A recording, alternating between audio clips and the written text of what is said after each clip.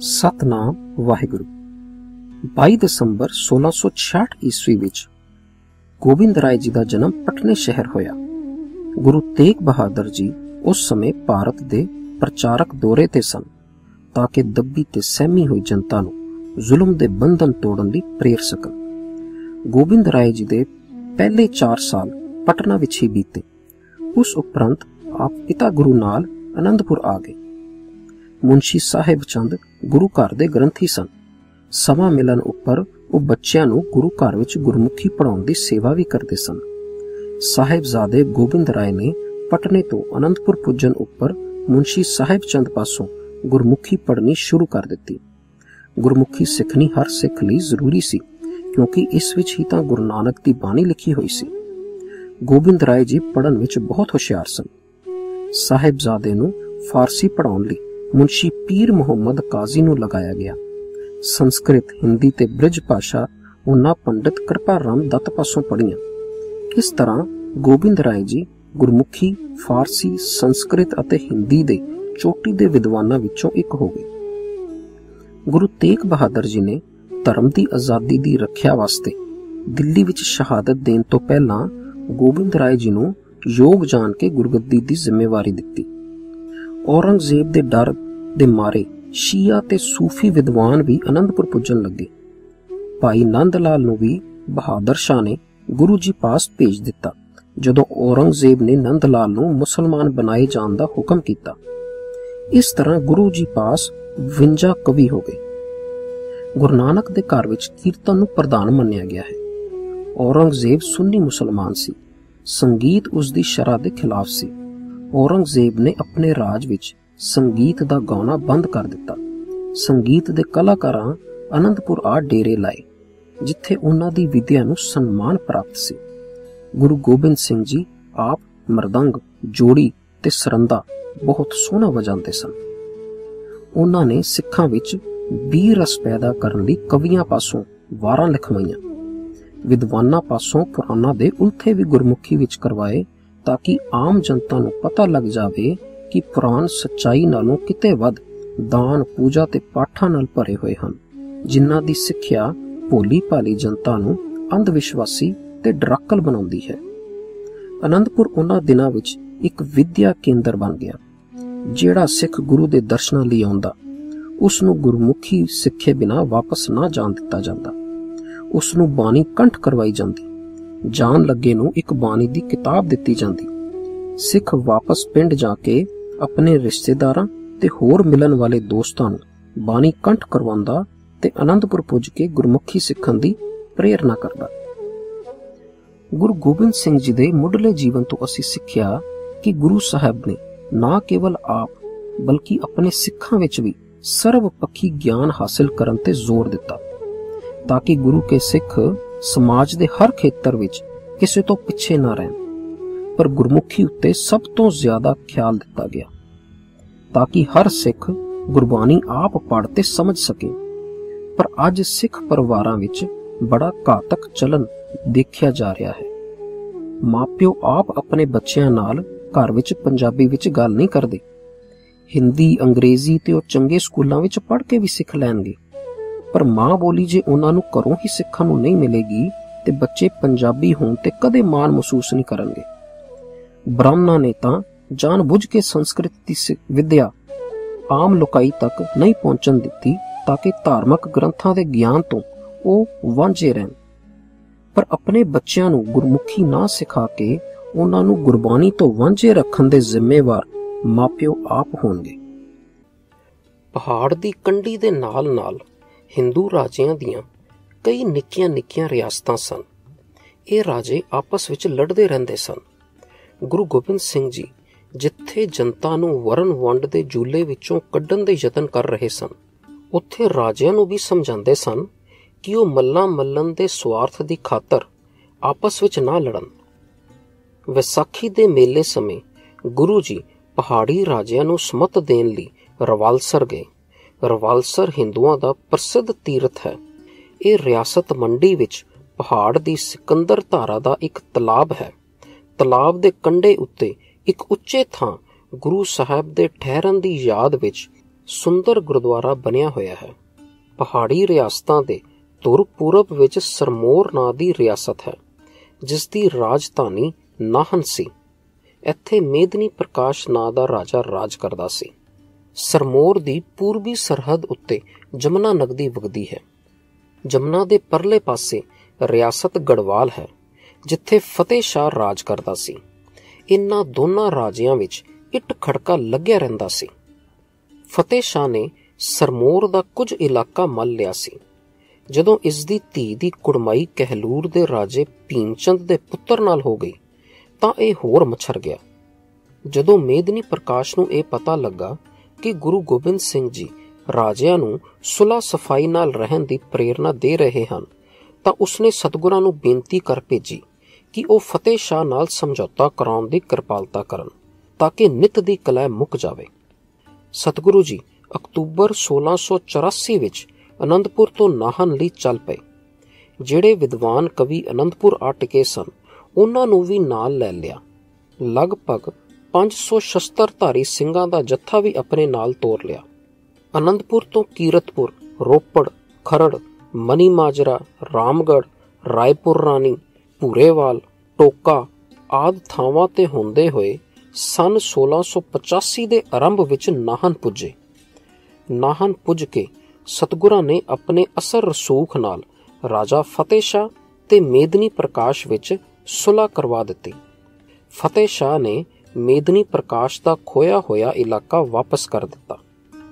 ਜਮਨਾ ਕਿਨਾਰੇ ਰਮਨੀਕ ਅਤੇ ਰਣਨੀਤੀ ਦੀ ਦ੍ਰਿਸ਼ਟੀ ਤੋਂ ਸੁਚੱਜਾ ਸਥਾਨ ਦੇਖ ਕੇ ਆਪ ਜੀ ਨੇ ਸਨ 1685 ਵਿੱਚ ਪਹਿਲਾਂ ਕੁਝ ਮਕਾਨ ਬਣਵਾਏ ਤੇ ਪਿੱਛੋਂ ਉਸ ਨੂੰ ਕਿਲੇ ਦੀ ਸ਼ਕਲ ਦੇ ਦਿੱਤੀ।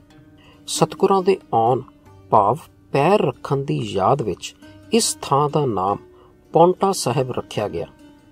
ਗੁਰਦੁਆਰਾ ਸਾਹਿਬ ਵਿੱਚ ਜਿੱਥੇ ਰੋਜ਼ ਦੋ ਵੇਲੇ ਸਤਸੰਗ ਹੁੰਦਾ ਸੀ, ਉੱਥੇ ਜਨਤਾ ਦੀਆਂ ਰਗਾਂ ਵਿੱਚ ਜੋਸ਼ ਭਰਨ ਲਈ ਸਤਿਗੁਰੂ ਜੀ ਕਵੀ ਦਰਬਾਰ ਵੀ ਕਰਵਾਉਂਦੇ ਸਨ।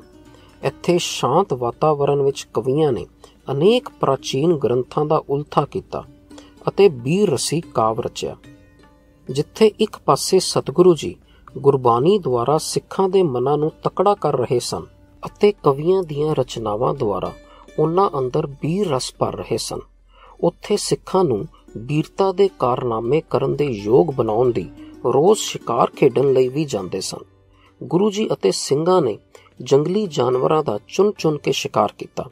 ਸ਼ੇਰ, ਚੀਤੇ ਬਗਿਆੜ ਰਿੱਛ, ਸੂਰ ਅਤੇ ਨੀਲ ਗਾਇਆਂ ਆਦਿਕ ਬਨਾਂ ਵਿੱਚੋਂ ਨਿਕਲ ਕੇ ਲੋਕਾਂ ਨੂੰ ਅਤੇ ਉਹਨਾਂ ਦਾ ਮਾਲ ਡੰਗਰ ਚੁੱਕ ਕੇ ਲੈ ਜਾਂਦੇ ਸਨ।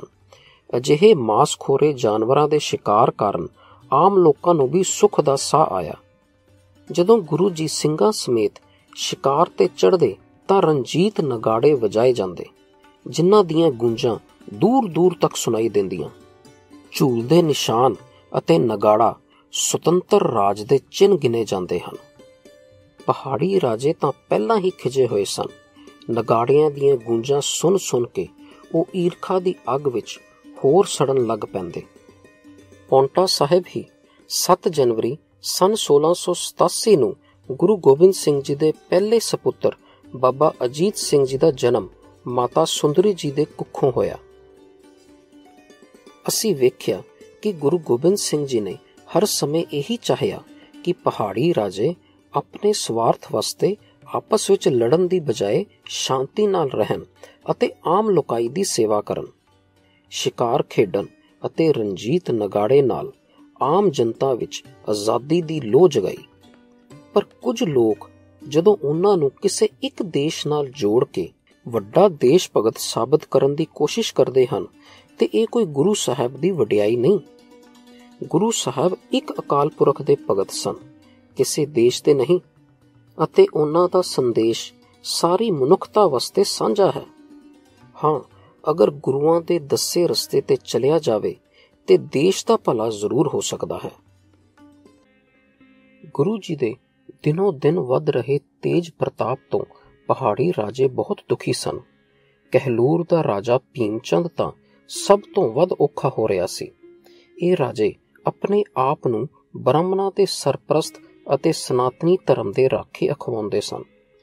ਉਹਨਾਂ ਨੂੰ ਦਸਮ ਪਿਤਾ ਜੀ ਦਾ ਜਾਤ ਰਹਿਤ ਪ੍ਰਚਾਰ, ਲੰਗਰ, ਨਗਾੜਾ, ਕਿਲੇ ਅਤੇ ਝੰਡਾ ਚੁਬਦਾ ਸੀ।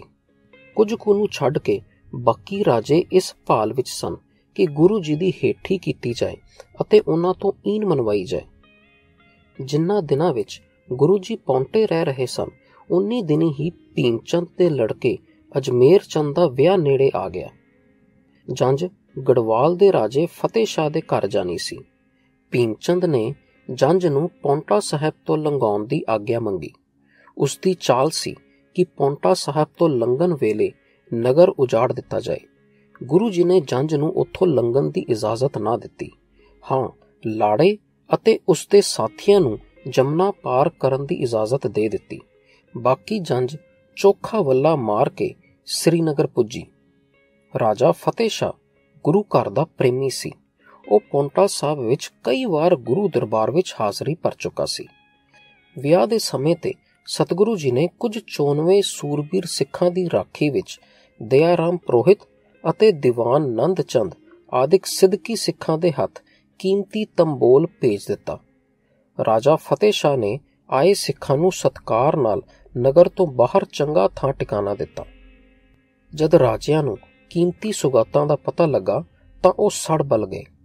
ਭੀਮਚੰਦ ਨੇ ਆਪਣੇ ਕੁੜਮ ਫਤਿਹ ਸ਼ਾਹ ਨੂੰ ਕਿਹਾ ਕਿ ਗੁਰੂ ਗੋਬਿੰਦ ਸਿੰਘ ਮੇਰਾ ਵੈਰੀ ਹੈ। ਉਸ ਨਾਲ ਤੇਰੀ ਮਿੱਤਰਤਾ ਮੈਨੂੰ ਪਸੰਦ ਨਹੀਂ। ਉਹਨਾਂ ਦਾ ਭੇਜਿਆ ਤੰਬੋਲ ਅਸਾਂ ਸੁਲਾ ਸਫ਼ਾਈ ਨਾਲ ਨਹੀਂ ਲੈਣਾ, ਸਗੋਂ ਲੁੱਟਣਾ ਹੈ। ਫਤਿਹ ਸ਼ਾਹ ਨੇ ਸਮਝਾਉਣ ਦੇ ਯਤਨ ਤਾਂ ਬੜੇ ਕੀਤੇ, ਪਰ ਪੰਮਾ ਪ੍ਰੋਹਿਤ ਕਿੱਥੇ ਪੇਸ਼ ਜਾਣ ਦਿੰਦਾ ਸੀ? ਆਖਿਰ ਜਦੋਂ ਭੀਮਚੰਦ ਨੇ ਵਿਆਹੀ ਨੂੰ ਨੂੰ ਵੀ ਛੱਡ ਜਾਣ ਦਾ ਡਰਾਵਾ ਦਿੱਤਾ, ਫਤਿਹ ਸ਼ਾਹ ਵੀ ਗੁਰੂ ਜੀ ਦਾ ਭੇਜਿਆ ਤੰਬੋਲ ਲੁੱਟਣ ਲਈ ਰਾਜ਼ੀ ਹੋ ਗਿਆ। ਦੀਵਾਨ ਨੰਦ ਚੰਦ ਆਦਿਕ ਸਿੱਖਾਂ ਨੂੰ ਵੀ ਰਾਜਿਆਂ ਦੀ ਖੋਟੀ ਮਤ ਦੀ ਸੂ ਮਿਲ ਗਈ ਅਤੇ ਉਹ ਉਸੇ ਸਮੇਂ ਪੌਂਟਾ ਸਾਹਿਬ ਵੱਲ ਚੱਲ ਪਏ। ਭੀਮਚੰਦ ਦੇ ਆਦਮੀਆਂ ਨੇ ਹਮਲਾ ਕੀਤਾ, ਪਰ ਸਿੱਖਾਂ ਨੇ ਐਸੇ ਕਰਾਰੇ ਹੱਥ ਵਿਖਾਏ ਕਿ ਪਹਾੜੀਏ ਮਸਾਂ ਜਾਨ ਬਚਾ ਕੇ ਨੱਸੇ। ਪੌਂਟਾ ਸਾਹਿਬ ਪੁੱਜ ਕੇ ਉਹਨਾਂ ਸਿੱਖਾਂ ਨੇ ਗੁਰੂ ਜੀ ਨੂੰ ਸਾਰੀ ਗੱਲ ਦੱਸੀ। ਉਧਰ ਫਤਿਹ ਸ਼ਾਹ ਦੀ ਧੀ ਦਾ ਵਿਆਹ ਹੋ ਜਾਣ ਉਪਰੰਤ ਸਾਰੇ ਪਹਾੜੀ ਰਾਜਿਆਂ ਨੇ ਜਿਨ੍ਹਾਂ ਵਿੱਚ ਵਿਸ਼ੇਸ਼ ਕਰਕੇ ਚੰਬਾ, ਸੁਕੇਤ, ਮੰਡੀ, ਜਸਵਾਲ, ਹੰਡੂਰ, ਪੰਬੋਰ, ਕੁਟਲੋੜ, ਨੂਰਪੁਰ, ਕਿਸ਼ਤਵਾਰ, ਨਦੌਨ, ਕਹਿਲੂਰ, ਗੜਵਾਲ, ਡਡਵਾਲ, ਚੰਦੋਰ ਉੱਗੇ ਸਨ। ਇਕੱਠ ਕੀਤਾ ਅਤੇ ਇਹ ਮੱਤਾ ਪਕਾ ਕੇ ਗੁਰੂ ਜੀ ਨੂੰ ਭੇਜਿਆ ਕਿ ਉਹ ਈਨ ਮੰਨ ਲੈਣ। ਰਾਜਿਆਂ ਨੇ ਇਸ ਭਾਂਤ ਦੀ ਇੱਕ ਚਿੱਠੀ ਵੀ ਗੁਰੂ ਗੋਬਿੰਦ ਸਿੰਘ ਜੀ ਨੂੰ ਲਿਖ ਭੇਜੀ। ਅਸਾਂ ਹੁਣ ਤੱਕ ਆਪ ਨੂੰ ਕੁਝ ਕਹਿਣਾ ਠੀਕ ਨਹੀਂ ਸਮਝਿਆ, ਕਿਉਂਕਿ ਤੁਸੀਂ ਗੁਰੂ ਜੀ ਦੀ ਗੱਦੀ ਤੇ ਬਿਰਾਜਮਾਨ ਹੋ, ਪਰ ਤੁਸੀਂ ਸਭ ਤੌਰ ਤਰੀਕੇ ਬਦਲ ਦਿੱਤੇ ਹਨ ਤੇ ਸਾਡੇ ਲਈ ਹੋਰ ਸਹਿਣਾ ਮੁਸ਼ਕਲ ਹੋ ਗਿਆ ਹੈ। ਜੇ ਤੁਸੀਂ ਸੁਖੀ ਵਸਣਾ ਚਾਹੁੰਦੇ ਹੋ, ਤਾਂ ਵਫਾਦਾਰ ਪ੍ਰਜਾ ਦੀ ਤਰ੍ਹਾਂ ਰਹੋ, ਪਿਛਲੇ ਕੰਮਾਂ ਦੀ ਖਿਮਾ ਮੰਗੋ ਤੇ ਅੱਗੋਂ ਹੁਕਮ ਪਾਲਣ ਦਾ ਪ੍ਰਣ ਕਰੋ। ਜੇ ਐਸਾ ਨਹੀਂ ਕਰਨਾ, ਤਾਂ ਆਨੰਦਪੁਰ ਛੱਡ ਜਾਓ।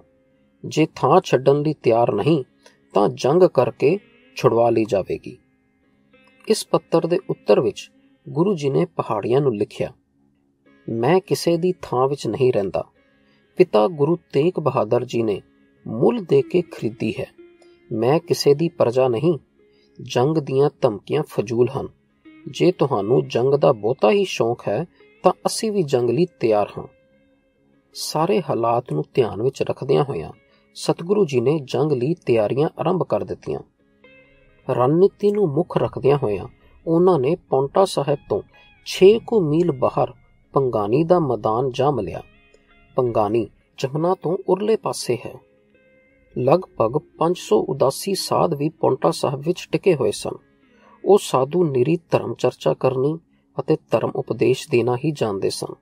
ਜਦੋਂ ਉਹਨਾਂ ਨੇ ਜੰਗ ਦੀਆਂ ਤਿਆਰੀਆਂ ਵੇਖੀਆਂ ਸੁਣੀਆਂ, ਉਹ ਸਹਿਮ ਗਏ। ਅਤੇ ਉੱਥੋਂ ਖਿਸਕਣੇ ਸ਼ੁਰੂ ਹੋ ਗਏ। ਰਾਤੋਂ ਰਾਤ ਸਾਰੇ ਉਦਾਸੀ ਪੌਂਟਾ ਸਾਹਿਬ ਤੋਂ ਚਲੇ ਗਏ। ਕੇਵਲ ਮਹੰਤ ਕਿਰਪਾਲ ਦਾਸ ਹੀ ਟਿਕਿਆ ਰਿਹਾ। ਮਹੰਤ ਕਿਰਪਾਲ ਦਾਸ ਜ਼ਿਲ੍ਹਾ ਲੁਧਿਆਣਾ ਦੀ ਤਹਿਸੀਲ ਜਗਰਾਉਂ ਦੇ ਕਸਬਾ ਹੇਰਾ ਦਾ ਰਹਿਣ ਵਾਲਾ ਸੀ। ਰਾਜਾ ਭੀਮਚੰਦ ਅਤੇ ਫਤਿਹ ਸ਼ਾਹ ਦੇ ਵਜ਼ੀਰਾਂ ਨੇ ਲਾਲਚ ਦੇ ਕੇ ਉਹਨਾਂ ਫੌਜੀ ਪਠਾਨਾਂ ਨੂੰ ਆਪਣੇ ਨਾਲ ਰਲਾ ਲਿਆ, ਜਿਨ੍ਹਾਂ ਨੂੰ ਪੀਰ ਬੁੱਧੂ ਸ਼ਾਹ ਜੀ ਨੇ ਆਪਣੀ ਸਿਫਾਰਿਸ਼ ਤੇ ਸਤਗੁਰਾਂ ਪਾਸ ਨੌਕਰ ਰਖਾਇਆ ਸੀ। 400 ਪਠਾਨਾਂ ਦੀ ਬੇਵਫਾਈ ਦੀ ਖਬਰ ਤੁਰੰਤ ਪੀਰ ਬੁੱਧੂ ਸ਼ਾਹ ਜੀ ਨੂੰ ਜਾ ਪਹੁੰਚੀ। ਪੀਰ ਜੀ ਆਪਣੇ ਚਾਰੇ ਪੁੱਤਰ, ਦੋ ਭਰਾ ਅਤੇ 700 ਮਰੀਦ ਲੈ ਕੇ ਮਚੇ ਜੰਗ ਵਿੱਚ ਪੰਗਾਨੀ ਪੁੱਜ ਗਏ। ਆਖਰ ਪਹਾੜੀਆਂ ਦਾ ਟਿੱਡੀ ਦਲ ਪੰਗਾਨੀ ਦੇ ਮੈਦਾਨ ਵਿੱਚ ਆ ਪੁੱਜਾ। ਪਹਾੜੀ ਰਾਜੇ 10000 ਦੀ ਫੌਜ ਲੈ ਕੇ ਆਏ। 15 ਅਪ੍ਰੈਲ 1687 ਨੂੰ ਦੋਹਾਂ ਫੌਜਾਂ ਦਾ ਟਾਕਰਾ ਹੋਇਆ। ਸਿੱਖ ਜਥਿਆਂ ਦੀ ਅਗਵਾਈ ਗੁਰੂ ਜੀ ਦੀ ਭੂਆ ਬੀਬੀ ਵੀਰੋ ਜੀ ਦੇ ਪੰਜੇ ਸੁਪੁੱਤਰ ਭਾਈ ਸੰਗੋਸ਼ਾ ਜੀਤਮਲ ਮੋਰੀ ਚੰਦ ਗੁਲਾਬ ਰਾਏ ਅਤੇ ਗੰਗਾ ਰਾਮ ਕਰ ਰਹੇ ਸਨ। ਗੁਰੂ ਜੀ ਦੇ ਮਾਮਾ ਕਿਰਪਾਲ ਚੰਦ ਜੀ ਨੇ ਵੀ ਜੰਗ ਵਿੱਚ ਹਿੱਸਾ ਲਿਆ।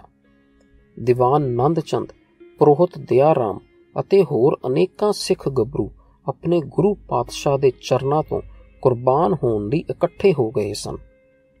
ਰਾਜਾ ਮੇਦਨੀ ਪ੍ਰਕਾਸ਼ ਨੇ ਆਪਣੇ 94 ਸਿਪਾਹੀ ਗੁਰੂ ਜੀ ਦੀ ਫੌਜ ਵਿੱਚ ਭੇਜ ਦਿੱਤੇ ਸਨ। ਇੰਜ ਸਿੱਖ ਫੌਜ ਦੀ ਗਿਣਤੀ 2000 ਤੋਂ ਉੱਪਰ ਹੋ ਗਈ ਸੀ। ਉਹ ਸਿੱਖ ਵੀ ਜਿਨ੍ਹਾਂ ਨੇ ਕਦੀ ਸ਼ਸਤਰ ਅਭਿਆਸ ਨਹੀਂ ਸੀ ਕੀਤਾ, ਇਸ ਲੜਾਈ ਵਿੱਚ ਕੁੱਦ ਪਏ।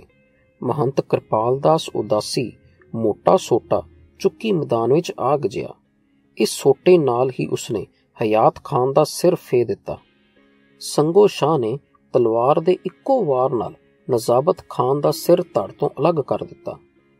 ਜੰਗ ਦੇ ਸਮੇਂ ਹੀ ਕਾਂਚੀ ਦਾ ਇੱਕ ਤਰਖਾਨ ਸਿੱਖ ਭਾਈ ਰਾਮਾ ਲੱਕੜ ਦੀਆਂ ਦੋ ਤੋਪਾਂ ਗੱਡੇ ਉੱਤੇ ਲੱਦ ਕੇ ਲੈ ਪਹੁੰਚਿਆ। ਇਨ੍ਹਾਂ ਤੋਪਾਂ ਦੇ ਵਰਤਨ ਨਾਲ ਹੀ ਪਹਾੜੀਆਂ ਵਿੱਚ ਬੜੀ ਘਬਰਾਹਟ ਮੱਚੀ। ਸਤਗੁਰਾਂ ਨੇ ਆਪ ਕਮਾਨ ਸੰਭਾਲੀ ਅਤੇ ਤੀਰਾਂ ਦੀ ਵਰਖਾ ਕਰਨ ਲੱਗੇ। ਉਹਨਾਂ ਦਾ ਜੰਗ ਵਿੱਚ ਹਿੱਸਾ ਲੈਣਾ ਹੀ ਸੀ ਕਿ ਪਹਾੜੀਆਂ ਨੂੰ ਭਾਜਣਾ ਪੈ ਗਈਆਂ। ਗੁਰੂ ਜੀ ਅਤੇ ਹੋਰ ਸਿੱਖਾਂ ਦੇ ਕਹਿਰੀ ਹਮਲੇ ਦੀ ਤਾਬ ਨਾ ਚਲਦਿਆਂ ਹੋਇਆਂ ਫਤਿਹ ਸ਼ਾ ਮਧੂਕਰ ਡਡਵਾਲੀਆ ਅਤੇ ਜਸਵਾਲੀਆ ਦਰਿਆ ਪਾਰ ਕਰਕੇ ਨਸ ਗਏ। ਨਜ਼ਾਬਤ ਖਾਨ ਤੇ ਸੰਗੋ ਸ਼ਾ ਆਪਸ ਵਿੱਚ ਭਿੜ ਪਏ। ਨਜ਼ਾਬਤ ਖਾਨ ਨੇ ਐਸਾ ਵਾਰ ਕੀਤਾ ਕਿ ਸੰਗੋ ਸ਼ਾ ਡਿੱਗ ਪਏ, ਪਰ ਸ਼ਹੀਦ ਹੁੰਦੇ ਹੁੰਦੇ ਉਹਨਾਂ ਨੇ ਵੀ ਐਸਾ ਵਾਰ ਕੀਤਾ ਕਿ ਨਜ਼ਾਬਤ ਖਾਨ ਵੀ ਉੱਥੇ ਹੀ ਢੇਰੀ ਹੋ ਗਿਆ। ਹਰੀਚੰਦ ਹੰਡੂਰੀਆ ਕਮਾਨ ਚੁੱਕੀ ਸਤਗੁਰਾਂ ਦੇ ਸਾਹਮਣੇ ਆ ਗਿਆ। ਉਹ ਕਮਾਲ ਦਾ ਨਿਸ਼ਾਨ ਚੀ ਸੀ ਉਸਨੇ ਗੁਰੂ ਜੀ ਨੂੰ ਨਿਸ਼ਾਨਾ ਬਣਾ ਕੇ ਤੀਰ ਚਲਾਉਣੇ ਆਰੰਭ ਕਰ ਦਿੱਤੇ। ਉਸ ਦਾ ਪਹਿਲਾ ਤੀਰ ਗੁਰੂ ਜੀ ਦੇ ਕੋੜੇ ਨੂੰ ਲੱਗਾ। ਦੂਜਾ ਗੁਰੂ ਜੀ ਦੇ ਕੰਨ ਨੂੰ ਛੂੰਦਾ ਹੋਇਆ ਨਿਕਲ ਗਿਆ ਅਤੇ ਤੀਜਾ ਲੱਕ ਉੱਤੇ ਬੱਦੀ ਪੇਟੀ ਤੇ ਆ ਵੱਜਾ। ਪੇਟੀ ਚੀਰ ਕੇ ਧੁੰਨੀ ਤੱਕ ਪਹੁੰਚ ਗਿਆ। ਮਾਮੂਲੀ ਜਿਹਾ ਜ਼ਖਮ ਹੋਇਆ। ਫਿਰ ਸਤਗੁਰਾਂ ਨੇ ਹਰੀ ਚੰਦ ਦਾ ਨਿਸ਼ਾਨਾ ਬਨ ਕੇ ਤੀਰ ਚਲਾਇਆ। ਇੱਕੋ ਤੀਰ ਨਾਲ ਹੀ ਉਹ ਡਿੱਗ ਪਿਆ ਅਤੇ ਉਸ ਦੇ ਸਵਾਸ ਨਿਕਲ ਗਏ। ਹਰੀ ਚੰਦ ਦਾ ਮਰਨਾ ਹੀ ਸੀ ਕਿ ਸਾਰੇ ਪਹਾੜੀਏ ਮੈਦਾਨ ਛੱਡ ਕੇ ਨਸ ਗਏ। ਸਤਿਗੁਰੂ ਜੀ ਅਤੇ ਸਿੱਖਾਂ ਦੀ ਜਿੱਤ ਹੋਈ। ਇਸ ਜੰਗ ਵਿੱਚ ਜਿੱਥੇ ਸੰਗੋ ਸ਼ਾਹ ਜੀ ਤੇ ਜੀਤਮਲ ਜੀ ਸ਼ਹੀਦ ਹੋਏ, ਉੱਥੇ ਪੀਰ ਬੁੱਧੂ ਸ਼ਾਹ ਜੀ ਦੇ ਦੋ ਪੁੱਤਰ ਅਤੇ ਇੱਕ ਭਰਾ ਵੀ ਸ਼ਹੀਦ ਹੋਏ। ਇਸ ਜਿੱਤ ਨਾਲ ਸਿੱਖਾਂ ਦੇ ਹੌਸਲੇ ਬੁਲੰਦ ਹੋ ਗਏ ਅਤੇ ਉਹ ਆਉਣ ਵਾਲੀਆਂ ਜੰਗਾਂ ਵਾਸਤੇ ਵੀ ਤਿਆਰ ਹੋ ਗਏ। ਇਸ ਜੰਗ ਦਾ ਪਹਿਲਾ ਕਾਰਨ ਤਾਂ ਪਹਾੜੀ ਰਾਜਿਆਂ ਦੀ ਈਰਖਾ ਸੀ। ਸਿੱਖੀ ਲਹਿਰ ਦੁਆਰਾ ਊਚ ਨੀਚ ਨੂੰ ਖਤਮ ਕਰਨਾ, ਛੂਤ ਛਾਤ ਨੂੰ ਮਿਟਾਉਣਾ ਅਤੇ ਜਾਤ ਪਾਤ ਖਤਮ ਕਰਨ ਲਈ ਵਰਨ ਵੰਡ ਵਿਰੁੱਧ ਜਹਾਦ ਖੜਾ ਕਰਨ ਨੂੰ ਬ੍ਰਾਹਮਣ ਸਨਾਤਨ ਧਰਮ ਲਈ ਖਤਰਾ ਸਮਝਦੇ ਸਨ। ਸਿੱਖੀ ਨੇ ਦੇਵੀ ਦੇਵਤਿਆਂ ਦੀ ਪੂਜਾ, ਮੂਰਤੀ ਪੂਜਾ, ਯੱਗ ਕਰਾਉਣੇ, ਪੁਜਾਰੀਆਂ ਨੂੰ ਦਾਨ ਦੇਣਾ, ਤੀਰਥ ਯਾਤਰਾ ਕਰਨ, ਵਰਤ ਰੱਖਣ ਆਦ ਦਾ ਘੋਰ ਵਿਰੋਧ ਕੀਤਾ ਸੀ। ਇਹ ਗੱਲ ਬ੍ਰਾਹਮਣ ਵਰਗ ਦੇ ਹਿੱਤ ਵਿੱਚ ਨਹੀਂ ਸੀ। ਸੋ ਇਹਨਾਂ ਨੇ ਸਿੱਖੀ ਦੀ ਲਹਿਰ ਨੂੰ ਦਬਾਉਣ ਦੇ ਇਰਾਦੇ ਨਾਲ ਪਹਾੜੀ ਰਾਜਿਆਂ ਨੂੰ ਭੜਕਾਇਆ। ਉੱਪਰੋਂ ਉੱਪਰੋਂ ਭਾਵੇਂ ਰਾਜਿਆਂ ਨੂੰ ਇਹੀ ਕਿਹਾ ਕਿ ਗੁਰੂ ਜੀ ਫੌਜਾਂ ਦੀ ਸਹਾਇਤਾ ਨਾਲ ਤੁਹਾਡੇ ਇਲਾਕੇ ਮੱਲ ਲੈਣਗੇ। ਇਹ ਬੜੀ ਅਸਚਰਜ ਵਾਲੀ ਗੱਲ ਹੈ ਕਿ ਜਿੰਨਾ ਬ੍ਰਾਹਮਣਾਂ ਦੇ ਕਹਿਣ ਉੱਤੇ ਹਿੰਦੂ ਧਰਮ ਦੀ ਖਾਤਰ 12-13 ਸਾਲ ਪਹਿਲਾਂ ਗੁਰੂ ਤੇਗ ਬਹਾਦਰ ਜੀ ਨੇ ਦਿੱਲੀ ਵਿੱਚ ਸ਼ਹੀਦੀ ਦਿੱਤੀ ਸੀ, ਅੱਜ ਉਹਨਾਂ ਹੀ ਬ੍ਰਾਹਮਣਾਂ ਦੇ ਸਿਖਾਏ ਹੋਏ ਅਤੇ ਹਿੰਦੂ ਧਰਮ ਨੂੰ ਮੰਨਣ ਵਾਲੇ ਰਾਜੇ ਗੁਰੂ ਜੀ ਨੂੰ ਈਨ ਮਨਾਉਣ ਲਈ ਫੌਜਾਂ ਲੈ ਕੇ ਜੰਗ ਦੇ ਮੈਦਾਨ ਵਿੱਚ ਆ ਗਏ ਸਨ। ਬ੍ਰਾਹਮਣਵਾਦ ਦੇ ਇਸ ਜਾਤ ਅਭਿਮਾਨੀ ਕਿਰਦਾਰ ਤੋਂ ਸੁਚੇਤ ਰਹਿਣਾ ਚਾਹੀਦਾ ਹੈ। ਇਹਨਾਂ ਦੀ ਹਰ ਸਮੇਂ ਇਹ ਕੋਸ਼ਿਸ਼ ਰਹਿੰਦੀ ਹੈ ਕਿ ਸਿੱਖੀ ਨੂੰ ਹਿੰਦੂ ਮਤ ਦਾ ਹਿੱਸਾ ਦੱਸ ਕੇ ਸਿੱਖ ਧਰਮ ਦੀ ਨਿਆਰੀ ਹਸਤੀ ਨੂੰ ਖਤਮ ਕੀਤਾ ਜਾਵੇ। ਪਰ ਜਦੋਂ ਇਹ ਆਪਣੇ ਮਨਸੂਬਿਆਂ ਵਿੱਚ ਸਫਲ ਨਹੀਂ ਹੋ ਪਾਉਂਦੇ, ਤਾਂ 1984 ਵਾਂਗ ਗੁਰੂ ਤੇਗ ਬਹਾਦਰ ਸਾਹਿਬ ਜੀ ਦੇ ਸ਼ਹੀਦੀ ਅਸਥਾਨ ਗੁਰਦੁਆਰਾ ਸੀਸਗੰਜ ਤੇ ਰਕਾਬਗੰਜ ਤੇ ਹਮਲਾ ਕਰਨ ਤੋਂ ਵੀ ਗੁਰੇਜ਼ ਨਹੀਂ ਕਰਦੇ। ਪੀਰ ਬੁੱਧੂ ਸ਼ਾਹ, ਪਿੰਡ ਸਡੋਰਾ, ਹਿਮਾਚਲ ਪ੍ਰਦੇਸ਼ ਦੇ ਰਹਿਣ ਵਾਲੇ ਇੱਕ ਮੁਸਲਮਾਨ ਫਕੀਰ ਸਨ। ਗੁਰੂ ਗੋਬਿੰਦ ਰਾਏ ਜੀ ਪੌਂਟਾ ਸਾਹਿਬ ਗਏ ਹੋਏ ਸਨ। ਉਹਨਾਂ ਦਿਨਾਂ ਵਿੱਚ ਪੀਰ ਜੀ ਵੀ ਪਹਾੜੀ ਇਲਾਕੇ ਦੀ ਸੈਰ ਕਰ ਰਹੇ ਸਨ।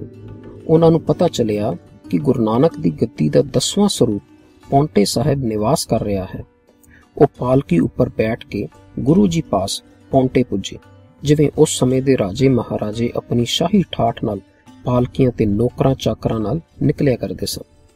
ਗੁਰੂ ਜੀ ਦੇ ਦਰਸ਼ਨ ਕਰਨ ਉੱਪਰ ਪੀਰ ਜੀ ਨੂੰ ਉਹ ਸ਼ਾਂਤੀ ਪ੍ਰਾਪਤ ਹੋਈ ਜਿਹੜੀ ਉਹਨਾਂ ਨੂੰ ਧਰਮੀ ਪੁਸਤਕਾਂ ਜਾਂ ਭਜਨ ਬੰਦਗੀ ਨਾ ਦੇ ਸਕੀ ਸੀ। ਗੁਰੂ ਜੀ ਨਾਲ ਵਿਚਾਰ ਵਟਾਂਦਰਾ ਕਰਕੇ ਉਹਨਾਂ ਦੇ ਮਨ ਦੇ ਸਾਰੇ ਸ਼ੰਕੇ ਦੂਰ ਹੋ ਗਏ। ਵਾਪਸ ਸਡੋਰਾ ਜਾਣ ਸਮੇਂ ਉਹਨਾਂ ਦੇ ਮਨ ਵਿੱਚੋਂ ਤੂੰ ਤੇ ਮੈਂ ਦਾ ਭੇਦ ਖਤਮ ਹੋ ਗਿਆ ਸੀ। ਪਹਿਲੀ ਮਿਲਣੀ ਪਿੱਛੋਂ ਹੀ ਪੀਰ ਬੁੱਧੂ ਸ਼ਾਹ ਦਾ ਗੁਰੂ ਜੀ ਪਾਸ ਆਣਾ ਜਾਣਾ ਸਧਾਰਨ ਹੋ ਗਿਆ ਸੀ। ਉਹਨਾਂ ਨੂੰ ਆਉਣ ਲਈ ਪਾਲਕੀ ਦੀ ਲੋੜ ਨਾ ਰਹੀ। ਉਹਨਾਂ ਨੇ ਦੇਖ ਲਿਆ ਕਿ ਗੁਰੂ ਜੀ ਦੀ ਲੜਾਈ ਕਿਸੇ ਰਾਜ ਲਈ ਨਹੀਂ, ਸਿਰਫ ਜ਼ੁਲਮ ਦੇ ਖਿਲਾਫ ਹੈ ਜਿਹੜਾ ਗਰੀਬ ਜਨਤਾ ਉੱਪਰ ਹੋ ਰਿਹਾ ਸੀ। ਜ਼ੁਲਮ ਕਰਨ ਲਈ ਧਰਮ ਦੀ ਆੜ ਲਈ ਜਾ ਰਹੀ ਸੀ।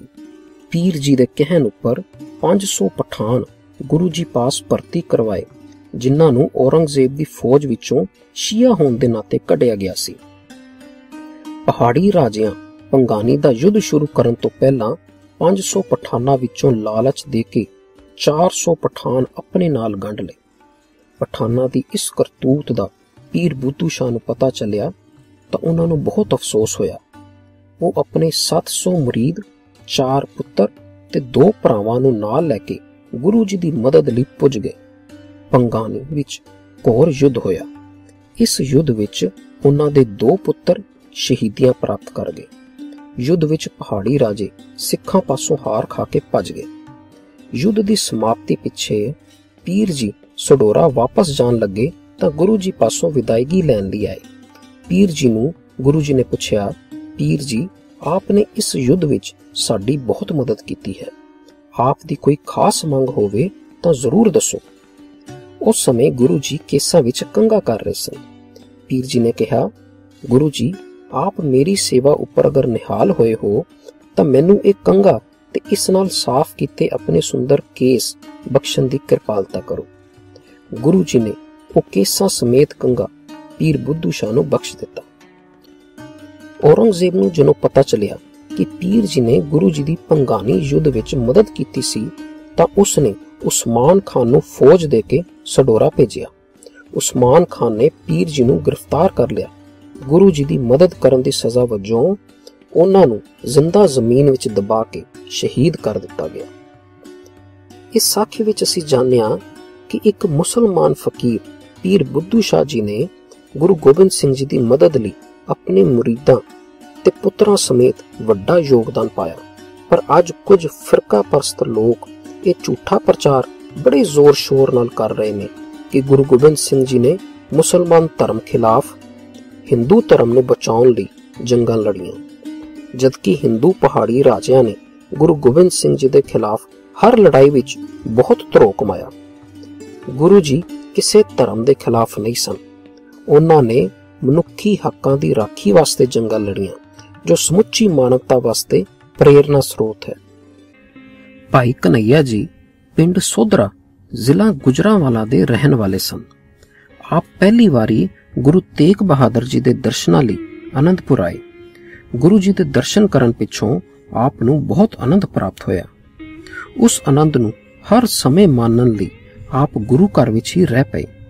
ਆਪ ਨੂੰ ਗੁਰੂ ਦੇ ਲੰਗਰ ਵਿੱਚ ਪਾਣੀ ਦੀ ਸੇਵਾ ਸੰਭਾਲ ਦਿੱਤੀ ਗਈ। ਪੰਗਾਨੀ ਦਾ ਯੁੱਧ ਸ਼ੁਰੂ ਹੋਣ ਤੋਂ ਪਹਿਲਾਂ ਗੁਰੂ ਗੋਬਿੰਦ ਰਾਏ ਜੀ ਨੇ ਆਪ ਨੂੰ ਜੰਗ ਦੇ ਮੈਦਾਨ ਵਿੱਚ ਲੋੜਵੰਦਾਂ ਨੂੰ ਪਾਣੀ ਪਿਲਾਉਣ ਦੀ ਸੇਵਾ ਬਖਸ਼ੀ। ਪਹਾੜੀ ਰਾਜਿਆਂ 400 ਪਠਾਨਾਂ ਨੂੰ ਨਾਲ ਮਿਲਾ ਕੇ ਸਿੱਖਾਂ ਉੱਪਰ ਹਮਲਾ ਕਰ ਦਿੱਤਾ। ਰਣ ਭੂਮੀ ਵਿੱਚ ਜਿਸ ਨੂੰ ਪਿਆਸ ਲੱਗਦੀ, ਉਹ ਭਾਈ ਕਨਈਆ ਜੀ ਪਾਸ ਪੁੱਜ ਜਾਂਦਾ। ਆਪ ਉਸ ਨੂੰ ਪਾਣੀ ਪਿਲਾ ਦਿੰਦੇ। ਹਿੰਦੂ, ਮੁਸਲਮਾਨ, ਸਿੱਖ ਤੇ ਪਠਾਨ ਆਪ ਪਾਸੋਂ ਪਾਣੀ ਪੀ ਕੇ ਤਾਜ਼ਾ ਦਮ ਹੋ ਕੇ ਫਿਰ ਯੁੱਧ ਵਿੱਚ ਜੁਟ ਜਾਂਦੇ। ਸਿੱਖਾਂ ਨੇ ਜਦੋਂ ਭਾਈ ਕਨਈਆ ਜੀ ਨੂੰ ਪਠਾਨਾਂ ਤੇ ਪਹਾੜੀ ਰਾਜਿਆਂ ਦੇ ਸਿਪਾਹੀਆਂ ਨੂੰ ਪਾਣੀ ਪਿਲਾਉਂਦੇ ਤੱਕਿਆ ਤਾਂ ਉਹ ਸਹਾਰ ਨਾ ਸਕੇ। ਸਿੱਖਾਂ ਸੋਚਿਆ, ਭਾਈ ਕਨਈਆ ਜੇ ਦੁਸ਼ਮਣ ਦੇ ਫਟੜਾਂ ਨੂੰ ਪਾਣੀ ਨਾ ਪਿਲਾਵੇ, ਤਾਂ ਉਹ ਜ਼ਰੂਰ ਪਿਆਸ ਨਾਲ ਦਮ ਤੋੜ ਦੇਣ। ਸਿੱਖਾਂ ਨੇ ਜਾ ਕੇ ਗੁਰੂ ਜੀ ਪਾਸ ਸ਼ਿਕਾਇਤ ਕੀਤੀ। ਸਾਰੀ ਕਹਾਣੀ ਦੱਸਣ ਪਿੱਛੋਂ ਉਹਨਾਂ ਬੇਨਤੀ ਕੀਤੀ ਕਿ ਉਸ ਨੂੰ ਦੁਸ਼ਮਣ ਦੇ ਸਿਪਾਹੀਆਂ ਨੂੰ ਪਾਣੀ ਪਿਲਾਉਣ ਤੋਂ ਰੋਕਿਆ ਜਾਵੇ। ਗੁਰੂ ਜੀ ਨੇ ਭਾਈ ਕਨਈਆ ਨੂੰ ਬੁਲਾ ਕੇ ਪੁੱਛਿਆ, ਭਾਈ, ਕੀ ਇਹ ਸੱਚ ਕਹਿ ਕਿ ਤੂੰ ਵੈਰੀਆਂ ਤੇ ਸਿਪਾਹੀਆਂ ਨੂੰ ਪਾਣੀ ਪਿਲਾ ਕੇ ਸਿੱਖਾਂ ਨਾਲ ਲੜਨ ਲਈ ਫਿਰ ਤਿਆਰ ਕਰ ਦਿੰਦਾ ਹੈ। ਜਿਨ੍ਹਾਂ ਨੂੰ ਇਹ ਜ਼ਖਮੀ ਤੇ ਫੱਟੜ ਕਰਦੇ ਹਨ। ਭਾਈ ਕਨਈਆ ਨੇ ਉੱਤਰ ਦਿੱਤਾ, ਸੱਚੇ ਪਾਤਸ਼ਾਹ, ਮੈਨੂੰ ਤਾਂ ਕੋਈ ਵੈਰੀ ਨਜ਼ਰ ਨਹੀਂ ਆਉਂਦਾ। ਸਾਰਿਆਂ ਵਿੱਚ ਪਰਮਾਤਮਾ ਹੀ ਨਜ਼ਰ ਆਉਂਦਾ ਹੈ। ਮੈਂ ਕਿਸ ਨੂੰ ਪਾਣੀ ਪਿਲਾਵਾਂ ਤੇ ਫਿਰ ਕਿਸ ਨੂੰ ਜਵਾਬ ਦੇਵਾਂ? ਮੇਰੇ ਪਾਸ ਜਿਹੜਾ ਵੀ ਲੋੜਵੰਦ ਪਾਣੀ ਦੀ ਮੰਗ ਕਰਦਾ ਹੈ, ਮੈਂ ਉਸ ਨੂੰ ਪਾਣੀ ਪਿਲਾ ਦਿੰਦਾ ਹਾਂ। ਆਪ ਨੇ ਹੀ ਮੈਨੂੰ ਇਸ ਯੁੱਧ ਵਿੱਚ ਲੋੜਵੰਦਾਂ ਨੂੰ ਪਾਣੀ ਪਿਲਾਉਣ ਦੀ ਸੇਵਾ ਸੌਂਪੀ ਹੈ। ਗੁਰੂ ਜੀ ਭਾਈ ਕਨਈਆ ਜੀ ਦਾ ਉੱਤਰ ਸੁਣ ਕੇ ਬਹੁਤ ਪ੍ਰਸੰਨ ਹੋਏ। ਗੁਰੂ ਜੀ ਨੇ ਆਪਣੇ ਪਾਸੋਂ ਭਾਈ ਕਨਈਆ ਜੀ ਨੂੰ ਮਲਮ ਪੱਟੀ ਫੜਾਉਂਦੇ ਹੋਏ ਕਿਹਾ, ਭਾਈ, ਅੱਗੇ ਲਈ ਤੁਸੀਂ ਪਾਣੀ ਦੀ ਸੇਵਾ ਦੇ ਨਾਲ-ਨਾਲ ਫਟਣਾ ਦੀ ਮਲਮ ਪੱਟੀ ਦਾ ਕੰਮ ਵੀ ਕਰਨਾ ਹੈ। ਇਸ ਕੰਮ ਲਈ ਆਪਣੇ ਨਾਲ ਕੁਝ ਹੋਰ ਸਿੱਖਾਂ ਨੂੰ ਵੀ ਲੈ ਲਵੋ ਤੇ ਜੱਥਾ ਤਿਆਰ ਕਰ ਲਵੋ। ਤੁਸੀਂ ਉਸ ਜੱਥੇ ਦੇ ਮੁਖੀਏ ਹੋਵੋਗੇ। ਭਾਈ ਕਨਈਆ ਜੀ ਨੇ ਉਸ ਤਰ੍ਹਾਂ ਹੀ ਕੀਤਾ। ਸਿੱਖਾਂ ਦਾ ਇੱਕ ਜੱਥਾ ਤਿਆਰ ਕਰ ਲਿਆ। ਇਹ ਸਭ ਤੋਂ ਪਹਿਲੀ ਰੈੱਡ ਕਰਾਸ ਦੀ ਸੇਵਾ ਦਾ ਆਰੰਭ ਸੀ। ਉਸ ਤੋਂ ਪਿੱਛੋਂ ਜ਼ਖਮੀਆਂ ਤੇ ਲੋੜਵੰਦਾਂ ਦੀ ਦੇਖਭਾਲ ਕਰਨ ਵਾਲੇ ਜਥੇ ਆਪਣੇ ਆਪ ਨੂੰ ਸੇਵਾ ਪੰਥੀ ਅਖਵਾਉਣ ਲੱਗੇ। ਗੁਰੂ ਗੋਬਿੰਦ ਰਾਏ ਜੀ ਦੀਆਂ ਨਜ਼ਰਾਂ ਵਿੱਚ ਕੋਈ ਵੈਰੀ ਜਾਂ ਬੇਗਾਨਾ ਨਹੀਂ ਸੀ। ਸਾਰੇ ਉਸ ਮਾਲਕ ਦੇ ਪੈਦਾ ਕੀਤੇ ਹੋਏ ਸਨ। ਉਹਨਾਂ ਦੀ ਲੜਾਈ ਸਿਰਫ ਗਰੀਬਾਂ ਉੱਪਰ ਹੁੰਦੇ ਅਤਿਆਚਾਰ ਨੂੰ ਰੋਕਣ ਲਈ ਸੀ। ਇਸ ਸਾਖੀ ਰਾਹੀਂ ਅਸੀਂ ਸਮਝਿਆ ਕਿ ਜਿੱਥੇ ਸਿੱਖ ਨੇ ਜ਼ੁਲਮ ਦੇ ਖਿਲਾਫ ਡਟ ਕੇ ਖੜੇ ਹੋਣਾ ਹੈ, ਉੱਥੇ ਹੀ ਲੋੜਵੰਦਾਂ ਦੀ ਸੇਵਾ ਬਗੈਰ ਕਿਸੇ ਵੈਰ ਵਿਰੋਧ ਦੇ ਕਰਨੀ ਹੈ। ਪੰਗਾਨੀ ਦੇ ਜੰਗ ਵਿੱਚ ਥੋੜੇ ਜਿਹੇ ਸਿੱਖਾਂ ਨੇ ਪਹਾੜੀ ਰਾਜਿਆਂ ਦੀ ਮਿਲਵੀਂ ਫੌਜ ਨੂੰ ਲੱਕ ਤੋੜਵੀਂ ਹਾਰ ਦਿੱਤੀ ਸੀ। ਇਸ ਨਾਲ ਜਿੱਥੇ ਸਿੱਖਾਂ ਦੇ ਹੌਸਲੇ ਬੁਲੰਦ ਹੋਏ, ਉੱਥੇ ਪਹਾੜੀ ਰਾਜਿਆਂ ਨੂੰ ਵੀ ਵਿਸ਼ਵਾਸ ਹੋ ਗਿਆ। ਕਿ ਉਹ ਮੁਸਲਮਾਨ ਹਾਕਮਾਂ ਦੀ ਸਹਾਇਤਾ ਦੇ ਬਿਨਾ ਗੁਰੂ ਗੋਬਿੰਦ ਸਿੰਘ ਜੀ ਨਾਲ ਟੱਕਰ ਨਹੀਂ ਲੈ ਸਕਦੇ। ਪੰਗਾਨੀ ਦਾ ਯੁੱਧ ਜਿੱਤਣ ਦੇ ਕੁਝ ਸਮਾਂ ਮਗਰੋਂ ਦਸਮ ਪਿਤਾ ਜੀ ਪੌਂਟਾ ਸਾਹਿਬ ਤੋਂ ਅਨੰਦਪੁਰ ਨੂੰ ਤੁਰ ਪਏ ਅਤੇ ਸਡੋਰੇ ਹੁੰਦੇ ਹੋਏ ਲਾਹੜਪੁਰ ਪੁੱਜੇ। ਇੱਥੇ ਆਪ ਨੇ 13 ਦਿਨ ਡੇਰਾ ਕੀਤਾ ਅਤੇ ਸ਼ਿਕਾਰ ਦਾ ਸ਼ੁਗਲ ਮਾਨਿਆ। ਇੱਥੋਂ ਮਾਨਿਕ ਟਾਬਰਾ ਤੇ ਰਾਏਪੁਰ ਗਏ। ਰਾਏਪੁਰ ਦੀ ਰਾਣੀ ਨੇ ਚੰਗੀ ਆਉ ਭਗਤ ਕੀਤੀ ਤੇ ਹੱਥੀ ਪ੍ਰਸ਼ਾਦ ਛਕਾਇਆ। ਫੇਰ ਟੋਡਾ, ਨਾਡਾ ਆਦ ਪਿੰਡਾਂ ਤੋਂ ਹੁੰਦੇ ਹੋਏ ਆਪ ਟਕੋਲੀ ਪੁੱਜੇ। ਇਹ ਜਗ੍ਹਾ ਹੁਣ ਜ਼ੀਰਕਪੁਰ ਵਿੱਚ ਆਂਦੀ ਹੈ। ਉੱਥੇ ਪਾਣੀ ਦੀ ਤੰਗੀ ਸੀ। ਆਪ ਨੇ ਬੋਲੀ ਲਗਵਾਈ। ਫਿਰ ਕੋਟਲਾ ਨਿਹੰਗ ਆਏ। ਇੱਥੋਂ ਦੇ ਪਠਾਨਾਂ ਨੇ ਪ੍ਰੇਮ ਨਾਲ ਸੇਵਾ ਕੀਤੀ। ਗੁਰੂ ਜੀ ਨੇ ਉਹਨਾਂ ਨੂੰ ਇੱਕ ਤਲਵਾਰ ਬਖਸ਼ੀ, ਜਿਹੜੀ ਉਹਨਾਂ ਤੇ ਉਹਨਾਂ ਦੀ ਔਲਾਦ ਨੇ ਬੜੇ ਸਤਕਾਰ ਨਾਲ ਸਾਂਭ ਕੇ ਰੱਖੀ। ਕੋਟਲਾ ਤੋਂ ਰੋਪੜ, ਕਨੋਲੀ, ਬੁੰਗਾ ਹੁੰਦੇ ਹੋਏ ਕੀਰਤਪੁਰ ਆਏ। ਕੀਰਤਪੁਰੋਂ ਅਨੰਦਪੁਰ ਸਾਹਿਬ ਅਕਤੂਬਰ 1787 ਵਿੱਚ ਪੁੱਜੇ। ਸਤਿਗੁਰੂ ਜੀ ਅਨੰਦਪੁਰ ਲਗਭਗ 3 ਸਾਲਾਂ ਮਗਰੋਂ ਪਰਤੇ ਸਨ। ਇਸ ਸਮੇਂ ਵਿੱਚ ਅਨੰਦਪੁਰ ਬੇਰੌਣਕਾ ਜਿਹਾ ਹੋ ਗਿਆ ਸੀ। ਗੁਰੂ ਗੋਬਿੰਦ ਸਿੰਘ ਜੀ ਦੇ ਮੁੜ ਆਉਣ ਨਾਲ ਅਨੰਦਪੁਰ ਵਿੱਚ ਇੱਕ ਵਾਰ ਫੇਰ ਚਹਿਲ ਪਹਿਲ ਹੋਈ। ਨਵੇਂ ਮਕਾਨਾਂ ਦੀ ਉਸਾਰੀ ਹੋਈ ਤੇ ਵਸੋਂ ਵਿੱਚ ਵਾਧਾ ਹੋਇਆ। ਸਤਿਗੁਰੂ ਜੀ ਦੀ ਲੰਮੀ ਨਜ਼ਰ ਨੇ ਵੇਖ ਲਿਆ ਸੀ ਕਿ ਹੁਣ ਜੰਗ ਦਾ ਮੈਦਾਨ ਅਨੰਦਪੁਰ ਹੀ ਬਣਨਾ ਹੈ। ਅਨੰਦਪੁਰ ਸ਼ਹਿਰ ਨੂੰ ਹੋਣ ਵਾਲੇ ਹਮਲਿਆਂ ਦੀ ਮਾਰ ਤੋਂ ਬਚਾਉਣ ਲਈ ਸਤਗੁਰਾਂ ਨੇ ਸਤਲੁਜ ਨਦੀ ਦੇ ਕਿਨਾਰੇ ਨਿਰਮੋਗੜ ਹੋਲਗੜ ਅਤੇ ਲੋਗੜ ਕਿਲੇ ਬਣਾਏ। ਚਰਨ ਗੰਗਾ ਦੇ ਕਿਨਾਰੇ ਫਤਿਹਗੜ ਅਤੇ ਉਸ ਤੋਂ ਕੁਝ ਦੂਰ ਕੇਸਗੜ ਅਤੇ ਫਿਰ ਸਭ ਤੋਂ ਉੱਚੀ ਥਾਂ ਉੱਤੇ ਆਨੰਦਗੜ ਨਾਮ ਦੇ ਕਿਲੇ ਬਣਾਏ। ਆਨੰਦਪੁਰ ਵਿੱਚ ਹਥਿਆਰ ਬਣਾਉਣ ਦਾ ਕਾਰਖਾਨਾ ਤਾਂ ਪਹਿਲਾਂ ਹੀ ਲਾ ਦਿੱਤਾ ਸੀ। ਹੁਣ ਉਸ ਵਿੱਚ ਫਿਰ ਜ਼ੋਰ-ਸ਼ੋਰ ਨਾਲ ਕੰਮ ਸ਼ੁਰੂ ਹੋ ਗਿਆ। ਬੰਦੂਕਾਂ ਅਤੇ ਤੋਪਾਂ ਭਾਰੀ ਗਿਣਤੀ ਵਿੱਚ ਬਣਾਈਆਂ ਗਈਆਂ। ਕਿਲਿਆਂ ਦੀ ਉਸਾਰੀ ਇਸ ਢੰਗ ਨਾਲ ਕੀਤੀ ਗਈ ਸੀ ਕਿ ਵੈਰੀ ਦੀਆਂ ਫੌਜਾਂ ਅਨੰਦਪੁਰ ਪੁੱਜ ਨਾ ਸਕਣ। ਇੱਕ ਤੋਂ ਬਾਅਦ ਦੂਜਾ ਕਿਲਾ ਵੈਰੀ ਨੂੰ ਰੋਕਣ ਲਈ ਖਲੋਤਾ ਸੀ। ਪਹਿਲਾਂ ਸਤਲੁਜ ਤੇ ਫਿਰ ਚਰਨ ਗੰਗਾ ਪਾਰ ਕਰਨਾ ਕਿਸੇ ਫੌਜ ਲਈ ਮੁਸ਼ਕਲ ਭਰਿਆ ਕੰਮ ਸੀ। ਸਿੱਖਾਂ ਵਿੱਚ ਆਤਮ ਵਿਸ਼ਵਾਸ ਭਰਨ ਲਈ ਗੁਰੂ ਸਾਹਿਬ ਨੇ ਹੋਲਾ ਮੱਲਾ ਸ਼ੁਰੂ ਕੀਤਾ। ਦਰਸਲ ਹੋਲੀ ਭਾਰਤ ਦਾ ਮੌਸਮੀ ਤਿਉਹਾਰ ਹੈ। ਇਸ ਦੇ ਤਿੰਨ ਨਾਮ ਹਨ, ਹੋਲੀ, ਹੋਲਕਾ ਅਤੇ ਹੋਲਾਕਾ। ਬਸੰਤ ਰੁੱਤ ਤੋਂ ਪਹਿਲਾਂ ਪਤਝੜ ਵਿੱਚ ਕੁਝ ਉਦਾਸੀ ਜਹੀ ਦਾ ਪ੍ਰਭਾਵ ਪਿਆ ਰਹਿੰਦਾ ਹੈ। ਬਸੰਤ ਦੀ ਖਿੜੀ ਬਹਾਰ ਵਿੱਚ ਪਸ਼ੂ, ਪੰਛੀ ਅਤੇ ਮਨੁੱਖ ਸਭਨਾ ਦੇ ਚਿੱਤ ਖਿੜ ਜਾਂਦੇ ਹਨ। ਇੱਕ ਦੂਜੇ ਉੱਤੇ ਰੰਗ ਸੁੱਟ ਕੇ ਲੋਕੀ ਇਹ ਤਿਉਹਾਰ ਮਨਾਉਂਦੇ ਹਨ। ਇਸ ਤਿਉਹਾਰ ਦੀਆਂ ਰੰਗ ਰਲੀਆਂ ਵੱਧਦੀਆਂ ਵੱਧਦੀਆਂ ਵਿਕਾਰ ਅਤੇ ਗੰਧ ਵੱਲ ਰੁਚੀ ਫੜ ਗਈਆਂ। ਰੰਗਾਂ ਅਤੇ ਗੰਧ ਨਾਲ ਲਿਬੜੇ ਹੋਏ ਮਨੁੱਖ ਹੋਲੀ ਵਾਲੇ ਦਿਨ ਭੂਤਨੀਆਂ ਦੀ ਤਰ੍ਹਾਂ ਲੱਗਦੇ ਹਨ।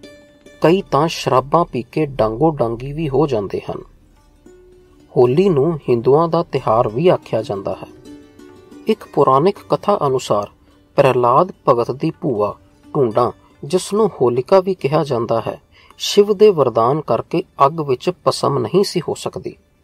ਹਰਨਾਕਸ਼ ਨੇ ਪ੍ਰਲਾਦ ਨੂੰ ਹੋਲਿਕਾ ਦੀ ਗੋਦੀ ਵਿੱਚ ਬਿਠਾ ਕੇ ਲੱਕੜੀਆਂ ਦੇ ਢੇਰ ਨੂੰ ਅੱਗ ਲਾ ਦਿੱਤੀ।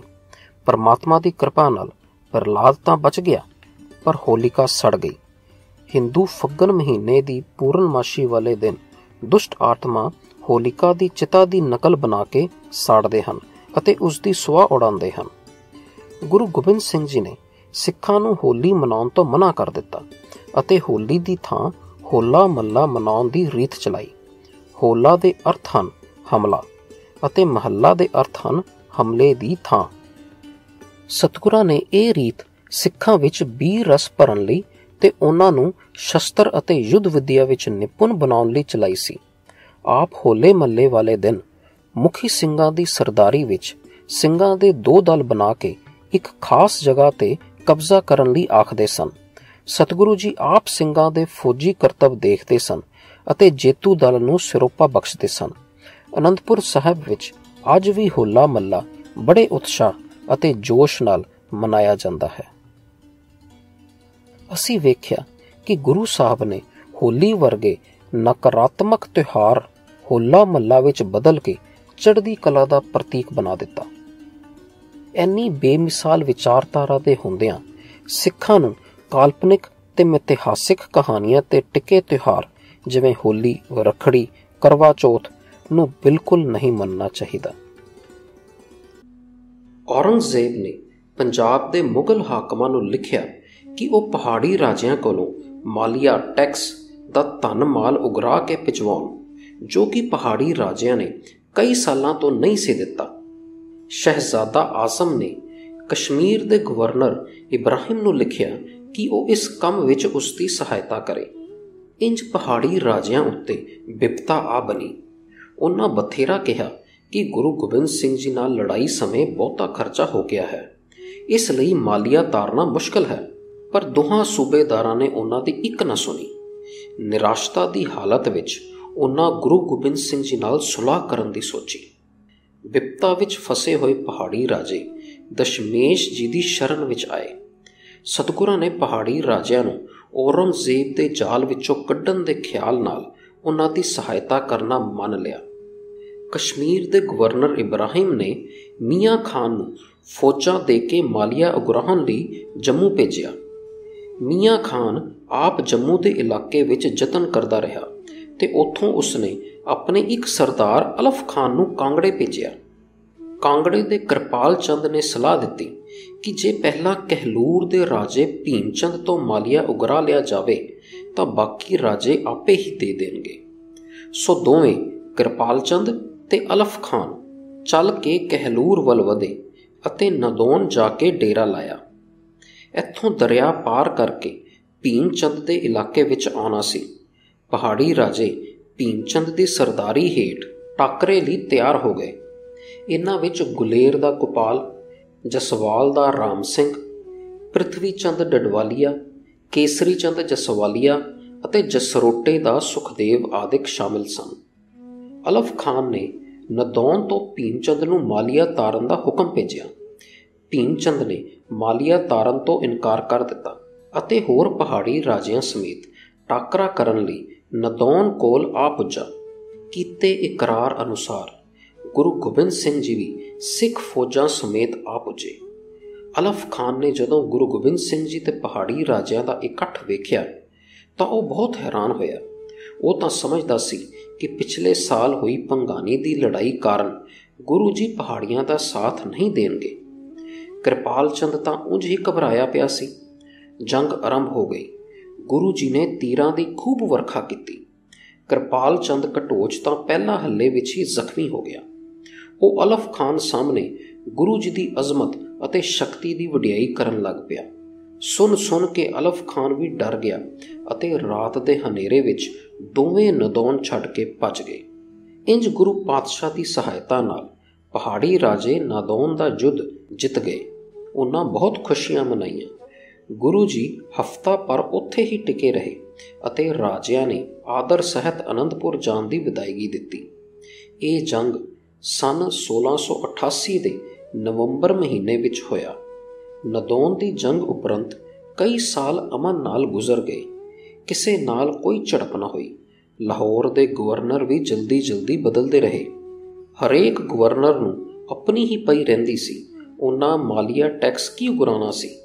ਇਸ ਸਮੇਂ ਵਿੱਚ ਗੁਰੂ ਪਾਤਸ਼ਾਹ ਜੀ ਨੇ ਸਾਰੇ ਕਿਲੇ ਪੱਕੇ ਕਰ ਲਏ।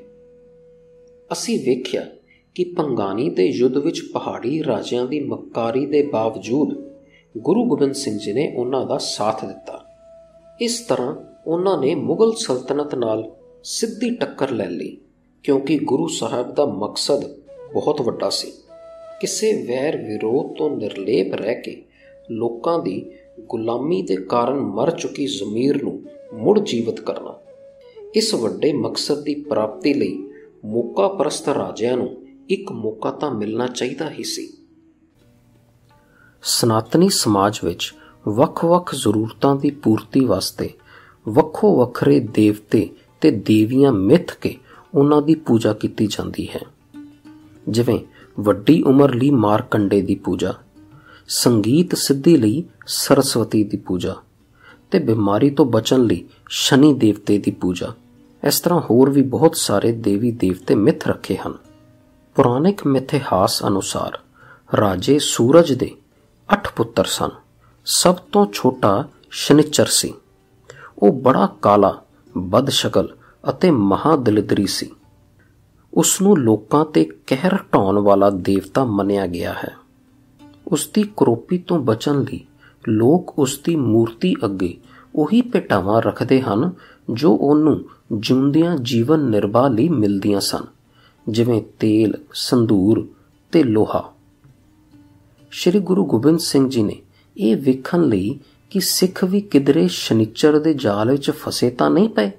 ਇੱਕ ਕੋਤਕ ਰਚਿਆ। ਇੱਕ ਦਿਨ ਆਪ ਨੇ ਵੇਦਵੀ ਸ਼ਨੀਚਰ ਦੇਵਤੇ ਦਾ ਦਾਨ ਲੈਣ ਵਾਲਾ ਬ੍ਰਾਹਮਣ ਉਸ ਨੂੰ ਸੱਦਾ ਕਲਿਆ ਤੇ ਆਉਂਦੇ ਸ਼ਨੀਵਾਰ ਨੂੰ ਦਰਬਾਰ ਵਿੱਚੋਂ ਸ਼ਨੀ ਦੇਵਤੇ ਦਾ ਦਾਨ ਲੈ ਜਾਵੇ।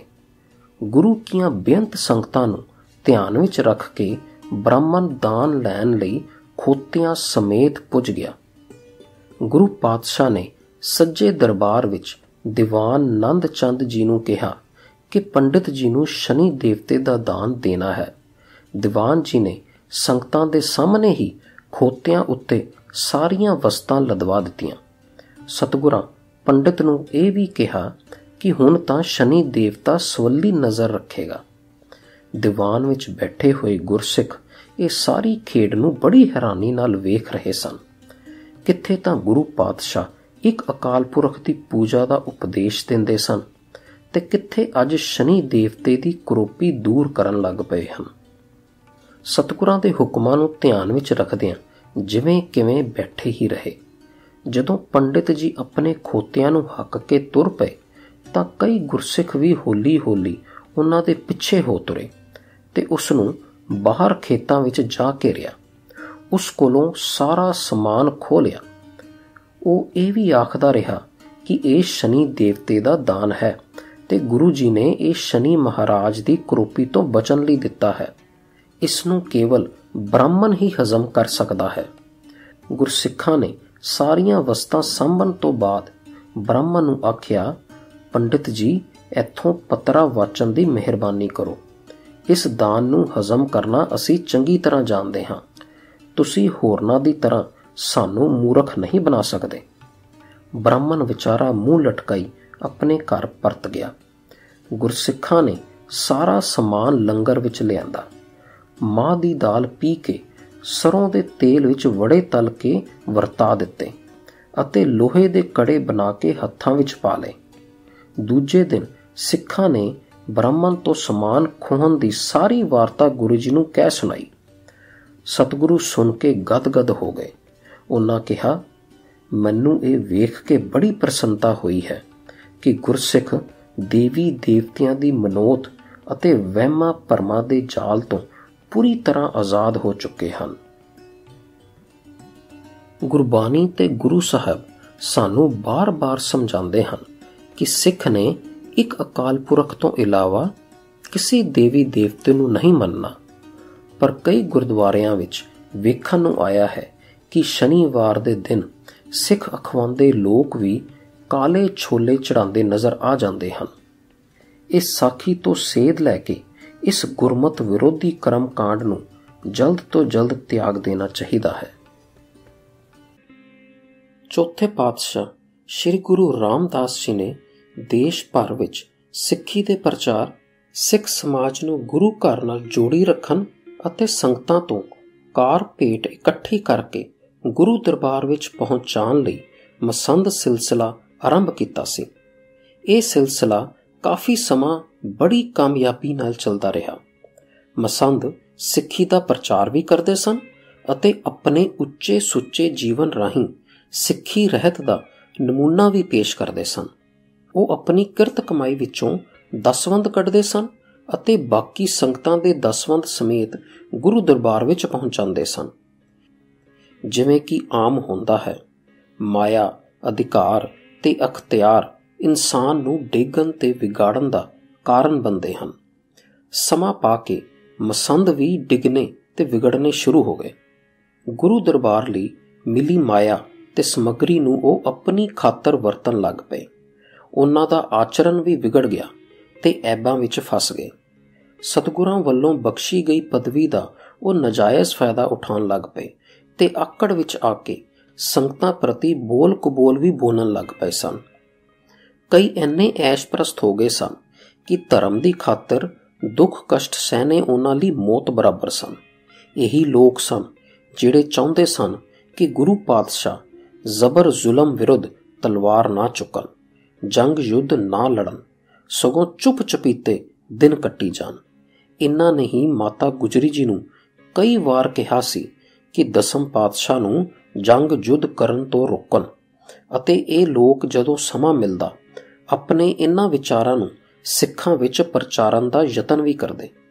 ਸੰਗਤਾਂ ਪਹਿਲਾਂ ਵੀ ਮਸੰਦਾਂ ਦੇ ਭੈੜੇ ਵਤੀਰੇ ਦੀ ਸ਼ਿਕਾਇਤ ਕਰਦੀਆਂ ਰਹਿੰਦੀਆਂ ਸਨ। ਗੁਰੂ ਪਾਤਸ਼ਾਹ ਨੇ ਇਸ ਸਿਲਸਿਲੇ ਨੂੰ ਬੰਦ ਕਰਨ ਦਾ ਹੀ ਮਨ ਬਣਾ ਲਿਆ। ਆਪ ਨੇ ਹੁਕਮ ਜਾਰੀ ਕੀਤਾ ਕਿ ਸਭ ਮਸੰਦਾਂ ਦੀਆਂ ਮੁਸ਼ਕਾਂ ਬਨ ਕੇ ਉਹਨਾਂ ਨੂੰ ਗੁਰੂ ਦਰਬਾਰ ਵਿੱਚ 1698 ਦੀ ਵਿਸਾਖੀ ਸਮੇਂ ਹਾਜ਼ਰ ਕੀਤਾ ਜਾਵੇ। ਸੰਗਤਾਂ ਨੇ ਐਵੇਂ ਹੀ ਕੀਤਾ। ਗੁਰੂ ਸਾਹਿਬ ਨੇ ਸੰਗਤਾਂ ਤੋਂ ਉਹਨਾਂ ਦੇ ਇਲਾਕੇ ਦੇ ਮਸੰਦਾਂ ਬਾਰੇ ਜਾਣਕਾਰੀ ਪ੍ਰਾਪਤ ਕਰਕੇ ਉਹਨਾਂ ਮਸੰਦਾਂ ਨੂੰ ਯੋਗ ਸਜ਼ਾਵਾਂ ਦਿੱਤੀਆਂ ਅਤੇ ਮਸੰਦ ਸਿਲਸਿਲਾ ਹਮੇਸ਼ਾ ਲਈ ਬੰਦ ਕਰ ਦਿੱਤਾ। ਲੰਮੇ ਦੇ ਇਲਾਕੇ ਦਾ ਮਸੰਦ ਭਾਈ ਫੇਰੂ ਬੜਾ ਧਰਮੀ ਸੱਚਾ ਸੁੱਚਾ ਪਰਉਪਕਾਰੀ ਬੰਦਾ ਸੀ। ਸਾਰੇ ਲੋਕ ਉਸ ਦੀ ਇੱਜ਼ਤ ਕਰਦੇ ਸਨ। ਉਸ ਦੀਆਂ ਮੁਸ਼ਕਾਂ ਬਨ ਕੇ ਗੁਰੂ ਦਰਬਾਰ ਵਿੱਚ ਲਿਆਉਣ ਦੀ ਕਿਸੇ ਨੂੰ ਹਿੰਮਤ ਨਾ ਪਈ। ਉਹ ਆਪ ਹੀ ਆਪਣੀ ਦਾੜੀ ਨੂੰ ਹੱਥ ਵਿੱਚ ਫੜ ਕੇ ਦਰਬਾਰ ਵਿੱਚ ਪੇਸ਼ ਹੋ ਗਿਆ। ਗੁਰੂ ਜੀ ਦੇ ਲੇਖਾਕਾਰ ਨੇ ਕਿਹਾ ਕਿ ਭਾਈ ਫੇਰੂ ਵੱਲੋਂ ਦਸਵੰਦ ਬਕਾਇਦਾ ਨਹੀਂ ਪੁੱਜਦਾ ਰਿਹਾ। ਇਹ ਸੁਣ ਕੇ ਗੁਰੂ ਪਾਤਸ਼ਾਹ ਬੋਲੇ, ਇਸ ਭਾਈ ਸਾਹਿਬ ਵੱਲ ਕੋਈ ਬਕਾਇਆ ਨਹੀਂ ਹੈ। ਇਸ ਨੇ ਕਦੇ ਅਮਾਨਤ ਵਿੱਚ ਖਿਆਨਤ ਨਹੀਂ ਕੀਤੀ। ਇਸ ਦੇ ਉੱਚੇ ਸੁੱਚੇ ਜੀਵਨ ਦੀ ਤਾਂ ਇਲਾਕੇ ਦੀਆਂ ਸੰਗਤਾਂ ਵੀ ਪ੍ਰਸ਼ੰਸਾ ਕਰਦੀਆਂ ਹਨ। ਸਾਨੂੰ ਪਤਾ ਲੱਗਾ ਹੈ ਕਿ ਇਹ ਨੰਗਿਆਂ ਨੂੰ ਕਪੜਾ ਤੇ ਭੁੱਖਿਆਂ ਨੂੰ ਅੰਨ ਦਿੰਦਾ ਰਿਹਾ ਹੈ। ਗਰੀਬਾਂ ਨੂੰ ਦਿੱਤਾ ਅੰਨ ਤੇ ਧਨ ਸਾਨੂੰ ਸਿੱਧਾ ਪੁੱਜ ਜਾਂਦਾ ਹੈ। ਫਿਰ ਗੁਰੂ ਜੀ ਨੇ ਭਾਈ ਫੇਰੂ ਜੀ ਨੂੰ ਸਿਰੋਪਾ ਦੇ ਕੇ ਸੰਗਤ ਸਾਹਿਬ ਤੇ ਸੱਚੀ ਦਾੜੀ ਦੀ ਪਦਵੀ ਬਖਸ਼ੀ।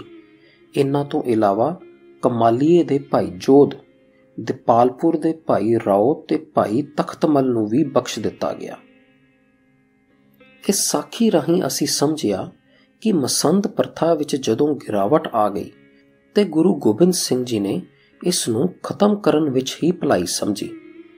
ਅੱਜ ਵੀ ਗੁਰਦੁਆਰਾ ਪ੍ਰਬੰਧਕ ਕਮੇਟੀਆਂ ਵਿੱਚ ਭ੍ਰਿਸ਼ਟਾਚਾਰ ਤੇ ਗਿਰਾਵਟ ਕੋਈ ਲੁਕਿਆ ਹੋਇਆ ਨਹੀਂ। ਗੁਰਦੁਆਰਾ ਪ੍ਰਬੰਧ ਅੱਜ ਭਾਰੀ ਸੁਧਾਰ ਮੰਗਦਾ ਹੈ ਤਾਂ ਕਿ ਸੱਚੀ ਦਾੜੀ ਵਾਲੇ ਸੇਵਕ ਪ੍ਰਬੰਧ ਲਈ ਅੱਗੇ ਆ ਸਕਣ।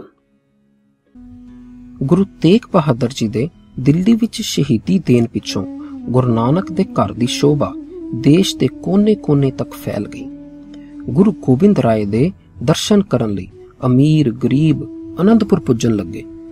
ਗੁਰੂ ਜੀ ਨੇ ਸਿੱਖਾਂ ਪਾਸੋਂ ਦਸਵੰਦ ਇਕੱਠੀ ਕਰਨ ਵਾਲੇ ਮਸੰਦ ਹਟਾ ਦਿੱਤੇ।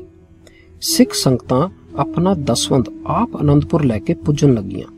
ਸੰਗਤਾਂ ਦਾ ਪਿਆਰ ਗੁਰੂ ਘਰ ਨਾਲ ਵੱਧ ਗਿਆ ਤੇ ਗੁਰੂ ਦੇ ਦਰਸ਼ਨ ਕਰਕੇ ਹੋਰ ਆਨੰਦ ਮਾਣਨ ਲੱਗੀਆਂ।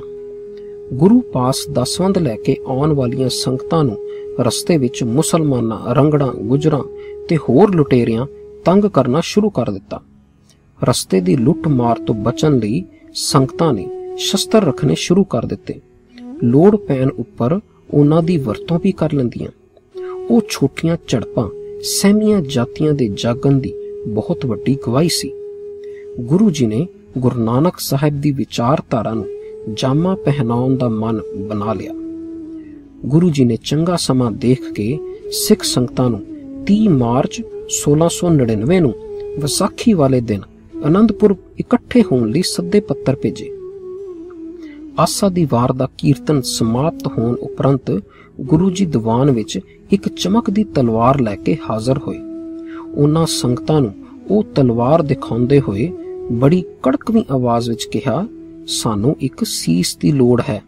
ਹੈ ਕੋਈ ਸਿੱਖ ਜਿਹੜਾ ਆਪਣੇ ਗੁਰੂ ਨੂੰ ਸੀਸ ਭੇਟ ਕਰ ਸਕੇ? ਗੁਰੂ ਜੀ ਦੇ ਹੱਥ ਵਿੱਚ ਨੰਗੀ ਤਲਵਾਰ ਤੇ ਇੱਕ ਸੀਸ ਦੀ ਮੰਗ ਦੇ ਡਰ ਨਾਲ ਸੰਗਤ ਸਹਿਮ ਗਈ। ਸਾਰੇ ਪਾਸੇ ਚੁੱਪ ਛਾ ਗਈ। ਤੀਸਰੀ ਵਾਰੀ ਆਵਾਜ਼ ਦੇਣ ਉੱਪਰ ਭਾਈ ਦਿਆਰਾਮ ਲਾਹੌਰ ਦੇ ਖੱਤਰੀ ਨੇ ਉੱਠ ਕੇ ਬੇਨਤੀ ਕੀਤੀ, ਸੱਚੇ ਪਾਤਸ਼ਾਹ ਇਹ ਤਨ ਮਨ ਸਭ ਆਪ ਦਾ ਹੈ ਤੇ ਆਪ ਅੱਗੇ ਹਾਜ਼ਰ ਹੈ। ਮੈਂ ਆਪ ਦੀ ਪਹਿਲੀ ਆਵਾਜ਼ ਉੱਪਰ ਹਾਜ਼ਰ ਨਾ ਹੋਣ ਦੀ ਮਾਫੀ ਮੰਗਦਾ ਹਾਂ। ਗੁਰੂ ਜੀ ਨੇ ਉਸ ਨੂੰ ਬਾਹੋਂ ਪਕੜਿਆ ਤੇ ਤੰਬੂ ਵਿੱਚ ਲੈ ਗਏ। ਡਰੀ ਤੇ ਸਹਿਮੀ ਹੋਈ ਸੰਗਤ ਨੂੰ ਤੰਬੂ ਵਿੱਚੋਂ ਆਵਾਜ਼ ਸੁਣਾਈ ਦਿੱਤੀ, ਜਿਵੇਂ ਗੁਰੂ ਜੀ ਨੇ ਭਾਈ ਦਿਆ ਰਾਮ ਦਾ ਸਿਰ ਧੜ ਨਾਲੋਂ ਅਲੱਗ ਕਰ ਦਿੱਤਾ ਹੋਵੇ। ਗੁਰੂ ਜੀ ਨੇ ਫਿਰ ਦੀਵਾਨ ਵਿੱਚ ਹਾਜ਼ਰ ਹੋ ਕੇ ਇੱਕ ਹੋਰ ਸੀਸ ਦੀ ਮੰਗ ਕੀਤੀ। ਇਸ ਵਾਰੀ ਭਾਈ ਧਰਮਦਾਸ ਦਿੱਲੀ ਦੇ ਜੱਟ ਨੇ ਆਪਣਾ ਸੀਸ ਭੇਟ ਕੀਤਾ। ਇਸ ਤਰ੍ਹਾਂ ਤਿੰਨ ਹੋਰ ਸਿੱਖਾਂ ਜਗਨਨਾਥਪੁਰੀ, ਉੜੀਸਾ ਦੇ ਭਾਈ ਹਿੰਮਤ ਰਾਏ, ਦਵਾਰਕਾ ਗੁਜਰਾਤ ਦੇ ਭਾਈ ਮੋਕਮ ਚੰਦ ਛੀਂਬੇ ਅਤੇ ਆਂਧਰਾ ਬਿਦਰ ਦੇ ਭਾਈ ਸਾਹਿਬ ਚੰਦ ਨੇ ਸੀਸ ਭੇਟ ਕੀਤੇ। ਪੰਜਾਂ ਸਿੱਖਾਂ ਦੇ ਸੀਸ ਭੇਟ ਕਰਨ ਪਿੱਛੋਂ ਗੁਰੂ ਜੀ ਨੇ ਤੰਬੂ ਵਿੱਚੋਂ ਉਹਨਾਂ ਪੰਜਾਂ ਸਿੱਖਾਂ ਨੂੰ ਦੀਵਾਨ ਵਿੱਚ ਹਾਜ਼ਰ ਕੀਤਾ। ਜਿਹੜੇ ਪੂਰੇ ਸਜੇ ਹੋਏ ਸਿੰਘ ਸਨ। ਹੁਣ ਉਹ ਪੰਜ ਪਿਆਰੇ ਸਨ, ਜਿਨ੍ਹਾਂ ਨੇ ਆਪਣੇ ਸੀਸ ਗੁਰੂ ਜੀ ਦੀ ਭੇਟ ਕੀਤੇ ਸਨ। ਗੁਰੂ ਜੀ ਨੇ ਇੱਕ ਲੋਹੇ ਦੇ ਬਾਟੇ ਵਿੱਚ ਸਤਲੁਜ ਨਦੀ ਦਾ ਜਲ ਤੇ ਪਤਾਸੇ ਪਾਏ। ਗੁਰੂ ਜੀ ਤੇ ਪੰਜ ਪਿਆਰੇ ਉਸ ਬਾਟੇ ਦੇ ਦੁਆਲੇ ਬੈਠ ਗਏ। ਇੱਕ ਖੰਡਾ ਲੈ ਕੇ ਗੁਰੂ ਜੀ ਨੇ ਉਸ ਬਾਟੇ ਦੇ ਜਲ ਨੂੰ ਹਿਲਾਉਣਾ ਸ਼ੁਰੂ ਕੀਤਾ ਤੇ ਗੁਰਬਾਣੀ ਦਾ ਪਾਠ ਕਰਨਾ ਆਰੰਭ ਕੀਤਾ। ਪਾਠ ਦੇ ਭੋਗ ਪੈਣ ਉੱਪਰ ਗੁਰੂ ਜੀ ਨੇ ਕਿਹਾ, ਹੁਣ ਖਾਲਸਾ ਤਿਆਰ ਕੀਤਾ ਜਾਵੇਗਾ। ਖਾਲਸਾ ਵਾਹਿਗੁਰੂ ਦੀ ਫੌਜ ਹੋਵੇਗੀ। ਖਾਲਸਾ ਜ਼ੁਲਮ ਦਾ ਨਾਸ਼ ਕਰੇਗਾ। ਖੰਡੇ ਤੇ ਬਾਣੀ ਨਾਲ ਤਿਆਰ ਕੀਤਾ ਪਾਹੁਲ ਪੰਜਾਂ ਪਿਆਰਿਆਂ ਨੂੰ ਛਕਾਇਆ ਗਿਆ। ਉਹਨਾਂ ਦੇ ਕੇਸਾਂ ਦਸਵੇਂ ਦਵਾਰ ਅਤੇ ਅੱਖਾਂ ਵਿੱਚ ਛੱਟੇ ਮਾਰੇ ਗਏ। ਪੰਜ ਪਿਆਰਿਆਂ ਦੇ ਪਾਹੁਲ ਛਕਣ ਉੱਪਰ ਖਾਲਸੇ ਦੀ ਸਾਜਨਾ ਹੋ ਗਈ। ਗੁਰੂ ਜੀ ਨੇ ਖਾਲਸੇ ਨੂੰ ਬੇਨਤੀ ਕੀਤੀ ਕਿ ਉਹਨਾਂ ਨੂੰ ਵੀ ਖੰਡੇ ਦੀ ਪਹਲ ਦੀ ਦਾਤ ਬਖਸ਼ ਕੇ ਖਾਲਸਾ ਬਣਾ ਲਿਆ ਜਾਵੇ। ਗੁਰੂ ਗੋਬਿੰਦ ਰਾਏ ਆਪ ਖੰਡੇ ਦੀ ਪਹਲ ਲੈ ਕੇ ਗੁਰੂ ਗੋਬਿੰਦ ਸਿੰਘ ਹੋ ਗਏ। ਗੁਰੂ ਜੀ ਨੇ ਸਿੱਖਾਂ ਨੂੰ ਵੀ ਦਾਤ ਬਖਸ਼ ਕੇ ਸਿੰਘ ਬਣਾ ਦਿੱਤਾ ਤੇ ਇਸਤਰੀਆਂ ਨੂੰ ਕੌਰ ਦੀ ਪਦਵੀ ਦਿੱਤੀ ਗਈ। ਬ੍ਰਾਹਮਣਾਂ ਦੇ ਬਣਾਏ ਹੋਏ ਚਾਰੇ ਵਰਨਾਂ ਦਾ ਮਤਭੇਦ ਖਤਮ ਕਰ ਦਿੱਤਾ। ਇਸ ਨਾਲ ਸਿੱਖਾਂ ਵਿੱਚੋਂ ਊਚ ਨੀਚ ਖਤਮ ਹੋ ਗਈ। ਸਾਰੇ ਸਿੰਘ ਭਰਾ ਭਰਾ ਹੋ ਗਏ। ਸਿੰਘਾਂ ਦੇ ਮਨਾਂ ਵਿੱਚੋਂ ਹੋਮੇ ਦੀ ਮੈਲ ਕੱਢ ਕੇ ਖਾਲਸ ਬਣਾ ਦਿੱਤਾ। ਗੁਰੂ ਜੀ ਨੇ ਪੰਜ ਕਕਾਰ, ਕੇਸ਼, ਕੰਗਾ, ਕੜਾ, ਕਿਰਪਾਨ ਤੇ ਕਛਹਿਰਾ ਸਿੰਘਾਂ ਨੂੰ ਆਪਣੇ ਤਨ ਤੇ ਸਜਾਏ ਰੱਖਣ ਦਾ ਆਦੇਸ਼ ਦਿੱਤਾ। ਖਾਲਸੇ ਨੂੰ ਸੰਤ ਸਿਪਾਹੀ ਸਜਾ ਦਿੱਤਾ। ਧਿਆਨ ਦੇਣ ਵਾਲੀ ਤੇ ਵਿਚਾਰ ਕਰਨ ਵਾਲੀ ਗੱਲ ਹੈ ਕਿ ਜਿੰਨਾ ਪੰਜਾਂ ਪਿਆਰਿਆਂ ਸੀਸ ਹਾਜ਼ਰ ਕੀਤੇ ਸਨ, ਉਹ ਸਭ ਅਲੱਗ-ਅਲੱਗ ਸੂਬੇ ਜਾਂ ਸਟੇਟ ਦੇ ਰਹਿਣ ਵਾਲੇ ਸਨ। ਉਹਨਾਂ ਵਿੱਚੋਂ ਸਿਰਫ ਇੱਕ ਲਾਹੌਰ ਪੰਜਾਬ ਤੇ ਰਹਿਣ ਵਾਲਾ ਸੀ। ਪੰਜਾਂ ਦੇ ਕੰਮਕਾਰ ਵੀ ਵੱਖਰੇ ਸਨ ਤੇ ਉਹਨਾਂ ਦੀਆਂ ਬੋਲੀਆਂ ਵੀ ਵੱਖਰੀਆਂ ਸਨ। ਇਸ ਤੋਂ ਅਨੁਮਾਨ ਲਗਾਇਆ ਜਾ ਸਕਦਾ ਹੈ ਕਿ ਉਹਨਾਂ ਦਿਨਾਂ ਵਿੱਚ ਸਿੱਖੀ ਦਾ ਬੂਟਾ ਕਿੱਥੇ ਤੱਕ ਫੈਲਿਆ ਹੋਇਆ ਸੀ। ਇਸ ਸਾਖੀ ਰਾਹੀਂ ਅਸੀਂ ਜਾਣਿਆ ਕਿ ਖਾਲਸਾ ਪ੍ਰਗਟ ਕਰਨਾ ਗੁਰੂ ਗੋਬਿੰਦ ਸਿੰਘ ਜੀ ਦੇ ਮਹਾਨ ਕਾਰਜਾਂ ਵਿੱਚੋਂ ਇੱਕ ਸੀ ਜਿਸ ਨੇ ਜਾਤ ਬਰਾਦਰੀ, ਔਰਤ ਮਰਦ, ਅਮੀਰ ਗਰੀਬ ਵਰਗੇ ਸਾਰੇ ਭੇਦ ਮਿਟਾ ਕੇ ਸੱਚਾ ਇਨਸਾਨ ਬਣਾਇਆ। ਪਰ ਅੱਜ ਸਿੱਖ ਕੌਮ ਬ੍ਰਾਹਮਣ ਦੇ ਬਣਾਏ ਜਾਤ ਪਾਤ ਵਿੱਚ ਫਿਰ ਤੋਂ ਫਸ ਗਈ ਹੈ। ਪੰਜਾਬ ਵਿੱਚ ਕਈ ਜਗ੍ਹਾ ਐਸੀਆਂ ਹਨ ਜਿੱਥੇ ਇੱਕ ਪਿੰਡ ਵਿੱਚ ਹੀ ਜਾਤ ਦੇ ਆਧਾਰ ਤੇ ਕਈ ਗੁਰਦੁਆਰੇ ਹਨ। ਆਓ ਅਸੀਂ ਗੁਰੂ ਸਾਹਿਬ ਦੇ ਹੁਕਮ ਨੂੰ ਮੰਨਦੇ ਹੋਏ ਆਪਣੇ ਨਾਂ ਨਾਲ ਸਿੰਘ ਤੇ ਕੋਰ ਤੋਂ ਇਲਾਵਾ ਜਾਤ ਨਾ ਲਿਖਿਆ ਕਰੀਏ ਤੇ ਖਾਲਸਾ ਸੱਜ ਜਾਈਏ। ਸਾਹਿਬ ਸ੍ਰੀ ਗੁਰੂ ਨਾਨਕ ਦੇਵ ਜੀ ਤੋਂ ਲੈ ਕੇ ਦਸਮ ਪਾਤਸ਼ਾਹ ਤੱਕ ਦੇ ਗੁਰੂ ਇਤਿਹਾਸ ਨੂੰ ਜੇ ਧਿਆਨ ਨਾਲ ਵਾਚਿਆ ਜਾਵੇ, ਤਾਂ ਇੱਕ ਗੱਲ ਸਪਸ਼ਟ ਹੋ ਜਾਂਦੀ ਹੈ ਕਿ ਭਾਵੇਂ ਖਾਲਸਾ ਪੰਥ ਦੀ ਰਚਨਾ ਸ੍ਰੀ ਗੁਰੂ ਗੋਬਿੰਦ ਸਿੰਘ ਜੀ ਨੇ ਕੀਤੀ ਸੀ, ਪਰ ਨੀ ਗੁਰੂ ਨਾਨਕ ਸਾਹਿਬ ਨੇ ਹੀ ਰੱਖ ਦਿੱਤੀ ਸੀ। ਮਗਰਲੇ 8 ਗੁਰੂ ਸਹਿਬਾਨ ਨੇ ਉਸ ਨੀਂਹ ਉੱਪਰ ਖਾਲਸਾ ਪੰਥ ਰੂਪੀ ਮਹਿਲ ਦੀ ਉਸਾਰੀ ਕੀਤੀ ਅਤੇ 10ਵੇਂ ਗੁਰੂ ਜੀ ਨੇ ਉਸ ਮਹਿਲ ਨੂੰ ਸੰਵਾਰ ਸ਼ਿੰਗਾਰ ਕੇ ਅੰਤਮ ਰੂਪ ਬਖਸ਼ਿਆ। ਗੁਰੂ ਗੋਬਿੰਦ ਸਿੰਘ ਜੀ ਨੇ ਲੋਕਾਂ ਦੇ ਮਨਾਂ ਵਿੱਚ ਕੌਮੀਅਤ ਦਾ ਜੋਸ਼ ਭਰਿਆ ਅਤੇ ਊਚ ਨੀਚ ਤੇ ਜਾਤ ਪਾਤ ਦੇ ਵਿਤਕਰੇ ਨੂੰ ਖਤਮ ਕਰਨ ਵਾਲੀ ਵਿਚਾਰਧਾਰਾ ਨੂੰ ਅਮਲੀ ਰੂਪ ਦਿੱਤਾ ਤੇ ਕਿਹਾ ਕਿ ਸਭ ਮਨੁੱਖ ਇੱਕ ਸਮਾਨ ਰਾਜਸੀ ਅਧਿਕਾਰਾਂ ਦੇ ਮਾਲਕ ਹਨ। ਬ੍ਰਾਹਮਣਾਂ ਨੂੰ ਸਮਝ ਆ ਗਈ ਕਿ ਹੁਣ ਗੁਰਮਤ ਦੀ ਅਗਵਾਈ ਹੇਠਾਂ ਲੋਕਾਂ ਵਿੱਚ ਜਾਗਰਤੀ ਆ ਰਹੀ ਹੈ ਅਤੇ ਜਨਤਾ ਨੂੰ ਵਹਿਮਾਂ ਭਰਮਾਂ ਦਾ ਜਾਲ ਵਿਛਾ ਕੇ ਲੁੱਟਣ ਦੇ ਅਵਸਰ ਕੱਟਦੇ ਜਾ ਰਹੇ ਹਨ। ਉਹ ਆਪ ਤਾਂ ਕੁਝ ਕਰ ਨਹੀਂ ਸਨ ਸਕਦੇ, ਪਰ ਉਹ ਦੂਜਿਆਂ ਦੇ ਮੋਢੇ ਉੱਤੇ ਬੰਦੂਕ ਰੱਖ ਕੇ ਦੁਸ਼ਮਣ ਉੱਤੇ ਵਾਰ ਕਰਨਾ ਖੂਬ ਜਾਣਦੇ ਸਨ। ਸੋ ਉਹਨਾਂ ਨੇ ਪਹਾੜੀ ਰਾਜਿਆਂ ਨੂੰ ਉਕਸਾਉਣਾ ਸ਼ੁਰੂ ਕੀਤਾ। ਜਦੋਂ ਇਹਨਾਂ ਬ੍ਰਾਹਮਣਾਂ ਤੋਂ ਪੰਮੇ ਪ੍ਰੋਹਿਤ ਵਰਗਿਆਂ ਨੂੰ ਇਹ ਪਤਾ ਲੱਗਾ ਕਿ ਗੁਰੂ ਜੀ ਨੇ ਨਵਾਂ ਪੰਥ ਸਾਜਿਆ ਹੈ ਤੇ ਸਭ ਜਾਤਾਂ ਦੇ ਲੋਕਾਂ ਨੂੰ ਇੱਕੋ ਬਾਟੇ ਵਿੱਚੋਂ ਅੰਮ੍ਰਿਤ ਛਕਾਇਆ ਹੈ, ਤਾਂ ਉਹਨਾਂ ਦੀ ਹਿੱਕ ਉੱਤੇ ਤਾਂ ਸੱਪ ਲੇਟ ਗਏ। ਉਹਨਾਂ ਪਹਾੜੀ ਰਾਜਿਆਂ ਨੂੰ ਇਹ ਆਖ ਕੇ ਭੜਕਾਇਆ ਕਿ ਗੁਰੂ ਗੋਬਿੰਦ ਸਿੰਘ ਜੀ ਤਾਂ ਸ਼ੂਦਰਾਂ ਨੂੰ ਵੀ ਯੋਧੇ ਬਣਾ ਰਹੇ ਹਨ, ਜੋ ਕਿ ਖੱਤਰੀਆਂ ਤੇ ਰਾਜਪੂਤ ਰਾਜਿਆਂ ਦਾ ਹੀ ਹੱਕ ਹੈ।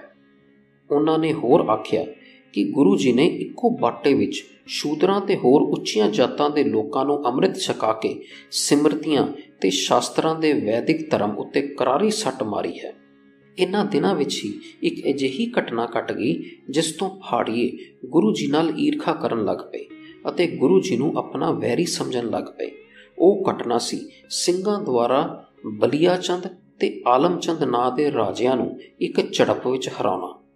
ਇੱਕ ਦਿਨ ਗੁਰੂ ਗੋਬਿੰਦ ਸਿੰਘ ਜੀ ਕੁਝ ਸਿੰਘਾਂ ਸਮੇਤ ਸ਼ਿਕਾਰ ਖੇਡਣ ਲਈ ਗਏ। ਉਧਰ ਦੋ ਛੋਟੀਆਂ-ਛੋਟੀਆਂ ਰਿਆਸਤਾਂ ਦੇ ਹਿੰਦੂ ਰਾਜੇ ਬਲੀਆ ਚੰਦ ਤੇ ਆਲਮਚੰਦ ਆਪਣੇ ਫੌਜੀਆਂ ਸਮੇਤ ਕਾਤਲਾਈ ਬੈਠੇ ਸਨ। ਉਹਨਾਂ ਨੇ ਸਿੰਘਾਂ ਉੱਤੇ ਅਚਾਨਕ ਹੀ ਹੱਲਾ ਬੋਲ ਦਿੱਤਾ। ਸਿੰਘਾਂ ਨੇ ਵੀ ਅੱਗਿਓਂ ਡਟ ਕੇ ਮੁਕਾਬਲਾ ਕੀਤਾ ਅਤੇ ਪਹਾੜੀਆਂ ਨੂੰ ਭਜਾ ਦਿੱਤਾ। ਸਿੰਘਾਂ ਨੇ ਭਜੀਆਂ ਜਾਂਦੀਆਂ ਪਹਾੜੀ ਫੌਜਾਂ ਦਾ ਦੂਰ ਤੱਕ ਪਿੱਛਾ ਕੀਤਾ ਤੇ ਉਹਨਾਂ ਨੂੰ ਚੰਗਾ ਦੌੜਾਇਆ। ਪਤਾ ਲੱਗਣ ਤੇ ਹੰਡੂਰ ਤੇ ਕਹਿਲੂਰ ਦੇ ਰਾਜਿਆਂ ਨੇ ਵੀ ਕੁਝ ਸਿਪਾਹੀ ਭੇਜੇ, ਪਰ ਉਦੋਂ ਤੱਕ ਪਹਾੜੀਏ ਮਾਰ ਖਾ ਕੇ ਭੱਜ ਚੁੱਕੇ ਸਨ। ਜਦੋਂ ਸਿੰਘ ਜੋਸ਼ ਵਿੱਚ ਪਹਾੜੀਆਂ ਦਾ ਪਿੱਛਾ ਕਰੀ ਜਾ ਰਹੇ ਸਨ, ਤਾਂ ਗੁਰੂ ਜੀ ਆਪਣਾ ਘੋੜਾ ਛੇੜ ਕੇ ਸੜਕੋਂ ਲੰਬੇ ਰੁੱਖਾਂ ਦੀ ਇੱਕ ਝਿੜੀ ਵਿੱਚ ਜਾ ਖਲੋਤੇ। ਉਧਰ ਪਹਾੜੀਆਂ ਨੇ ਅਟਕ ਕੇ ਦੁਬਾਰਾ ਸਿੰਘਾਂ ਦਾ ਟਾਕਰਾ ਕੀਤਾ। ਸਿੰਘਾਂ ਨੇ ਪਹਾੜੀਆਂ ਦੀ ਚੰਗੀ ਦੁਰਗਤ ਬਣਾਈ, ਪਰ ਸਤਗੁਰਾਂ ਨੂੰ ਆਪਣੇ ਵਿੱਚ ਨਾ ਵੇਖ ਕੇ ਕੁਝ ਘਬਰਾ ਗਏ। ਐਨੇ ਵਿੱਚ ਕੁਝ ਸਿੰਘਾਂ ਨੇ ਸਤਗੁਰਾਂ ਨੂੰ ਝਿੜੀ ਵਿੱਚ ਜਾ ਲੱਭਿਆ ਤੇ ਬਾਕੀ ਸਿੰਘਾਂ ਦੀ ਘਬਰਾਹਟ ਬਾਰੇ ਦੱਸਿਆ। ਗੁਰੂ ਜੀ ਤੁਰੰਤ ਲੜਾਈ ਵਾਲੀ ਥਾਂ ਤੇ ਪੁੱਜੇ। ਸਿੰਘਾਂ ਦੇ ਹੌਸਲੇ ਵੱਧ ਗਏ। ਉਹਨਾਂ ਨੇ ਪਹਾੜੀਆਂ ਤੇ ਇੱਕ ਜ਼ੋਰਦਾਰ ਹਮਲਾ ਕੀਤਾ ਤੇ ਉਹਨਾਂ ਨੂੰ ਰਣ ਭੂਮੀ ਵਿੱਚੋਂ ਮਾਰ ਪਜਾਇਆ ਜਦ ਸਾਰੇ ਪਹਾੜੀ ਰਾਜਿਆਂ ਨੂੰ ਇਸ ਘਟਨਾ ਦੀ ਖਬਰ ਲੱਗੀ ਤਾਂ ਉਹ ਬਹੁਤ ਚਿੰਤਾਤੁਰ ਹੋਏ ਕਿ ਥੋੜੇ ਜਿਹੇ ਸਿੰਘਾਂ ਨੇ ਕਿਵੇਂ ਸ਼ੇਰਾਂ ਵਾਂਗ ਬੁੱਕ ਕੇ ਪਹਾੜੀ ਸਿਪਾਹੀਆਂ ਨੂੰ ਮਾਰ ਪਜਾਇਆ ਹੈ। ਜਿਵੇਂ ਕਿ ਉਹ ਭੇਡਾਂ ਬੱਕਰੀਆਂ ਹੀ ਹੋਣ।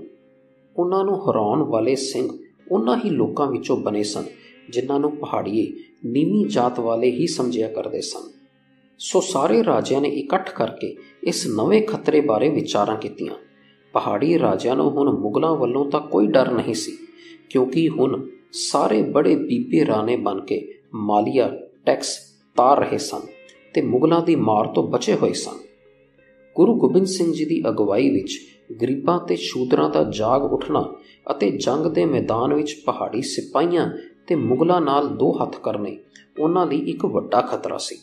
ਇਸ ਖਤਰੇ ਨੂੰ ਟਾਲਣ ਲਈ ਰਾਜਿਆਂ ਨੇ ਮੁਗਲਾਂ ਕੋਲੋਂ ਇਹ ਆਖ ਕੇ ਸਹਾਇਤਾ ਮੰਗੀ ਕਿ ਅੱਜ ਤਾਂ ਸਿੰਘ ਸਾਡੇ ਲਈ ਖਤਰਾ ਬਣੇ ਹੋਏ ਹਨ।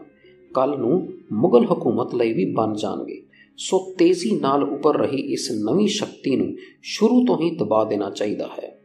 ਮੁਗਲਾਂ ਤੋਂ ਸਹਾਇਤਾ ਲੈਣ ਲਈ ਸਰਹੰਦ ਦੇ ਸੂਬੇ ਕੋਲ ਆਪਣੇ ਵਕੀਲ ਭੇਜੇ। ਔਰੰਗਜ਼ੇਬ ਦੱਖਣ ਵਿੱਚ ਸੀ। ਕਈ ਤਰ੍ਹਾਂ ਦੀਆਂ ਝੂਠੀਆਂ ਸੱਚੀਆਂ ਖਬਰਾਂ ਭੇਜ ਕੇ ਉਸ ਪਾਸੋਂ ਸਿੰਘਾਂ ਨੂੰ ਦਬਾਉਣ ਦੀ ਪ੍ਰਵਾਨਗੀ ਮੰਗਾਈ ਗਈ। ਇੰਜ ਅਨੰਦਪੁਰ ਦੀਆਂ ਲੜਾਈਆਂ ਦਾ ਮੁੱਢ ਬੱਚਾ ਅਜੋਕੇ ਸਮੇਂ ਵਿੱਚ ਹਿੰਦੂਤਵੀ ਸੰਗਠਨ ਬੜੇ ਜ਼ੋਰ-ਸ਼ੋਰ ਨਾਲ ਪ੍ਰਚਾਰ ਕਰ ਰਹੇ ਹਨ। ਕਿ ਗੁਰੂ ਗੋਬਿੰਦ ਸਿੰਘ ਜੀ ਨੇ ਮੁਸਲਮਾਨਾਂ ਨਾਲ ਲੜਨ ਵਾਸਤੇ ਖਾਲਸਾ ਪੰਥ ਸਾਜਿਆ ਸੀ। ਅਫਸੋਸ, ਅੱਜ ਕਈ ਭੋਲੇ-ਭਾਲੇ ਸਿੱਖ ਵੀ ਇਸ ਪ੍ਰਚਾਰ ਦੇ ਅਸਰ ਹੇਠ ਆ ਕੇ ਇਹ ਝੂਠ ਮੰਨੀ ਜਾਂਦੇ ਹਨ। ਇਤਿਹਾਸਕ ਸੱਚ ਤੇ ਇਹ ਹੈ ਕਿ ਹਰ ਲੜਾਈ ਸਿੱਖਾਂ ਉੱਤੇ ਥੋਪੀ ਗਈ ਸੀ ਅਤੇ ਉਸ ਦਾ ਕਾਰਨ ਜਾਤ ਅਭਿਮਾਨੀ ਹਿੰਦੂ ਪਹਾੜੀ ਰਾਜੇ ਹੀ ਸੀ। ਉਹ ਗੁਰੂ ਜੀ ਵੱਲੋਂ ਊਚ ਨੀਚ ਦਾ ਭੇਦ ਮਿਟਾ ਕੇ ਲੋਕਾਂ ਵਿੱਚ ਆਈ ਜਾਗਰਤੀ ਨੂੰ ਬਰਦਾਸ਼ਤ ਨਹੀਂ ਸਨ ਕਰ ਪਾ ਰਹੇ। ਅੱਜ ਵੀ ਤਾਂ ਸਰਕਾਰਾਂ ਦੇਸ਼ ਦਰੋਹ ਦਾ ਇਲਜ਼ਾਮ ਲਾ ਕੇ ਭੋਲੇ ਭਾਲੇ ਲੋਕਾਂ ਨੂੰ ਜੇਲ੍ਹਾਂ ਵਿੱਚ ਡੱਕ ਦਿੰਦੀਆਂ ਹਨ। ਪਰ ਵੱਡੀ ਗੱਲ ਇਹ ਹੈ ਕਿ ਸਿੱਖਾਂ ਨੂੰ ਕੋਈ ਗੁੰਮਰਾਹ ਨਾ ਕਰ ਸਕੇ। ਇਸ ਵਾਸਤੇ ਇਹ ਬਹੁਤ ਜ਼ਰੂਰੀ ਹੈ ਕਿ ਅਸੀਂ ਆਪ ਗੁਰਬਾਣੀ ਤੇ ਸਿੱਖ ਇਤਿਹਾਸ ਨੂੰ ਪੜ੍ਹਨਾ ਆਪਣੇ ਰੋਜ਼ਾਨਾ ਦਿਨਚਰਿਆ ਦਾ ਹਿੱਸਾ ਬਣਾਈਏ। ਘੱਟੋ ਘੱਟ ਇੱਕ ਸਾਖੀ ਹਰ ਰੋਜ਼ ਤੇ ਜ਼ਰੂਰ ਪੜ੍ਹੀਏ ਜਾਂ ਸੁਣੀਏ। 1701 ਈਸਵੀ ਵਿੱਚ ਪਹਾੜੀ ਰਾਜਿਆਂ ਨੇ ਗੁਜਰਾਂ ਤੇ ਰੰਗੜਾਂ ਨੂੰ ਨਾਲ ਲੈ ਕੇ ਅਨੰਦਪੁਰ ਉੱਪਰ ਹਮਲਾ ਕਰ ਦਿੱਤਾ। ਉਹ ਸਾਰੇ ਰਲ ਕੇ ਵੀ ਸਿੰਘਾਂ ਨੂੰ ਹਰਾ ਨਾ ਸਕੇ। ਸਿੰਘ ਕਿਲੇ ਵਿੱਚੋਂ ਬੜੀ ਹੁਸ਼ਿਆਰੀ ਨਾਲ ਲੜਦੇ ਰਹੇ। ਜਿੱਤ ਨਾ ਹੁੰਦੀ ਦੇਖ ਕੇ ਉਹ ਅਨੰਦਪੁਰ ਨੂੰ ਘੇਰਾ ਪਾ ਕੇ ਬੈਠ ਗਏ। ਪਹਾੜੀ ਰਾਜਿਆਂ ਬਾਹਰੋਂ ਅਨ ਪਾਣੀ ਅੰਦਰ ਜਾਣਾ ਬੰਦ ਕਰ ਦਿੱਤਾ। 2 ਮਹੀਨੇ ਦੇ ਘੇਰੇ ਪਿੱਛੋਂ ਵੀ ਸਿੰਘਾਂ ਹਾਰ ਨਾ ਮੰਨੀ। ਇੱਕ ਦਿਨ ਰਾਜਾ ਕੇਸਰੀ ਚੰਦ ਨੇ ਦੂਸਰੇ ਰਾਜਿਆਂ ਨਾਲ ਇਹ ਯੋਜਨਾ ਬਣਾਈ। ਇੱਕ ਹਾਥੀ ਦੇ ਮੱਥੇ ਉੱਪਰ ਲੋਹੇ ਦੇ ਤਵੇ ਤੇ ਢਾਲਾਂ ਬਣੀਆਂ ਜਾਣ ਤੇ ਹਾਥੀ ਨੂੰ ਸੁੱਖਾ ਖਵਾ ਕੇ ਤੇ ਸ਼ਰਾਬ ਪਿਲਾ ਕੇ ਮਸਤ ਕੀਤਾ ਜਾਵੇ। ਉਸ ਦੀ ਮਦਦ ਨਾਲ ਲੋਹਗੜ ਦੇ ਦਰਵਾਜ਼ੇ ਨੂੰ ਤੋੜਿਆ ਜਾਵੇ। ਦਰਵਾਜ਼ਾ ਟੁੱਟ ਜਾਣ ਤੇ ਸਿੰਘਾਂ ਉੱਪਰ ਧਾਵਾ ਬੋਲ ਦਿੱਤਾ ਜਾਵੇ, ਹੋ ਸਕੇ ਤਾਂ ਗੁਰੂ ਨੂੰ ਜ਼ਿੰਦਾ ਪਕੜ ਲਿਆ ਜਾਵੇ ਜਾਂ ਫਿਰ ਮਾਰ ਦਿੱਤਾ ਜਾਵੇ। ਗੁਰੂ ਜੀ ਨੂੰ ਕੇਸਰੀ ਚੰਦ ਦੇ ਦਰਵਾਜ਼ਾ ਤੋੜਨ ਦੀ ਵਿਉਂਤ ਉਹਨਾਂ ਦੇ ਸੂਹੀਏ ਤੋਂ ਮਿਲ ਗਈ। ਗੁਰੂ ਜੀ ਨੇ ਕਿਹਾ, ਸਾਡੇ ਪਾਸ ਗੜੀ ਅੰਦਰ ਵੀ ਇੱਕ ਹਾਥੀ ਹੈ, ਜਿਹੜਾ ਕੇਸਰੀ ਚੰਦ ਦੇ ਹਾਥੀ ਦਾ ਮੂੰਹ ਪੁਆ ਸਕਦਾ ਹੈ। ਦੁਨੀ ਚੰਦ ਉਸ ਸਮੇਂ ਗੁਰੂ ਜੀ ਪਾਸ ਖੜਾ ਸੀ। ਉਸ ਨੂੰ ਲੱਗਿਆ ਜਿਵੇਂ ਗੁਰੂ ਜੀ ਦਾ ਇਸ਼ਾਰਾ ਉਸ ਵੱਲ ਹੋਵੇ। ਉਹ ਹਾਥੀ ਦਾ ਮੁਕਾਬਲਾ ਕਰਨ ਤੋਂ ਡਰ ਗਿਆ। ਉਸਨੇ ਰਾਤੋਂ ਰਾਤ ਗੜੀ ਦੀ ਕੰਧ ਟੱਪ ਕੇ ਭੱਜ ਜਾਣਾ ਠੀਕ ਸਮਝਿਆ। ਰਾਤ ਦੇ ਅੰਧੇਰੇ ਵਿੱਚ ਕਿਲੇ ਦੀ ਕੰਧ ਟੱਪਣ ਲੱਗਿਆ ਡਿੱਗ ਗਿਆ ਤੇ ਲੱਤ ਟੁੱਟ ਗਈ। ਬੜੀ ਮੁਸ਼ਕਲ ਨਾਲ ਉਹ ਆਪਣੇ ਘਰ ਅੰਮ੍ਰਿਤਸਰ ਪੁੱਜਾ। ਦੁਨੀ ਚੰਦ ਦੇ ਪਿੱਛੋਂ ਉਸ ਦੇ ਦੋ ਪੁੱਤਰ ਅਨੂਪ ਸਿੰਘ ਤੇ ਸਰੂਪ ਸਿੰਘ ਆਪਣੇ ਪਿਤਾ ਦੀ ਬਦਨਾਮੀ ਦੀ ਕਾਲਖ ਧੋਣ ਲਈ ਗੁਰੂ ਜੀ ਪਾਸ ਅਨੰਦਪੁਰ ਹਾਜ਼ਰ ਹੋ ਕੇ ਅੰਮ੍ਰਿਤ ਛਕ ਕੇ ਗੁਰੂ ਘਰ ਦੀ ਸੇਵਾ ਵਿੱਚ ਲੱਗ ਗਏ। ਬੇਮੁਖ ਹੋ ਕੇ ਦੁਨੀ ਚੰਦ ਦੇ ਭੱਜ ਜਾਣ ਤੋਂ ਦੂਜੇ ਦਿਨ ਪਹਾੜੀ ਰਾਜਿਆਂ ਦਾ ਮਸਤ ਕੀਤਾ ਹਾਥੀ ਗੜੀ ਦੇ ਦਰਵਾਜ਼ੇ ਨੇੜੇ ਪੁੱਜਾ ਤਾਂ ਗੁਰੂ ਜੀ ਨੇ ਭਾਈ ਬਚਿੱਤਰ ਸਿੰਘ, ਜੋ ਭਾਈ ਮਨੀ ਸਿੰਘ ਜੀ ਦੇ ਪੁੱਤਰ ਨੇ, ਨੂੰ ਥਾਪਨਾ ਦਿੱਤੀ। ਉਸ ਨੂੰ ਨਾਗਨੀ ਬਰਛਾ ਦੇ ਕੇ ਹਾਥੀ ਦੇ ਮੁਕਾਬਲੇ ਲਈ ਭੇਜ ਦਿੱਤਾ। ਗੁਰੂ ਜੀ ਦੀ ਬਖਸ਼ਿਸ਼ ਸਦਕਾ ਉਹਨੇ ਗੜੀ ਦਾ ਦਰਵਾਜ਼ਾ ਖੁਲਵਾ ਕੇ ਬੜੀ ਤੇਜ਼ੀ ਨਾਲ ਘੋੜੇ ਨੂੰ ਪਿਛਲੇ ਦੋ ਪੈਰਾਂ ਤੇ ਖੜੇ ਕਰਕੇ ਨਾਗਨੀ ਹਾਥੀ ਦੇ ਮੱਥੇ ਵਿੱਚ ਮਾਰੀ। ਨਾਗਨੀ ਹਾਥੀ ਦੇ ਸਿਰ ਉੱਪਰ ਬੰਨੇ ਹੋਈਆਂ ਤਵੀਆਂ ਨੂੰ ਚੀਰਦੀ ਹੋਈ ਮੱਥੇ ਵਿੱਚ ਜਾ ਤਸੀ ਹਾਥੀ ਦਾ ਸ਼ਰਾਬ ਤੇ ਸੁੱਖੇ ਦਾ ਨਸ਼ਾ ਸਭ ਉਤਰ ਗਿਆ। ਉਹ ਦੁੱਖ ਤੇ ਤਕਲੀਫ ਨਾਲ ਤੜਫਦਾ ਹੋਇਆ, ਪਿੱਛੇ ਨੂੰ ਭੱਜ ਤੁਰਿਆ। ਹਾਥੀ ਪਹਾੜੀ ਰਾਜਿਆਂ ਦੀ ਫੌਜ ਨੂੰ ਹੀ ਲਤਾੜਨ ਲੱਗਾ। ਕੇਸਰੀ ਚੰਦ ਦੀ ਫੌਜ ਵਿੱਚ ਪਾਜੜ ਪੈ ਗਈ। ਖਾਲਸੇ ਨੂੰ ਫੌਜ ਨਾਲ ਦੋ ਹੱਥ ਕਰਨ ਦਾ ਮੌਕਾ ਮਿਲ ਗਿਆ।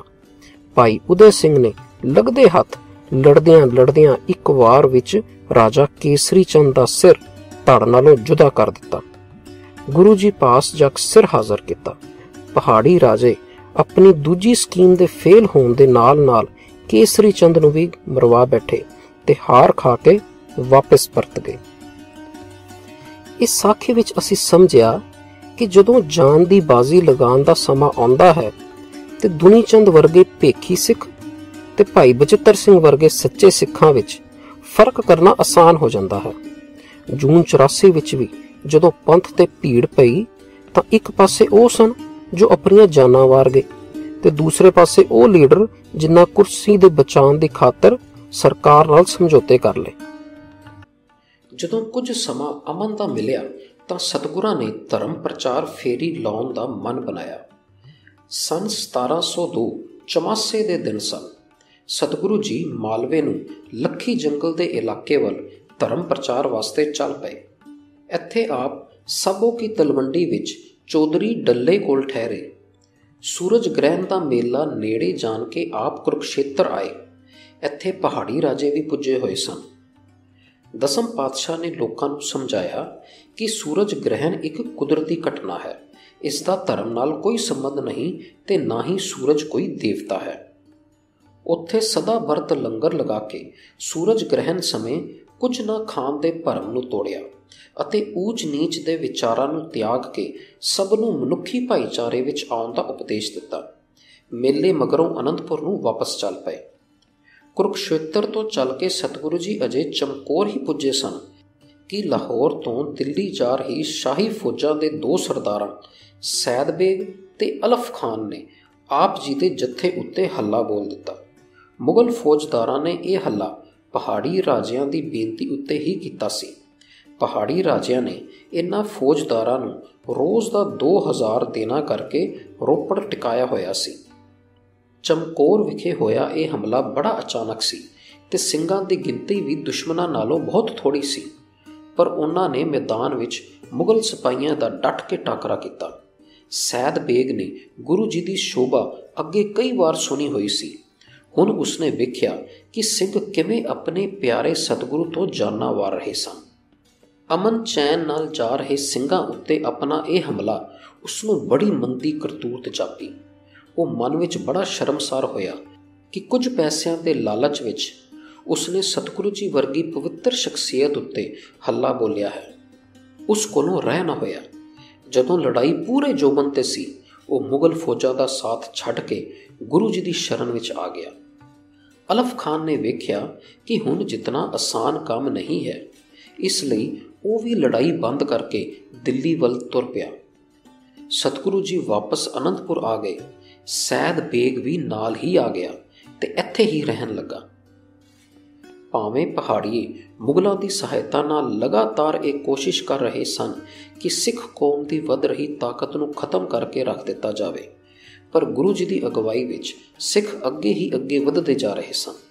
ਸਿੱਖਾਂ ਹੱਥੋਂ ਵਾਰ-ਵਾਰ ਮਾਰ ਖਾਨ ਮਗਰੋਂ ਪਹਾੜੀ ਰਾਜਿਆਂ ਨੇ ਦੱਖਣ ਵਿੱਚ ਔਰੰਗਜ਼ੇਬ ਨੂੰ ਫਿਰ ਬੇਨਤੀ ਪੱਤਰ ਭੇਜੇ ਕਿ ਸਿੱਖਾਂ ਦੀ ਸ਼ਕਤੀ ਨੂੰ ਦਬਾਉਣਾ ਚਾਹੀਦਾ ਹੈ, ਨਹੀਂ ਤਾਂ ਇਹ ਮੁਗਲ ਰਾਜ ਲਈ ਇੱਕ ਖਤਰਾ ਬਣ ਜਾਣਗੇ। ਬਾਦਸ਼ਾਹ ਔਰੰਗਜ਼ੇਬ ਦੇ ਹੁਕਮਾਂ ਅਨੁਸਾਰ ਦਿੱਲੀ ਤੋਂ ਜਰਨੈਲ ਸੈਦ ਖਾਨ ਦੀ ਕਮਾਨ ਹੇਠ ਅਨੰਦਪੁਰ ਤੇ ਹਮਲਾ ਕਰਨ ਲਈ ਫੌਜ ਭੇਜੀ ਗਈ। ਇਹ ਸੈਦ ਖਾਨ ਸਡੋਰੇ ਦੇ ਪੀਰ ਬੁੱਧੂ ਸ਼ਾਹ ਜੀ ਦਾ ਸਾਲਾ ਸੀ। ਦਿੱਲੀ ਤੋਂ ਅਨੰਦਪੁਰ ਆਉਂਦਾ ਹੋਇਆ ਸੈਦ ਖਾਨ ਸਡੋਰੇ ਠਹਿਰਿਆ ਅਤੇ ਇਹ ਪੀਰ ਬੁੱਧੂ ਸ਼ਾਹ ਜੀ ਤੇ ਆਪਣੀ ਭੈਣ ਨਸੀਰਾ ਨੂੰ ਮਿਲਿਆ। ਪੀਰ ਜੀ ਨੇ ਉਸ ਨੂੰ ਦੱਸਿਆ, ਗੁਰੂ ਜੀ ਤਾਂ ਸੱਚੇ ਦਰਵੇਸ਼ ਹਨ, ਉਹ ਕਿਸੇ ਰਿਆਸਤ ਦੇ ਮਾਲਕ ਨਹੀਂ ਹਨ, ਨਾ ਹੀ ਉਹਨਾਂ ਦਾ ਨਿਸ਼ਾਨਾ ਕਿਸੇ ਰਿਆਸਤ ਉੱਤੇ ਕਬਜ਼ਾ ਕਰਨਾ ਹੈ। ਉਹਨਾਂ ਨੇ ਕਈ ਵਾਰ ਪਹਾੜੀ ਰਾਜਿਆਂ ਨੂੰ ਲੜਾਈਆਂ ਵਿੱਚ ਹਰਾਇਆ ਹੈ, ਪਰ ਕਿਸੇ ਰਾਜੇ ਦੀ ਵੀ ਚੱਪਾ ਪਰ ਜ਼ਮੀਨ ਵੀ ਨਹੀਂ ਮੱਲੀ।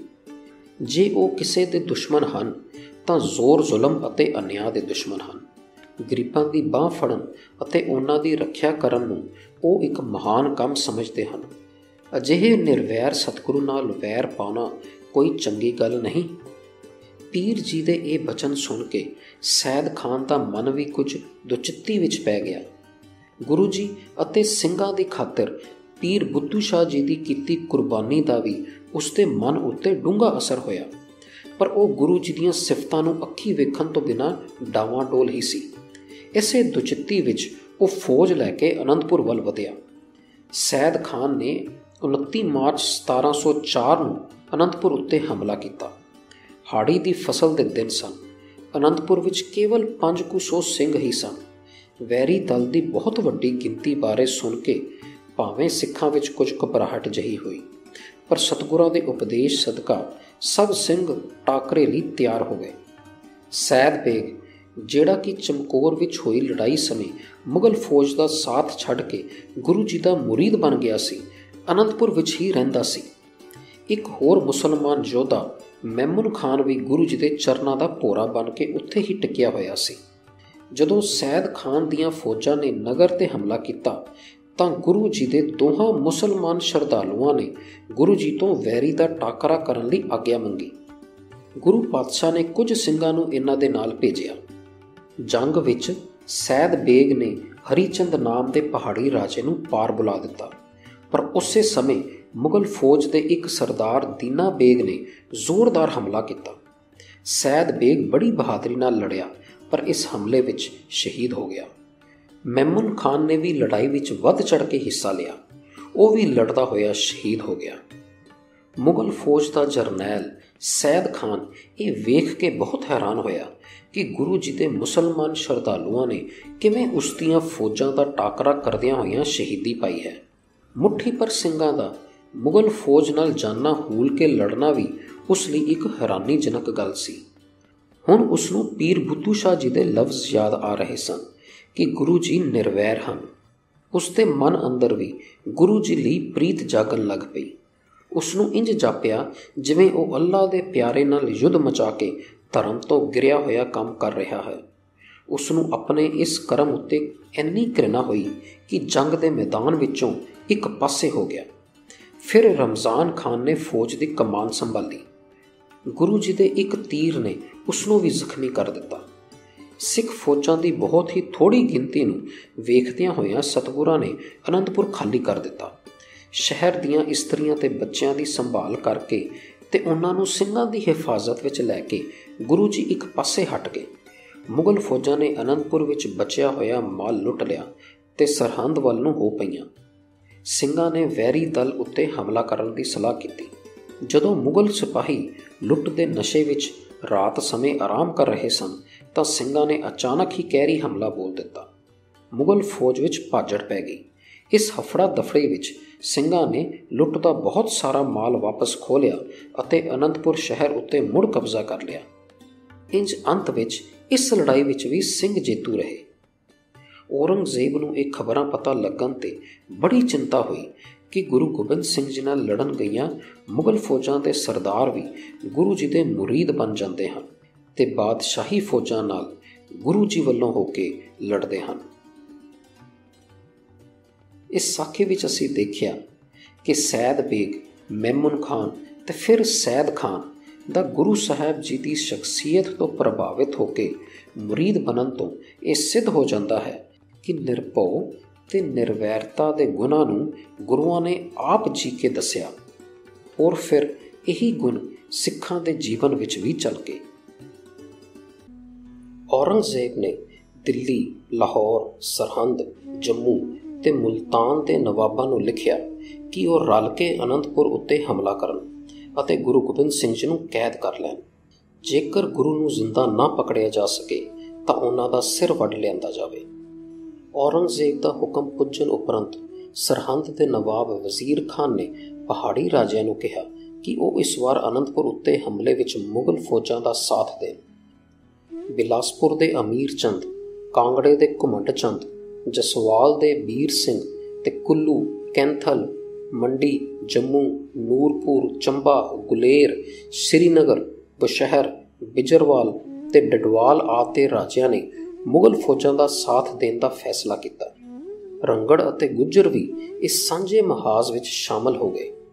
ਲਾਹੌਰ ਦਾ ਜ਼ਬਰਦਸਤ ਖਾਨ ਤੇ ਸਰਹੰਦ ਦਾ ਵਜ਼ੀਰ ਖਾਨ। ਹਜ਼ਾਰਾਂ ਦੀ ਫੌਜ ਲੈ ਕੇ ਅਨੰਦਪੁਰ ਵੱਲ ਚੱਲ ਪਏ। ਦਿੱਲੀ ਅਤੇ ਕਸ਼ਮੀਰ ਤੋਂ ਵੀ ਮੁਗਲ ਫੌਜਾਂ ਇੱਧਰ ਤੁਰ ਪਈਆਂ। ਪਠਾਨੀ ਇਲਾਕੇ ਵਿੱਚ ਜਹਾਦ ਦਾ ਨਾਰਾ ਵੀ ਲਾਇਆ ਗਿਆ। ਇਸ ਕਰਕੇ ਹੋਤੀ ਮਰਦਾਨ ਤੱਕ ਦੇ ਮੁਸਲਮਾਨ ਕਸ਼ਮੀਰ ਵੀ ਫੌਜ ਦੇ ਨਾਲ ਸ਼ਾਮਲ ਹੋਏ। ਜਦੋਂ ਔਰੰਗਜ਼ੇਬ ਦੇ ਹੁਕਮਾਂ ਦੀ ਖਬਰ ਸ੍ਰੀ ਗੋਬਿੰਦ ਸਿੰਘ ਜੀ ਨੂੰ ਮਿਲੀ ਸੀ, ਤਾਂ ਉਹਨਾਂ ਨੇ ਵੀ ਮਾਝੇ, ਮਾਲਵੇ ਤੇ ਦੁਆਬੇ ਦੇ ਪਿੰਡਾਂ ਵਿੱਚ ਸਿੱਖਾਂ ਨੂੰ ਸੁਨੇਹੇ ਭੇਜ ਦਿੱਤੇ ਸਨ।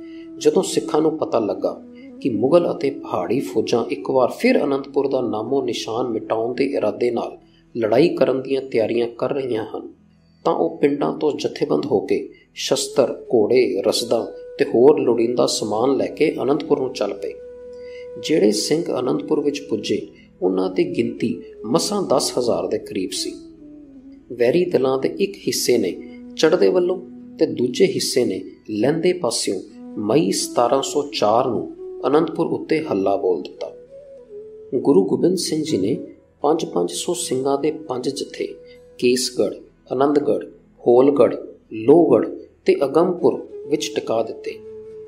ਵੈਰੀਆਂ ਦਾ ਮੁਕਾਬਲਾ ਕਰਨ ਲਈ ਸਿੰਘਾਂ ਨੇ ਨਗਰ ਤੋਂ ਬਾਹਰ ਆ ਕੇ ਮੋਰਚਾਬੰਦੀ ਕੀਤੀ। ਦੋਹਾਂ ਪਾਸਿਆਂ ਤੋਂ ਤੋਪਾਂ ਦੇ ਗੋਲੇ, ਬੰਦੂਕਾਂ ਦੀਆਂ ਗੋਲੀਆਂ ਅਤੇ ਤੀਰ ਮੀਂਹ ਵਾਂਗ ਵਰਦੇ ਰਹੇ।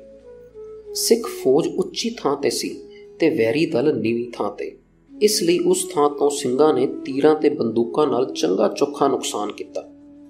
ਜਦੋਂ ਸਿੰਘਾਂ ਦੇ ਜੱਥੇ ਵੈਰੀ ਦਲ ਦੇ ਨੇੜੇ ਪੁੱਜ ਜਾਂਦੇ, ਤਾਂ ਸਿੰਘ ਤਲਵਾਰਾਂ ਲੈ ਕੇ ਵੈਰੀ ਉੱਤੇ ਭੁੱਖੇ ਸ਼ੇਰਾਂ ਦੀ ਤਰ੍ਹਾਂ ਪੈ ਜਾਂਦੇ ਸਨ। ਜਿੱਥੇ ਸਿੰਘ ਧਾਰਮਿਕ ਜਜ਼ਬੇ ਦੇ ਨਾਲ ਜ਼ਬਰ ਜ਼ੁਲਮ ਵਿਰੁੱਧ ਲੜ ਰਹੇ ਸਨ, ਉੱਥੇ ਮੁਗਲ ਅਤੇ ਪਹਾੜੀ ਸਿਪਾਹੀ ਕੇਵਲ ਤਨਖਾਹ ਦੀ ਖਾਤਰ ਲੜ ਰਹੇ ਸਨ। ਸੋ ਇਹ ਕੁਦਰਤੀ ਸੀ ਕਿ ਮੁਗਲਾਂ ਤੇ ਪਹਾੜੀ ਸਿਪਾਹੀਆਂ ਵਿੱਚ ਸਿੰਘਾਂ ਜਿਹਾ ਜੋਸ਼, ਜਜ਼ਬਾ ਤੇ ਚੜ੍ਹਦੀ ਕਲਾ ਦੀ ਭਾਵਨਾ ਨਹੀਂ ਸੀ। ਕੁਝ ਹੀ ਦਿਨਾਂ ਵਿੱਚ ਮੁਗਲਾਂ ਨੂੰ ਇਹ ਗੱਲ ਸਾਫ਼ ਹੋ ਗਈ ਕਿ ਜੇ ਉਹ ਸਿੰਘਾਂ ਹੱਥੋਂ ਇੰਜ ਹੀ ਆਪਣੇ ਜਵਾਨ ਮਰਵਾਉਂਦੇ ਰਹੇ, ਤਾਂ ਅਨੰਦਪੁਰ ਜਿੱਤਿਆ ਨਹੀਂ ਜਾਵੇਗਾ। ਸੋ ਮਹੀਨਾ ਕੁ ਪਰ ਇੰਜ ਲੜਨ ਮਗਰੋਂ ਉਹਨਾਂ ਨੇ ਪਿੱਛੇ ਹਟ ਕੇ ਅਨੰਦਪੁਰ ਨੂੰ ਚੁਫੇਰਿਓਂ ਘੇਰਨ ਦਾ ਫੈਸਲਾ ਕੀਤਾ। ਵੈਰੀ ਦੁਆਰਾ ਅਨੰਦਪੁਰ ਦੀ ਨਾਕਾਬੰਦੀ ਕਰਨ ਨਾਲ ਸਿੰਘਾਂ ਨੂੰ ਰਸਦ ਪਾਣੀ ਦੀ ਤਕਲੀਫ ਪਾਸਣ ਲੱਗੀ। ਜਿਹੜੇ ਸੂਏ ਨਾਲ ਅਨੰਦਪੁਰ ਨੂੰ ਪਾਣੀ ਮਿਲਦਾ ਸੀ, ਮੁਗਲਾਂ ਨੇ ਉਸ ਦਾ ਮੂੰਹ ਵੀ ਮੋੜ ਦਿੱਤਾ। ਜੋ ਕੁਝ ਸ਼ਹਿਰ ਵਿੱਚ ਤੇ ਸਿੰਘਾਂ ਦੇ ਕਿਲਿਆਂ ਵਿੱਚ ਸੀ, ਸਿੰਘ ਉਸੇ ਤੇ ਗੁਜ਼ਾਰਾ ਕਰਨ ਲੱਗੇ, ਪਰ ਅੰਦਰ ਰਸਦ ਪਾਣੀ ਬਹੁਤੀ ਨਹੀਂ ਸੀ। ਹਾਲਾਤ ਇੱਥੋਂ ਤੱਕ ਪੁੱਜ ਗਏ ਕਿ ਇੱਕ ਇੱਕ ਮੁਠੀ ਛੋਲਿਆਂ ਨਾਲ ਸਿੰਘਾਂ ਨੂੰ ਪੇਟ ਦੀ ਅੱਗ ਬੁਝਾਣੀ ਪਈ। ਕਈ ਵਾਰ ਛੋਲੇ ਵੀ ਨਾ ਮਿਲਦੇ। ਭੁੱਖ ਤੇ ਦੁੱਖੋਂ ਹਾਥੀ ਤੇ ਘੋੜੇ ਵੀ ਤੜਫ ਤੜਫ ਕੇ ਮਰਨ ਲੱਗੇ। ਜੇ ਸਿੰਘ ਕਿਲੇ ਵਿੱਚ ਭੁੱਖ ਅਤੇ ਬਿਮਾਰੀਆਂ ਕਾਰਨ ਮੁਸੀਬਤ ਵਿੱਚ ਫਸੇ ਪਏ ਸਨ, ਤਾਂ ਬਾਹਰ ਵੈਰੀ ਦਲ ਵੀ ਸੌਖਾ ਨਹੀਂ ਸੀ। ਮੁਗਲ ਸਰਦਾਰ ਬੜੀ ਮੁਸ਼ੀ ਦੀ ਹਾਲਤ ਵਿੱਚ ਸਨ। ਘੇਰਾ ਲੰਕੀ ਜਾ ਰਿਹਾ ਸੀ ਤੇ ਸਿੰਘ ਈਨ ਮਨਨ ਦੀ ਥਾਂ ਉੱਤੇ ਲੜਨ ਮਰਨ ਨੂੰ ਤਿਆਰ ਬੈਠੇ ਸਨ। ਮੁਗਲ ਫੌਜਾਂ ਤੇ ਪਹਾੜੀ ਸੈਨਾ ਨੂੰ ਪਹਿਲਾਂ ਗਰਮੀ ਤੇ ਫਿਰ ਬਾਰਿਸ਼ਾਂ ਤੇ ਹੜ੍ਹਾਂ ਕਾਰਨ ਬਹੁਤ ਪਰੇਸ਼ਾਨੀ ਹੋਈ ਸੀ। ਹੁਣ ਸਰਦੀਆਂ ਨੇੜੇ ਆ ਰਹੀਆਂ ਸਨ। ਉਹ ਵੀ ਇਸ ਜੰਗ ਤੋਂ ਪਿੱਛਾ ਛਡਾਉਣਾ ਚਾਹੁੰਦੇ ਸਨ। ਕੁਝ ਸਮਾਂ ਹੋਰ ਬੀਤ ਗਿਆ। ਸਿੰਘਾਂ ਨੂੰ ਵੈਰੀ ਦਲ ਵਿੱਚ ਘਿਰੇ ਹੋਇਆਂ ਤੇ ਵੈਰੀ ਨਾਲ ਲੜਦਿਆਂ 6-7 ਮਹੀਨੇ ਬੀਤ ਗਏ ਸਨ। ਇਨ੍ਹਾਂ ਦਿਨਾਂ ਵਿੱਚ ਹੀ ਔਰੰਗਜ਼ੇਬ ਦੀ ਇੱਕ ਚਿੱਠੀ ਆਈ, ਜਿਸ ਦੇ ਨਾਲ ਉਸਨੇ ਦਸਤਖਤ ਕੀਤਾ ਹੋਇਆ ਕੁਰਾਨ ਵੀ ਭੇਜਿਆ ਸੀ। ਉਸਨੇ ਇਸ ਚਿੱਠੀ ਵਿੱਚ ਕਈ ਦਿਲਾਸੇ ਦਿੱਤੇ ਹੋਏ ਸਨ ਤੇ ਲਿਖਿਆ ਸੀ ਕਿ ਸ਼ਾਹੀ ਵਕਾਰ ਦੀ ਕਾਇਮੀ ਲਈ ਇਹ ਜ਼ਰੂਰੀ ਹੈ ਕਿ ਤੁਸੀਂ ਅਨੰਦਪੁਰ ਖਾਲੀ ਕਰ ਦਿਓ। ਇਸ ਚਿੱਠੀ ਦੇ ਨਾਲ-ਨਾਲ ਪਹਾੜੀ ਰਾਜਿਆਂ ਨੇ ਗਊ ਤੇ ਗੀਤਾ ਦੀਆਂ ਕਸਮਾਂ ਖਾ ਕੇ ਚਿੱਠੀ ਲਿਖੀ ਤੇ ਕਿਹਾ ਕਿ ਜੇ ਸਿੱਖ ਕਿਲਾ ਛੱਡ ਜਾਣ ਤਾਂ ਉਹਨਾਂ ਨੂੰ ਕੁਝ ਨਹੀਂ ਕਿਹਾ ਜਾਵੇਗਾ ਅਤੇ ਉਹ ਔਰੰਗਜ਼ੇਬ ਨੂੰ ਮੂੰਹ ਦਿਖਾਉਣ ਜੋਗੇ ਹੋ ਜਾਣਗੇ। ਜਦ ਨਗਰ ਵਾਸੀਆਂ ਨੂੰ ਔਰੰਗਜ਼ੇਬ ਦੀ ਚਿੱਠੀ ਦਾ ਪਤਾ ਲੱਗਾ ਤਾਂ ਉਹਨਾਂ ਨੇ ਰਲ ਕੇ ਗੁਰੂ ਜੀ ਅੱਗੇ ਬੇਨਤੀ ਕੀਤੀ ਕਿ ਨਗਰ ਵਾਸੀਆਂ ਦੀ ਭਲਾਈ ਦੀ ਖਾਤਰ ਗੁਰੂ ਜੀ ਜੰਗਬੰਦੀ ਦਾ ਐਲਾਨ ਕਰ ਦੇਣ ਅਤੇ ਸਿੱਖ ਸੈਨਿਕਾਂ ਸਮੇਤ ਨਗਰ ਖਾਲੀ ਕਰ ਦੇਣ।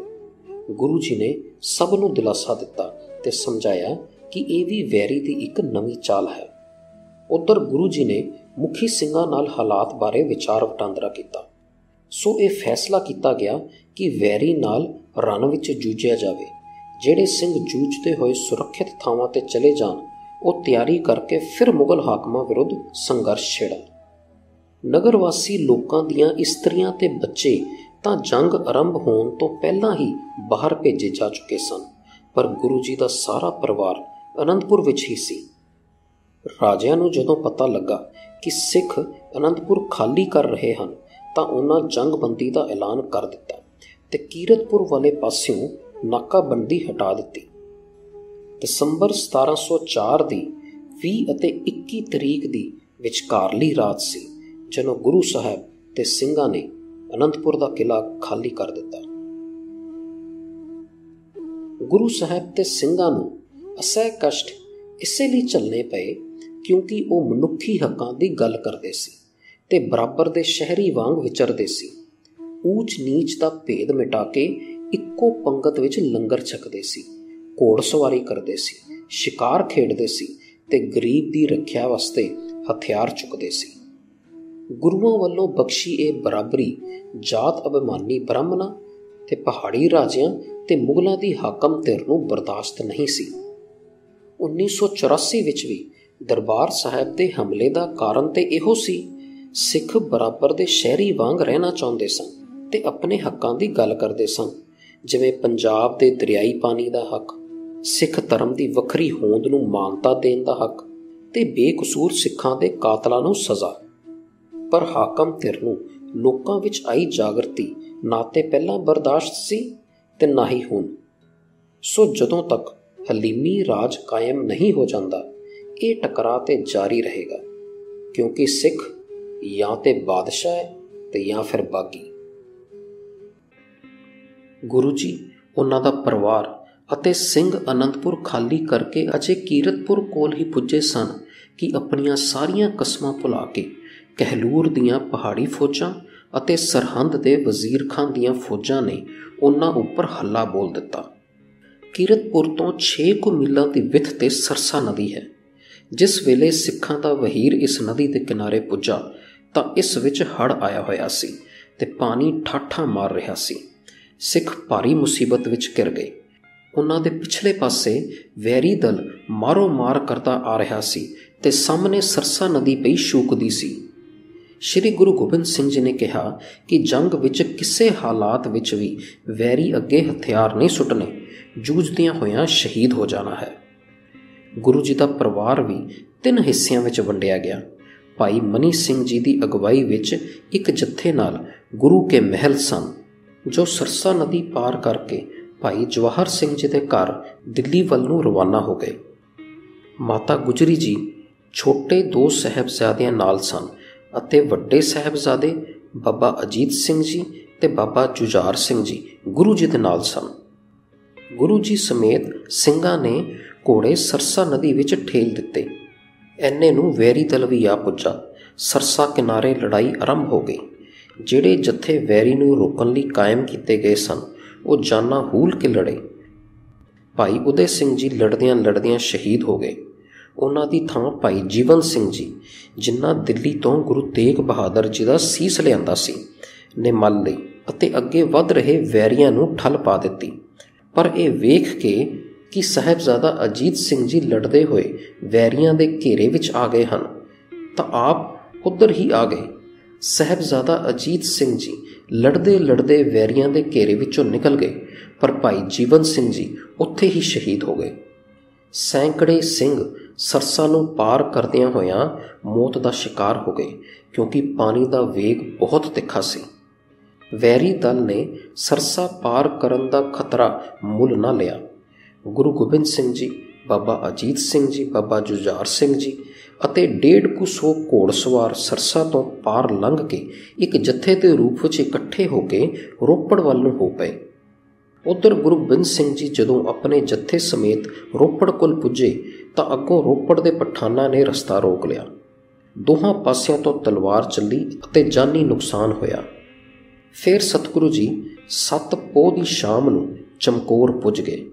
ਚਮਕੌਰ ਰੋਪੜ ਤੋਂ ਲੰਦੇ ਪਾਸੇ 15 ਕੁ ਮੀਲਾਂ ਦੀ ਵਿੱਥ ਤੇ ਹੈ। ਉਸ ਸਮੇਂ ਗੁਰੂ ਜੀ ਦੇ ਨਾਲ ਦੋਵੇਂ ਵੱਡੇ ਸਹਿਬਜ਼ਾਦੇ ਅਤੇ 40 ਸਿੰਘ ਹੀ ਸਨ।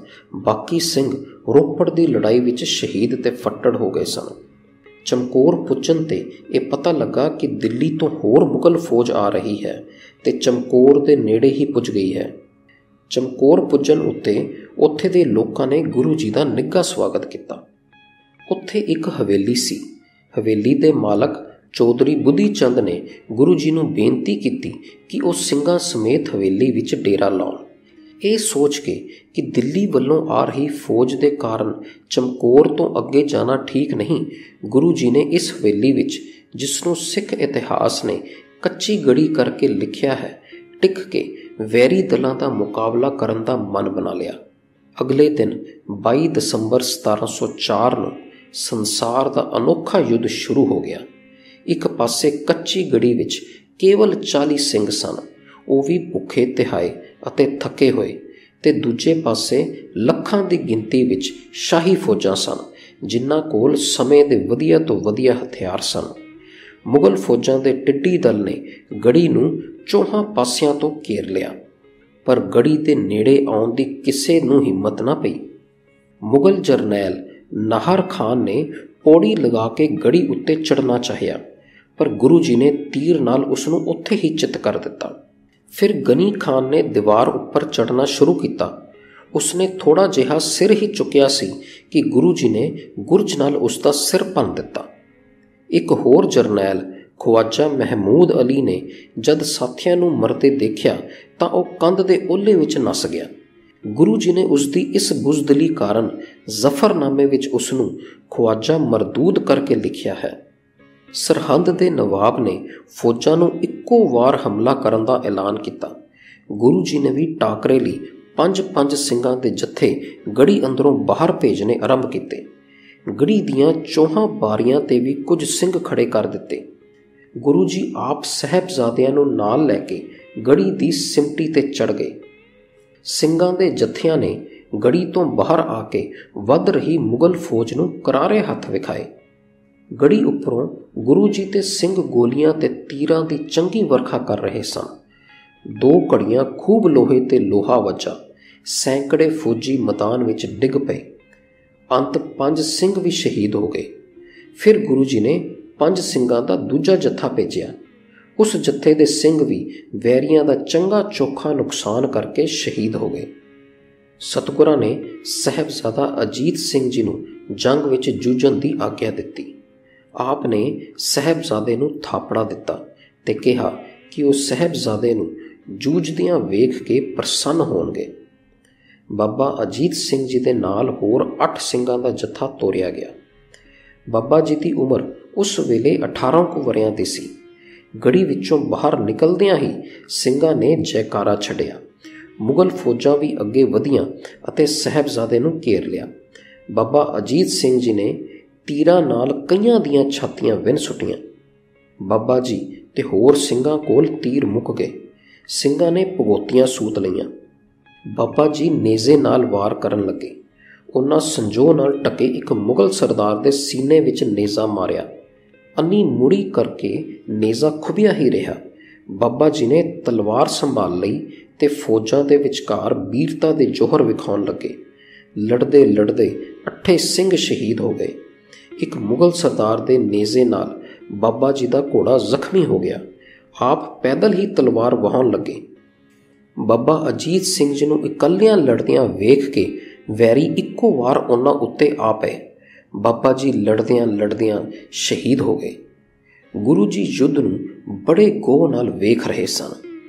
ਜਦੋਂ ਬਾਬਾ ਅਜੀਤ ਸਿੰਘ ਜੀ ਸ਼ਹੀਦ ਹੋ ਗਏ ਤਾਂ ਸਤਿਗੁਰਾਂ ਨੇ ਆਪ ਬੜੇ ਜ਼ੋਰ ਦੀ ਜੈਕਾਰਾ ਛੜਿਆ ਵੱਡੇ ਭਰਾ ਨੂੰ ਸ਼ਹੀਦ ਹੁੰਦਿਆਂ ਵੇਖ ਕੇ ਸਹਿਬਜ਼ਾਦਾ ਜੁਝਾਰ ਸਿੰਘ ਜੀ ਨੇ ਵੀ ਗੁਰੂ ਪਿਤਾ ਨੂੰ ਜੰਗ ਵਿੱਚ ਜਾਣ ਦੀ ਆਗਿਆ ਮੰਗੀ।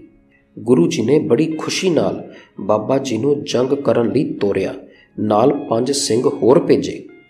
ਬਾਬਾ ਜੀ ਦੀ ਉਮਰ 14 ਸਾਲਾਂ ਦੀ ਸੀ। ਮੁਗਲਾਂ ਨੇ ਬਾਬਾ ਜੀ ਦੇ ਜੱਥੇ ਨੂੰ ਘੇਰ ਲਿਆ। ਬਾਬਾ ਜੀ ਨੇ ਹੱਥ ਵਿੱਚ ਨੇਜ਼ਾ ਲੈ ਕੇ ਵੈਰੀਆਂ ਦੀਆਂ ਛਾਤੀਆਂ ਫੁੰਡਣੀਆਂ ਆਰੰਭ ਕਰ ਦਿੱਤੀਆਂ। ਵੀਰ ਬਾਲਕ ਨੇ ਚੰਗਾ ਯੁੱਧ ਮਚਾਇਆ। ਗੜੀ ਤੋਂ ਗੁਰੂ ਜੀ ਨੇ ਮੁਗਲ ਫੌਜਾਂ ਤੇ ਤੀਰਾਂ ਦੀ ਚੜੀ ਲਾ ਦਿੱਤੀ। ਘੇਰਾ ਟੁੱਟ ਗਿਆ। ਬਾਬਾ ਜੀ ਤੀਰਾਂ ਦੀ ਛਾਂ ਹੇਠਾਂ ਅੱਗੇ ਵਧੀ ਗਏ। ਫਿਰ ਆਪ ਨੇ ਤਲਵਾਰ ਹੱਥ ਵਿੱਚ ਲੈ ਲਈ ਤੇ ਵੈਰੀਆਂ ਤੇ ਚੰਗੇ ਆਹੂ ਲਾਹੇ। ਪਰ ਮੁਗਲ ਫੌਜਾਂ ਦੇ ਹੜ ਅੱਗੇ 6 ਸਿੰਘ ਕਿੰਨੀ ਕੁ ਦੇਰ ਟਿਕ ਸਕਦੇ ਸਨ? ਇੱਕ ਇੱਕ ਕਰਕੇ ਸ਼ਹੀਦ ਹੋ ਗਏ, ਪਰ ਉਹਨਾਂ ਨੇ ਇਹ ਸਿੱਧ ਕਰ ਦਿੱਤਾ ਕਿ ਇਕੱਲਾ ਖਾਲਸਾ ਲੱਖਾਂ ਵੈਰੀਆਂ ਵਿੱਚ ਵੀ ਯੁੱਧ ਮਚਾ ਸਕਦਾ ਹੈ। ਉਧਰ ਸੂਰਜ ਛਿਪ ਰਿਹਾ ਸੀ ਤੇ ਇੱਧਰ ਚਮਕੌਰ ਦੇ ਮੈਦਾਨ ਵਿੱਚ ਸਹਿਬਜ਼ਾਦਾ ਜੁਝਾਰ ਸਿੰਘ ਜੀ ਵੀ ਸ਼ਹੀਦੀ ਪਾ ਗਏ। ਗੁਰੂ ਜੀ ਨੇ ਫਿਰ ਜੈਕਾਰਾ ਛੱਡਿਆ। ਰਾਤ ਪੈ ਗਈ, ਜੰਗ ਬੰਦ ਹੋ ਗਈ। ਰਹਿਰਾਸ ਤੇ ਪਾਠ ਮਗਰੋਂ ਸਤਗੁਰਾਂ ਨੇ ਸਿੰਘਾਂ ਨੂੰ ਚੜ੍ਹਦੀ ਕਲਾ ਵਿੱਚ ਰਹਿ ਕੇ ਜੂਝਦਿਆਂ ਹੋਇਆਂ ਸ਼ਹਾਦਤਾਂ ਪਾਉਣ ਦਾ ਉਪਦੇਸ਼ ਦਿੱਤਾ। ਸਤਿਗੁਰਾਂ ਇਹ ਵੀ ਕਿਹਾ ਕਿ ਉਹ ਦਿਨ ਚੜ੍ਹਦੇ ਸਾਰ ਸਭ ਤੋਂ ਪਹਿਲਾਂ ਆਪ ਜੱਥਾ ਲੈ ਕੇ ਮੈਦਾਨ ਵਿੱਚ ਜਾਣਗੇ। ਸਤਿਗੁਰਾਂ ਦੇ ਇਸ ਫੈਸਲੇ ਤੋਂ ਸਿੰਘ ਬਹੁਤ ਘਬਰਾ ਗਏ। ਉਹ ਚਾਹੁੰਦੇ ਸਨ ਕਿ ਗੁਰੂ ਜੀ ਬਚ ਕੇ ਨਿਕਲ ਜਾਣ ਅਤੇ ਲੋਕਾਂ ਨੂੰ ਭਾਰੀ ਗਿਣਤੀ ਵਿੱਚ ਸਿੰਘ ਸਜਾ ਕੇ ਮੁਗਲਾਂ ਨਾਲ ਦੋ ਹੱਥ ਕਰਨ। ਸਿੰਘਾਂ ਨੇ ਇਸ ਭਾਂਤ ਦੀਆਂ ਬੇਨਤੀਆਂ ਸਤਿਗੁਰਾਂ ਅੱਗੇ ਕੀਤੀਆਂ, ਪਰ ਸਤਿਗੁਰੂ ਜੀ ਆਪਣਾ ਫੈਸਲਾ ਬਦਲਣ ਨੂੰ ਤਿਆਰ ਨਾ ਹੋਏ। ਉਧਰ ਸਿੱਖ ਵੀ ਇਹ ਮਨ ਬਣਾਈ ਬੈਠੇ ਸਨ ਕਿ ਸਤਿਗੁਰੂ ਜੀ ਨੂੰ ਕਿਸੇ ਹਾਲਤ ਵਿੱਚ ਵੀ ਸ਼ਹੀਦ ਨਹੀਂ ਹੋਣ ਦੇਣਾ। ਉਹ ਸਮਝਦੇ ਸਨ ਕਿ ਸਤਿਗੁਰਾਂ ਦੀ ਇਸ ਸਮੇਂ ਦਿੱਤੀ ਸ਼ਹਾਦਤ ਪੰਥ ਲਈ ਕਰਾਰੀ ਸੱਟ ਸਾਬਤ ਹੋਵੇਗੀ। ਸੋ ਭਾਈ ਦਿਆ ਸਿੰਘ ਜੀ ਦੀ ਪ੍ਰੇਰਣਾ ਨਾਲ ਸਿੰਘਾਂ ਨੇ ਆਪਣੇ ਵਿੱਚੋਂ ਪੰਜ ਪਿਆਰੇ ਚੁਣੇ। ਭਾਈ ਦਿਆ ਸਿੰਘ ਜੀ ਨੇ ਪੰਜ ਪਿਆਰਿਆਂ ਵੱਲੋਂ ਗੁਰੂ ਜੀ ਨੂੰ ਪੰਥ ਦਾ ਹੁਕਮ ਸੁਣਾਇਆ ਕਿ ਉਹ ਜਿਵੇਂ ਕਿਵੇਂ ਵੀ ਹੋਵੇ ਰਾਤ ਨੂੰ ਗੜੀ ਵਿੱਚੋਂ ਨਿਕਲ ਕੇ ਸੁਰੱਖਿਅਤ ਥਾਂ ਤੇ ਚਲੇ ਜਾਣ।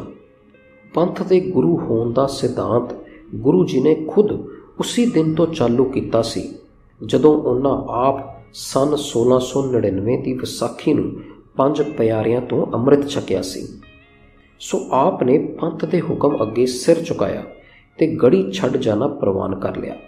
ਦਸਮ ਪਾਤਸ਼ਾਹ ਨੇ ਬਾਕੀ ਬਚੇ 10 ਸਿੰਘਾਂ ਨੂੰ ਗੜੀ ਵਿੱਚੋਂ ਬਾਹਰ ਜਾਣ ਦੀ ਵਿਉਂਤ ਸਮਝਾਈ ਤੇ ਦੱਸਿਆ ਕਿ ਉਹ ਆਪਣੇ ਨਾਲ ਭਾਈ ਦਇਆ ਸਿੰਘ, ਭਾਈ ਧਰਮ ਸਿੰਘ ਤੇ ਭਾਈ ਮਾਨ ਸਿੰਘ ਨੂੰ ਨਾਲ ਲੈ ਕੇ ਜਾਣਗੇ।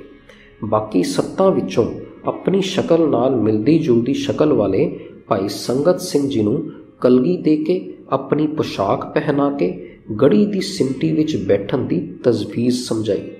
ਤਾਂ ਜੋ ਮੁਗਲਾਂ ਨੂੰ ਉਹਨਾਂ ਦੇ ਗੜੀ ਵਿੱਚ ਹੋਣ ਦਾ ਭੁਲੇਖਾ ਬਣਿਆ ਰਹੇ।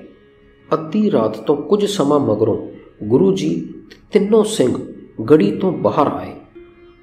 ਗੁਰੂ ਜੀ ਹਨੇਰੇ ਵਿੱਚ ਟੁਰਦਿਆਂ ਹੋਇਆਂ ਇੱਕ ਉੱਚੀ ਟਿੱਬੀ ਤੇ ਜਾ ਚੜੇ ਇੱਕ ਸਿੰਘ ਜੋ ਗੁਰੂ ਜੀ ਤੋਂ ਕਾਫੀ ਦੂਰੀ ਤੇ ਸੀ, ਉਸਨੇ ਉੱਚੀ ਉੱਚੀ ਕਿਹਾ, ਹਿੰਦ ਦਾ ਪੀਰ ਜਾ ਰਿਹਾ ਹੈ। ਜਿਸ ਦੀ ਹਿੰਮਤ ਹੋਵੇ, ਫੜ ਲਵੇ। ਫਿਰ ਦੂਜੇ ਤੇ ਤੀਜੇ ਸਿੰਘ ਨੇ ਵੀ ਵੱਖ-ਵੱਖ ਥਾਵਾਂ ਤੋਂ ਇੰਜ ਹੀ ਕਿਹਾ, ਵੈਰੀ ਦਲ ਨੂੰ ਜਿੱਧਰੋਂ ਆਵਾਜ਼ਾਂ ਆਈਆਂ ਸਨ, ਉੱਧਰ ਕੱਟਾ ਵੱਢ ਸ਼ੁਰੂ ਹੋ ਗਈ। ਵੈਰੀ ਸਮਝਦੇ ਸਨ ਕਿ ਸਿੰਘਾਂ ਦਾ ਜੱਥਾ ਆ ਪਿਆ ਹੈ। ਰਾਤ ਦੇ ਹਨੇਰੇ ਵਿੱਚ ਮੁਗਲ ਫੌਜਾਂ ਤੇ ਸਿਪਾਹੀ ਆਪਸ ਵਿੱਚ ਹੀ ਭਿੜ ਪਏ। ਇਸ ਹਫੜਾ ਦਫੜੇ ਵਿੱਚ ਗੁਰੂ ਜੀ ਤੇ ਤਿੰਨੋਂ ਸਿੰਘ ਮੁਗਲ ਫੌਜਾਂ ਵਿੱਚੋਂ ਨਿਕਲ ਗਏ, ਭਾਵੇਂ ਕਿ ਉਹ ਸਭ ਖਿੰਡ ਗਏ ਸਨ। ਖਤਰੇ ਤੋਂ ਦੂਰ ਜਾ ਕੇ ਸਭ ਮਿੱਥੇ ਹੋਏ ਤਾਰਿਆਂ ਦੀ ਸੇਧ ਵਿੱਚ ਤੁਰ ਪਏ। ਚਾਨਣਾ ਹੋਣ ਤੇ ਵੈਰੀ ਦਲ ਨੂੰ ਭਾਰੀ ਨਿਰਾਸ਼ਾ ਹੋਈ, ਕਿਉਂਕਿ ਸਿੰਘਾਂ ਦੀ ਤਾਂ ਕੋਈ লাশ ਨਾ ਲੱਭੀ, ਪਰ ਮੁਸਲਮਾਨਾਂ ਦੀਆਂ ਲਾਸ਼ਾਂ ਹੀ ਵਿਖਾਈ ਦਿੱਤੀਆਂ। ਗੁੱਸੇ ਵਿੱਚ ਭੜਕੇ ਹੋਏ ਵੈਰੀ ਦਲ ਨੇ ਗੜੀ ਉੱਤੇ ਹੱਲਾ ਬੋਲ ਦਿੱਤਾ। ਗੜੀ ਅੰਦਰੋਂ ਸੱਤੇ ਸਿੰਘ ਲੜਦੇ ਹੋਏ ਬਾਹਰ ਹੋਏ ਤੇ ਸ਼ਹੀਦ ਹੋ ਗਏ। ਭਾਈ ਸੰਗਤ ਸਿੰਘ ਜੀ ਗੁਰੂ ਜੀ ਦੀ ਪੋਸ਼ਾਕ ਪਾਈ ਗੜੀ ਦੇ ਸਿਖਰ ਉੱਤੇ ਸਨ। ਉਹਨਾਂ ਨੂੰ ਗੁਰੂ ਗੋਬਿੰਦ ਸਿੰਘ ਜੀ ਸਮਝ ਕੇ ਵੈਰੀ ਭਾਰੀ ਗਿਣਤੀ ਵਿੱਚ ਟੁੱਟ ਕੇ ਪੈ ਗਏ। ਭਾਈ ਸਾਹਿਬ ਨੇ ਲੜਦਿਆਂ ਹੋਇਆਂ ਸ਼ਹੀਦੀ ਪਾਈ। ਵੈਰੀ ਦਲ ਬੜਾ ਖੁਸ਼ ਸੀ ਕਿ ਉਸਨੇ ਗੁਰੂ ਜੀ ਨੂੰ ਸ਼ਹੀਦ ਕਰ ਦਿੱਤਾ ਹੈ। ਪਰ ਜਦੋਂ ਸਰਹੰਦ ਦੇ ਸੂਬੇ ਵਜ਼ੀਰ ਖਾਨ ਨੇ ਪੜਤਾਲ ਕਰਾਈ ਤਾਂ ਅਸਲੀਅਤ ਸਾਹਮਣੇ ਆਈ ਕਿ ਗੁਰੂ ਜੀ ਤਾਂ ਫੌਜਾਂ ਵਿੱਚੋਂ ਸੁਰੱਖਿਅਤ ਚਲੇ ਗਏ ਹਨ। ਇਹ ਮੁਗਲ ਹਕੂਮਤ ਨੂੰ ਕਰਾਰੀ ਚੋਟ ਸੀ। ਕਿ ਕਸ਼ਮੀਰ, ਲਾਹੌਰ, ਦਿੱਲੀ ਤੇ ਸਰਹੰਦ ਦੀ ਸਾਰੀ ਮੁਗਲ ਤਾਕਤ, ਉਸ ਦੇ ਨਾਲ ਪਹਾੜੀ ਰਾਜਿਆਂ ਦੀਆਂ ਫੌਜਾਂ 7 ਮਹੀਨੇ ਅਨੰਦਪੁਰ ਨੂੰ ਘੇਰਾ ਪਾਉਣ ਦੇ ਬਾਵਜੂਦ ਵੀ ਨਾ ਤਾਂ ਗੁਰੂ ਗੋਬਿੰਦ ਸਿੰਘ ਜੀ ਨੂੰ ਫੜ ਸਕੀ ਤੇ ਨਾ ਹੀ ਸਿੰਘਾਂ ਨੂੰ ਈਨ ਮੰਨਣ ਲਈ ਮਜਬੂਰ ਹੀ ਕਰ ਸਕੀ। ਸਰਕਾਰੀ ਖਜ਼ਾਨੇ ਦੇ ਲੱਖਾਂ ਰੁਪਏ ਖਰਚ ਹੋ ਗਏ। ਹਜ਼ਾਰਾਂ ਦੀ ਗਿਣਤੀ ਵਿੱਚ ਫੌਜੀ ਮਾਰੇ ਗਏ, ਪਰ ਮੁਗਲ ਆਪਣੇ ਨਿਸ਼ਾਨੇ ਵਿੱਚ ਸਫਲਤਾ ਪ੍ਰਾਪਤ ਨਾ ਕਰ ਸਕੇ। ਚਮਕੌਰ ਦੀ ਅਸਾਮੀ ਜੰਗ ਵਿੱਚ ਸਹਿਬਜ਼ਾਦਿਆਂ ਤੇ ਸਿੰਘਾਂ ਨੇ ਆਪਣੀ ਬੇਮਿਸਾਲ ਸ਼ਹਾਦਤਾਂ ਦੇ ਕੇ ਸਿੱਖ ਇਤਿਹਾਸ ਨੂੰ ਹਮੇਸ਼ਾ ਵਾਸਤੇ ਰੁਸ਼ਨਾ ਦਿੱਤਾ। ਸਵਾ ਲੱਖ ਸੇ ਏਕ ਲੜਾਉ ਦਾ ਅਖਾਣ ਸੱਚ ਕਰ ਵਿਖਾਇਆ। 1984 ਵਿੱਚ ਵੀ ਭਾਰਤੀ ਫੌਜ ਵੱਲੋਂ ਦਰਬਾਰ ਸਾਹਿਬ ਤੇ ਕੀਤੇ ਹਮਲੇ ਦਾ ਜਿਵੇਂ ਮੁੱਠੀ ਭਰ ਸਿੰਘਾਂ ਨੇ ਮੁਕਾਬਲਾ ਕਰਕੇ ਸ਼ਹੀਦੀਆਂ ਪਾਈਆਂ ਸੀ। ਉਹ ਵੀ ਚਮਕੌਰ ਦੇ ਜੰਗ ਦੀ ਯਾਦ ਹੀ ਤਾਜ਼ਾ ਕਰ ਗਿਆ ਸੀ। ਪੰਜ ਪਿਆਰਿਆਂ ਦਾ ਹੁਕਮ ਮੰਨ ਕੇ ਗੁਰੂ ਗੋਬਿੰਦ ਸਿੰਘ ਜੀ ਰਾਤ ਦੇ ਅੰਧੇਰੇ ਵਿੱਚ ਚਮਕੌਰ ਦੀ ਗੜੀ ਵਿੱਚੋਂ ਬਾਹਰ ਨਿਕਲ ਕੇ ਮਾਛੀਵਾੜੇ ਦੇ ਨੇੜੇ ਗੁਲਾਬੇ ਖਤਰੀ ਦੇ ਬਾਗ ਵਿੱਚ ਪੁੱਜੇ।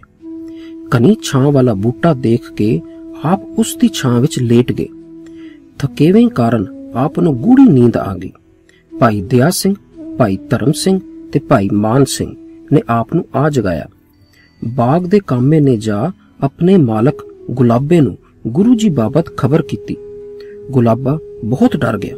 ਜਦੋਂ ਉਸ ਨੂੰ ਪਤਾ ਚੱਲਿਆ ਕਿ ਸਰਕਾਰ ਦਾ ਬਾਗੀ ਉਸ ਦੇ ਬਾਗ ਵਿੱਚ ਪਨਾਹ ਲੈ ਰਿਹਾ ਸੀ ਉਸ ਨੇ ਨਬੀ ਖਾਨ ਤੇ ਗਨੀ ਖਾਨ ਨੂੰ ਜਾ ਦੱਸਿਆ।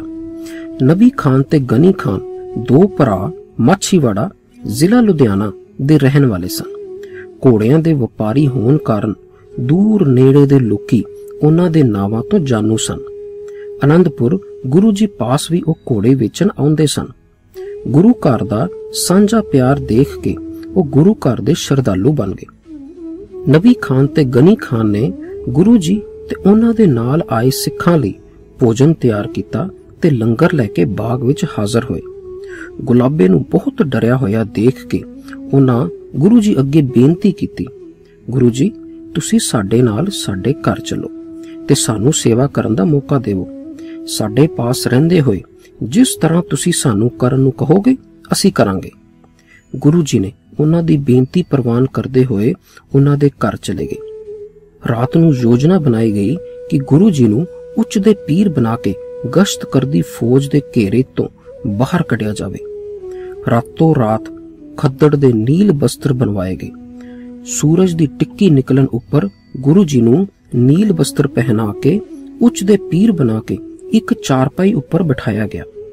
ਉਹਨਾਂ ਨਾਲ ਦੇ ਤਿੰਨਾਂ ਸਿੰਘਾਂ ਨੇ ਵੀ ਨੀਲ ਪੁਸ਼ਾਕੇ ਪਹਿਨ ਲਈ ਨਬੀ ਖਾਨ ਤੇ ਗਨੀ ਖਾਨ ਨੇ ਚਾਰਪਾਈ ਦੇ ਅਗਲੇ ਪਾਵਿਆਂ ਦੇ ਨਾਲ ਆਪਣੇ ਮੋਢੇ ਦੇ ਦਿੱਤੇ ਤਾਂ ਜੋ ਉਹ ਪੁੱਛਣ ਵਾਲੇ ਨੂੰ ਜਵਾਬ ਦੇ ਸਕਣ।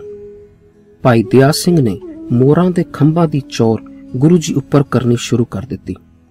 ਭਾਈ ਧਰਮ ਸਿੰਘ ਤੇ ਮਾਨ ਸਿੰਘ ਨੇ ਚਾਰਪਾਈ ਦੇ ਪਿਛਲੇ ਦੋ ਪਾਵਿਆਂ ਨੂੰ ਮੋਢੇ ਦੇ ਦਿੱਤੇ।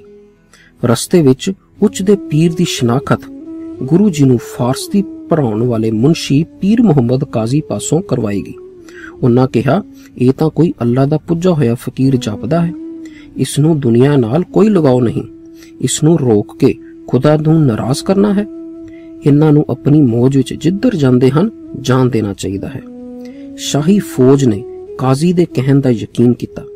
ਉਹਨਾਂ ਪੀਰ ਅੱਗੇ ਸਜਦਾ ਕੀਤਾ ਤੇ ਆਪਣੀ ਗਲਤੀ ਦੀ ਮਾਫੀ ਮੰਗੀ। ਗੁਰੂ ਜੀ ਨੂੰ ਉੱਚ ਦੇ ਪੀਰ ਬਣਾ ਕੇ ਦੋਹਾਂ ਭਰਾਵਾਂ ਸ਼ਾਹੀ ਖਤਰੇ ਤੋਂ ਬਾਹਰ ਆਲਮਗੀਰ ਪਹੁੰਚਾ ਦਿੱਤਾ। ਗੁਰੂ ਜੀ ਨੇ ਦੋਹਾਂ ਭਰਾਵਾਂ ਨੂੰ ਸੇਵਾ ਵਜੋਂ ਹੁਕਮਨਾਮਾ ਬਖਸ਼ ਕੇ ਵਿਦਾ ਕੀਤਾ। ਇਸ ਸਾਖੀ ਵਿੱਚ ਅਸੀਂ ਜਾਣਿਆ ਕਿਵੇਂ ਜ਼ਾਲਮ ਸਰਕਾਰ ਦੀ ਪਰਵਾਹ ਕੀਤੇ ਬਿਨਾ ਗਨੀ ਖਾਨ ਤੇ ਨਬੀ ਖਾਨ ਨੇ ਗੁਰੂ ਸਾਹਿਬ ਦੀ ਮਦਦ ਕਰਕੇ ਆਪਣਾ ਨਾਂ ਸਿੱਖ ਇਤਿਹਾਸ ਤੇ ਸੁਨਹਿਰੀ ਪੰਨਿਆਂ ਤੇ ਦਰਜ ਕਰਵਾਇਆ। ਪਰ ਜਦੋਂ ਕੁਝ ਲੋਕ ਕਹਿੰਦੇ ਨੇ ਕਿ ਗੁਰੂ ਗੋਬਿੰਦ ਸਿੰਘ ਜੀ ਨੇ ਇਸਲਾਮ ਧਰਮ ਵਿੱਚ ਜੰਗਾਂ ਕੀਤੀਆਂ ਸਨ, ਇਹ ਜਾਂ ਤਾਂ ਉਹਨਾਂ ਦੀ ਇਤਿਹਾਸ ਪ੍ਰਤੀ ਅਗਿਆਨਤਾ ਦਰਸਾਉਂਦਾ ਜਾਂ ਫਿਰ ਉਹ ਜਾਣ ਬੁੱਝ ਕੇ ਕਿਸੇ ਸਾਜ਼ਿਸ਼ ਅਧੀਨ ਫਿਰਕਾ ਪ੍ਰਸਤ ਮਾਹੌਲ ਬਣਾਉਣਾ ਚਾਹੁੰਦੇ ਨੇ। ਗੁਰੂ ਗੋਬਿੰਦ ਸਿੰਘ ਜੀ ਦੇ ਬਾਬਾ ਜ਼ੋਰਾਵਰ ਸਿੰਘ ਤੇ ਬਾਬਾ ਫਤਿਹ ਸਿੰਘ, ਦੋ ਛੋਟੇ ਸਹਿਬਜ਼ਾਦੇ ਸਨ। ਅਨੰਦਪੁਰ ਦਾ ਕਿਲਾ ਛੱਡਣ ਸਮੇਂ ਉਹਨਾਂ ਦੀ ਉਮਰ ਸਿਰਫ 7 ਸਾਲ ਤੇ 5 ਸਾਲ ਦੀ ਸੀ। ਰਾਤ ਦੇ ਅੰਧੇਰੇ ਵਿੱਚ ਸਰਸਾ ਨਦੀ ਪਾਰ ਕਰਦੇ ਹੋਏ ਛੋਟੇ ਸਹਿਬਜ਼ਾਦੇ ਤੇ ਗੁਰੂ ਗੋਬਿੰਦ ਸਿੰਘ ਜੀ ਦੀ ਮਾਤਾ ਗੁਜਰੀ ਪਰਿਵਾਰ ਨਾਲੋਂ ਵਿਛੜ ਗਏ। ਉਹਨਾਂ ਦੇ ਨਾਲ ਗੁਰੂ ਘਰ ਦਾ ਰਸੋਈਆ ਗੰਗੂ ਬ੍ਰਾਹਮਣ ਸੀ। ਗੰਗੂ ਉਹਨਾਂ ਨੂੰ ਆਪਣੇ ਪਿੰਡ ਖੇੜੀ ਲੈ ਗਿਆ। ਸਰਕਾਰੀ ਇਨਾਮ ਲੈਣ ਦੇ ਲਾਲਚ ਵਿੱਚ ਗੰਗੂ ਦਾ ਈਮਾਨ ਡੋਲ ਗਿਆ ਤੇ ਉਸਨੇ ਵੱਡਾ ਪਾਪ ਕੀਤਾ। ਤੀਜੇ ਦਿਨ ਉਸਨੇ ਉਹਨਾਂ ਨੂੰ ਪੁਲਿਸ ਦੇ ਹਵਾਲੇ ਕਰ ਦਿੱਤਾ। ਸੂਬਾ ਸਰਹੰਦ ਨੂੰ ਜਦੋਂ ਇਹਨਾਂ ਗ੍ਰਿਫਤਾਰੀਆਂ ਦਾ ਪਤਾ ਚੱਲਿਆ ਤਾਂ ਉਹ ਬਹੁਤ ਖੁਸ਼ ਹੋਇਆ। ਉਸਨੇ ਕਿਹਾ, ਉਹਨਾਂ ਨੂੰ ਭੁੱਖੇ ਭਾਣੇ ਠੰਡੇ ਬੁਰਜ ਵਿੱਚ ਬੰਦ ਕਰ ਦਿੱਤਾ ਜਾਵੇ ਤੇ ਉਹਨਾਂ ਨੂੰ ਠੰਡ ਤੋਂ ਬਚਣ ਲਈ ਕੋਈ ਕੱਪੜਾ ਨਾ ਦਿੱਤਾ ਜਾਵੇ। ਸੂਬੇ ਦੇ ਹੁਕਮ ਅਨੁਸਾਰ ਉਹਨਾਂ ਨੂੰ ਭੁੱਖੇ ਰੱਖਿਆ ਗਿਆ ਤੇ ਦੂਜੀ ਸਵੇਰ ਉਹਨਾਂ ਨੂੰ ਸੂਬੇ ਦੀ ਕਚਹਿਰੀ ਵਿੱਚ ਪੇਸ਼ ਕਰਨ ਲਈ ਇੱਕ ਸਿਪਾਹੀ ਬੁਲਾਉਣ ਗਿਆ। ਪੋਤਿਆਂ ਨੂੰ ਤੋਰਨ ਤੋਂ ਪਹਿਲਾਂ ਉਹਨਾਂ ਦੀ ਦਾਦੀ ਨੇ ਉਹਨਾਂ ਨੂੰ ਸਿੱਖਿਆ ਦਿੱਤੀ ਕਿ ਧਰਮ ਨਹੀਂ ਤਿਆਗਣਾ, ਭਾਵੇਂ ਸੂਬਾ ਤੁਸਾਂ ਨੂੰ ਕਿੰਨੇ ਵੀ ਲਾਲਚ ਦੇਵੇ ਤੇ ਕਿੰਨਾ ਵੀ ਡਰਾਵੇ ਜਾਂ ਧਮਕਾਵੇ। ਦੋਵੇਂ ਸਹਿਬਜ਼ਾਦੇ ਸਿਪਾਹੀ ਦੇ ਨਾਲ ਸੂਬੇ ਦੀ ਕਚਹਿਰੀ ਵਿੱਚ ਦਾਖਲ ਹੋ ਗਏ। ਉਹਨਾਂ ਦੋਹਾਂ ਨੇ ਦੋਵੇਂ ਹੱਥ ਜੋੜ ਕੇ ਕਿਹਾ, ਵਾਹਿਗੁਰੂ ਜੀ ਕਾ ਖਾਲਸਾ, ਵਾਹਿਗੁਰੂ ਜੀ ਕੀ ਫਤਿਹ। ਇਹ ਫਤਿਹ ਸੁਣ ਕੇ ਸੂਬਾ ਕੁਝ ਬੋਲਣ ਹੀ ਲੱਗਿਆ ਸੀ ਕਿ ਉਸ ਤੋਂ ਪਹਿਲਾਂ ਉਸ ਦਾ ਵਜ਼ੀਰ ਸੁੱਚਾਨੰਦ ਬੋਲ ਉਠਿਆ। ਬੱਚਿਓ, ਇਹ ਮੁਗਲ ਸਰਕਾਰ ਦਾ ਦਰਬਾਰ ਹੈ। ਅਨੰਦਪੁਰ ਦਾ ਦਰਬਾਰ ਨਹੀਂ, ਇੱਥੇ ਸੂਬੇ ਨੂੰ ਸਿਰ ਝੁਕਾਉਣਾ ਹੁੰਦਾ ਹੈ। ਸਹਿਬਜ਼ਾਦਾ ਜ਼ੋਰਾਵਰ ਸਿੰਘ ਨੇ ਉੱਤਰ ਦਿੱਤਾ, ਸਾਡਾ ਸਿਰ ਪਰਮਾਤਮਾ ਤੇ ਗੁਰੂ ਤੋਂ ਬਿਨਾ ਹੋਰ ਕਿਸੇ ਅੱਗੇ ਨਹੀਂ ਝੁਕ ਸਕਦਾ। ਸੁੱਚਾਨੰਦ ਨੂੰ ਇਹ ਕੋਰਾ ਜਵਾਬ ਸੁਣ ਕੇ ਸਹਿਬਜ਼ਾਦਿਆਂ ਉੱਪਰ ਗੁੱਸਾ ਤਾਂ ਬਹੁਤ ਆਇਆ, ਪਰ ਕਰ ਕੁਝ ਨਾ ਸਕਿਆ, ਚੁੱਪ ਕਰਕੇ ਬੈਠ ਗਿਆ। ਸੂਬਾ ਵਜ਼ੀਰ ਖਾਨ ਨੂੰ ਆਪਣੇ ਉੱਪਰ ਬਹੁਤ ਭਰੋਸਾ ਸੀ ਕਿ ਉਹ ਮਾਸੂਮ ਬੱਚਿਆਂ ਨੂੰ ਦੁਨੀਆ ਦੀ ਮਾਇਆ ਦੇ ਲਾਲਚ ਵਿੱਚ ਫਸਾ ਕੇ ਮੁਸਲਮਾਨ ਬਣਾ ਲਵੇਗਾ। ਜਿਹੜੀ ਉਸ ਦੀ ਬਹੁਤ ਵੱਡੀ ਜਿੱਤ ਹੋਵੇਗੀ। ਉਸ ਨੇ ਸਹਿਬਜ਼ਾਦਿਆਂ ਨੂੰ ਬਹੁਤ ਲਾਲਚ ਦਿੱਤੇ, ਪਰ ਉਹ ਨਾ ਮੰਨੇ। ਅੰਤ ਵਿੱਚ ਸੂਬੇ ਨੇ ਉਹਨਾਂ ਨੂੰ ਪੁੱਛਿਆ, ਜੇ ਮੈਂ ਤੁਸਾਂ ਨੂੰ ਛੱਡ ਦੇਵਾਂ, ਤਾਂ ਤੁਸੀਂ ਬਾਹਰ ਜਾ ਕੇ ਕੀ ਕਰੋਗੇ?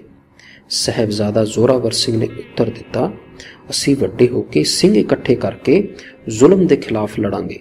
ਜਦੋਂ ਤੱਕ ਜ਼ੁਲਮ ਦਾ ਅੰਤ ਨਹੀਂ ਹੁੰਦਾ ਜਾਂ ਅਸੀਂ ਜ਼ੁਲਮ ਦਾ ਖਾਤਮਾ ਕਰਦੇ ਕਰਦੇ ਸ਼ਹੀਦੀਆਂ ਪ੍ਰਾਪਤ ਨਹੀਂ ਕਰ ਜਾਂਦੇ। ਜਿਵੇਂ ਸਾਡੇ ਦਾਦਾ ਜੀ ਤੇ ਉਹਨਾਂ ਦੇ ਸਿੱਖਾਂ ਨੇ ਸਾਡੇ ਲਈ ਪੂਰਨੇ ਪਾਏ ਹਨ। ਸੁੱਚਾਨੰਦ ਇਹ ਸੁਣ ਕੇ ਵਜ਼ੀਰ ਖਾਨ ਨੂੰ ਭੜਕਾਉਣ ਦਾ ਹੋਏ ਕਿਹਾ, ਇਹ ਸੱਪ ਦੇ ਬੱਚੇ ਨੇ। ਇਹਨਾਂ ਦੀਆਂ ਸਿਰੀਆਂ ਹੁਣੇ ਹੀ ਫੇ ਦਿਓ, ਵਰਨਾ ਵੱਡੇ ਹੋ ਕੇ ਸਾਨੂੰ ਹੀ ਡਸਣਗੇ। ਇਹ ਸੁਣ ਕੇ ਸੂਬੇ ਨੇ ਉਹਨਾਂ ਨੂੰ ਖਤਮ ਕਰਨ ਵਿੱਚ ਹੀ ਆਪਣੀ ਭਲਾਈ ਸਮਝੀ। 7 ਸਾਲ ਤੇ 5 ਸਾਲ ਦੇ ਸਹਿਬਜ਼ਾਦਿਆਂ ਨੂੰ ਉਸ ਦੇ ਹੁਕਮ ਨਾਲ ਕਾਜ਼ੀ ਤੋਂ ਫਤਵਾ ਪੜਵਾ ਕੇ ਜ਼ਿੰਦਾ ਦੀਵਾਰ ਵਿੱਚ ਚਿਣਵਾ ਦਿੱਤਾ ਗਿਆ। ਸਹਿਬਜ਼ਾਦਿਆਂ ਦਾ ਧਰਮ ਉੱਤੇ ਪੱਕੇ ਰਹਿਣਾ ਅਸਲ ਵਿੱਚ ਸੂਬੇ ਦੀ ਇੱਕ ਹੋਰ ਹਾਰ ਸੀ। ਛੋਟੇ ਸਹਿਬਜ਼ਾਦਿਆਂ ਦੀ ਸ਼ਹਾਦਤ ਨੇ ਸਿੱਖਾਂ ਅੰਦਰ ਐਸਾ ਰੋਹ ਜਗਾਇਆ ਜੋ ਕੁਝ ਹੀ ਸਾਲਾਂ ਬਾਅਦ ਬਾਬਾ ਬੰਦਾ ਸਿੰਘ ਬਹਾਦਰ ਦੀ ਅਗਵਾਈ ਵਿੱਚ ਮੁਗਲ ਸਲਤਨਤ ਦਾ ਅੰਤ ਤੇ ਖਾਲਸਾ ਰਾਜ ਦੀ ਸਥਾਪਨਾ ਦਾ ਕਾਰਨ ਬਣਿਆ। ਗੁਰੂ ਗੋਬਿੰਦ ਸਿੰਘ ਜੀ ਨੇ ਆਪਣੇ ਚਾਰੇ ਪੁੱਤਰ ਸਿੱਖੀ ਦੀ ਹੋਂਦ ਨੂੰ ਪਛਾਣ ਲਈ ਵਾਰ ਦਿੱਤੇ। ਉਹਨਾਂ ਨੂੰ ਯਕੀਨ ਸੀ ਕਿ ਸਾਰੀ ਸਿੱਖ ਸੰਗਤ ਉਹਨਾਂ ਦੀ ਹੀ ਸੰਤਾਨ ਹੈ। ਇਨ ਪੁੱਤਰਾਂ ਕੇ ਸੀਸ ਪਰ ਵਾਰ ਦਿਏ ਸੁਤਚਾਰ। ਚਾਰ ਮੋਏ ਤੋਂ ਕਿਆ ਹੁਆ, ਜੀਵਤ ਕਈ ਹਜ਼ਾਰ। ਪਰ ਜੇ ਅੱਜ ਗੁਰੂ ਸਾਹਿਬ ਸਾਡੇ ਘਰ ਵਿੱਚ ਆਪਣੇ ਸਹਿਬਜ਼ਾਦਿਆਂ ਦੇ ਚਿਹਰੇ ਦੇਖਣਾ ਚਾਹਣ, ਕਿ ਅਸੀਂ ਦਿਖਾ ਪਾਵਾਂਗੇ? ਬੇਅੰਤ ਪਰਿਵਾਰ ਹਨ ਜਿਨ੍ਹਾਂ ਦੇ ਬੱਚਿਆਂ ਦੇ ਸਿਰਾਂ ਤੇ ਕੇਸ ਨਹੀਂ। ਉਹ ਕਿਸ ਤਰ੍ਹਾਂ ਆਪਣੇ ਆਪ ਨੂੰ ਗੁਰੂ ਗੋਬਿੰਦ ਸਿੰਘ ਜੀ ਦੇ ਵਾਰਸ ਖਵਾ ਸਕਦੇ ਹਨ? ਅੱਜ ਜ਼ਰੂਰਤ ਹੈ ਮਾਵਾਂ ਨੂੰ ਆਪਣੇ ਅੰਦਰ ਮਾਤਾ ਗੁਜਰੀ ਜੀ ਵਾਲਾ ਜਜ਼ਬਾ ਪੈਦਾ ਕਰਨ ਦੀ। ਅਗਰ ਮਾਂ ਚਾਹੇ, ਤੇ ਦੁਨੀਆ ਵਿੱਚ ਕੋਈ ਤਾਕਤ ਨਹੀਂ ਜੋ ਬੱਚਿਆਂ ਨੂੰ ਸਿੱਖੀ ਤੋਂ ਦੂਰ ਕਰ ਸਕੇ।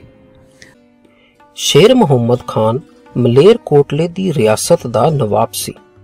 ਉਹ ਰੱਬ ਤੋਂ ਬੜਾ ਡਰਨ ਵਾਲਾ ਬੰਦਾ ਸੀ।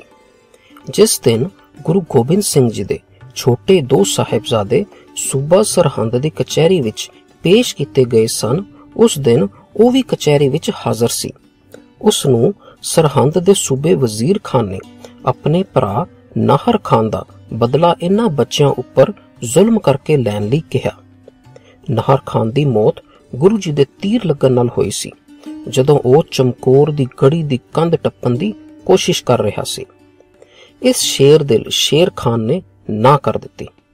ਜਦੋਂ ਕਾਜ਼ੀਆਂ ਨੇ ਬੱਚਿਆਂ ਨੂੰ ਜ਼ਿੰਦਾ ਦੀਵਾਰ ਵਿੱਚ ਚਿਨੇ ਜਾਣ ਦੀ ਸਜ਼ਾ ਸੁਣਾਈ, ਤਾਂ ਉਹ ਇਹ ਜ਼ੁਲਮ ਹੁੰਦਾ ਦੇਖ ਕੇ ਬਰਦਾਸ਼ਤ ਨਾ ਕਰ ਸਕਿਆ। ਸ਼ੇਰ ਖਾਨ ਨੇ ਭਰੀ ਕਚਹਿਰੀ ਵਿੱਚ ਖੜੇ ਹੋ ਕੇ ਕਿਹਾ, ਇਹ ਬੱਚੇ ਮਾਸੂਮ ਹਨ। ਇਹਨਾਂ ਨੇ ਤੁਸਾਂ ਦਾ ਕੁਝ ਨਹੀਂ ਵਿਗਾੜਿਆ। ਇਹ નિર્ਦੋਸ਼ ਹਨ। ਇਹਨਾਂ ਨੂੰ ਸਜ਼ਾ ਦੇਣਾ ਇਸਲਾਮ ਦੇ ਧਰਮ ਦੇ ਅਸੂਲਾਂ ਦੇ ਖਿਲਾਫ ਹੈ। ਇਹਨਾਂ ਦੇ ਪਿਤਾ ਨਾਲ ਸਰਕਾਰ ਦਾ ਝਗੜਾ ਹੈ। ਉਸ ਨੂੰ ਤੁਸੀਂ ਗ੍ਰਿਫਤਾਰ ਨਹੀਂ ਕਰ ਸਕੇ ਤੇ ਨਾ ਹੀ ਉਸ ਦਾ ਕੁਝ ਵਿਗਾੜ ਸਕੇ ਹੋ। ਉਹ ਤੁਸਾਂ ਦੀ ਲੱਖਾਂ ਦੀ ਗਿਣਤੀ ਵਿੱਚ ਗਸ਼ਤੀ ਫੌਜ ਦੇ ਹੁੰਦੇ ਹੋਏ ਵੀ ਇੱਕ ਖੁੱਲੇ ਸ਼ੇਰ ਵਾਂਗ ਦੇਸ਼ ਵਿੱਚ ਚੱਕਰ ਕੱਟ ਰਿਹਾ ਹੈ। ਉਸ ਦਾ ਗੁੱਸਾ ਇਨ੍ਹਾਂ ਮਾਸੂਮ ਬੱਚਿਆਂ ਉੱਪਰ ਕੱਢਣਾ ਬੇਇਨਸਾਫੀ ਹੈ। ਸਜ਼ਾ ਸੁਣਾਉਣ ਵਾਲੇ ਕਾਜ਼ੀ ਨੇ ਸ਼ੇਰ ਖਾਨ ਨੂੰ ਉੱਤਰ ਦਿੱਤਾ।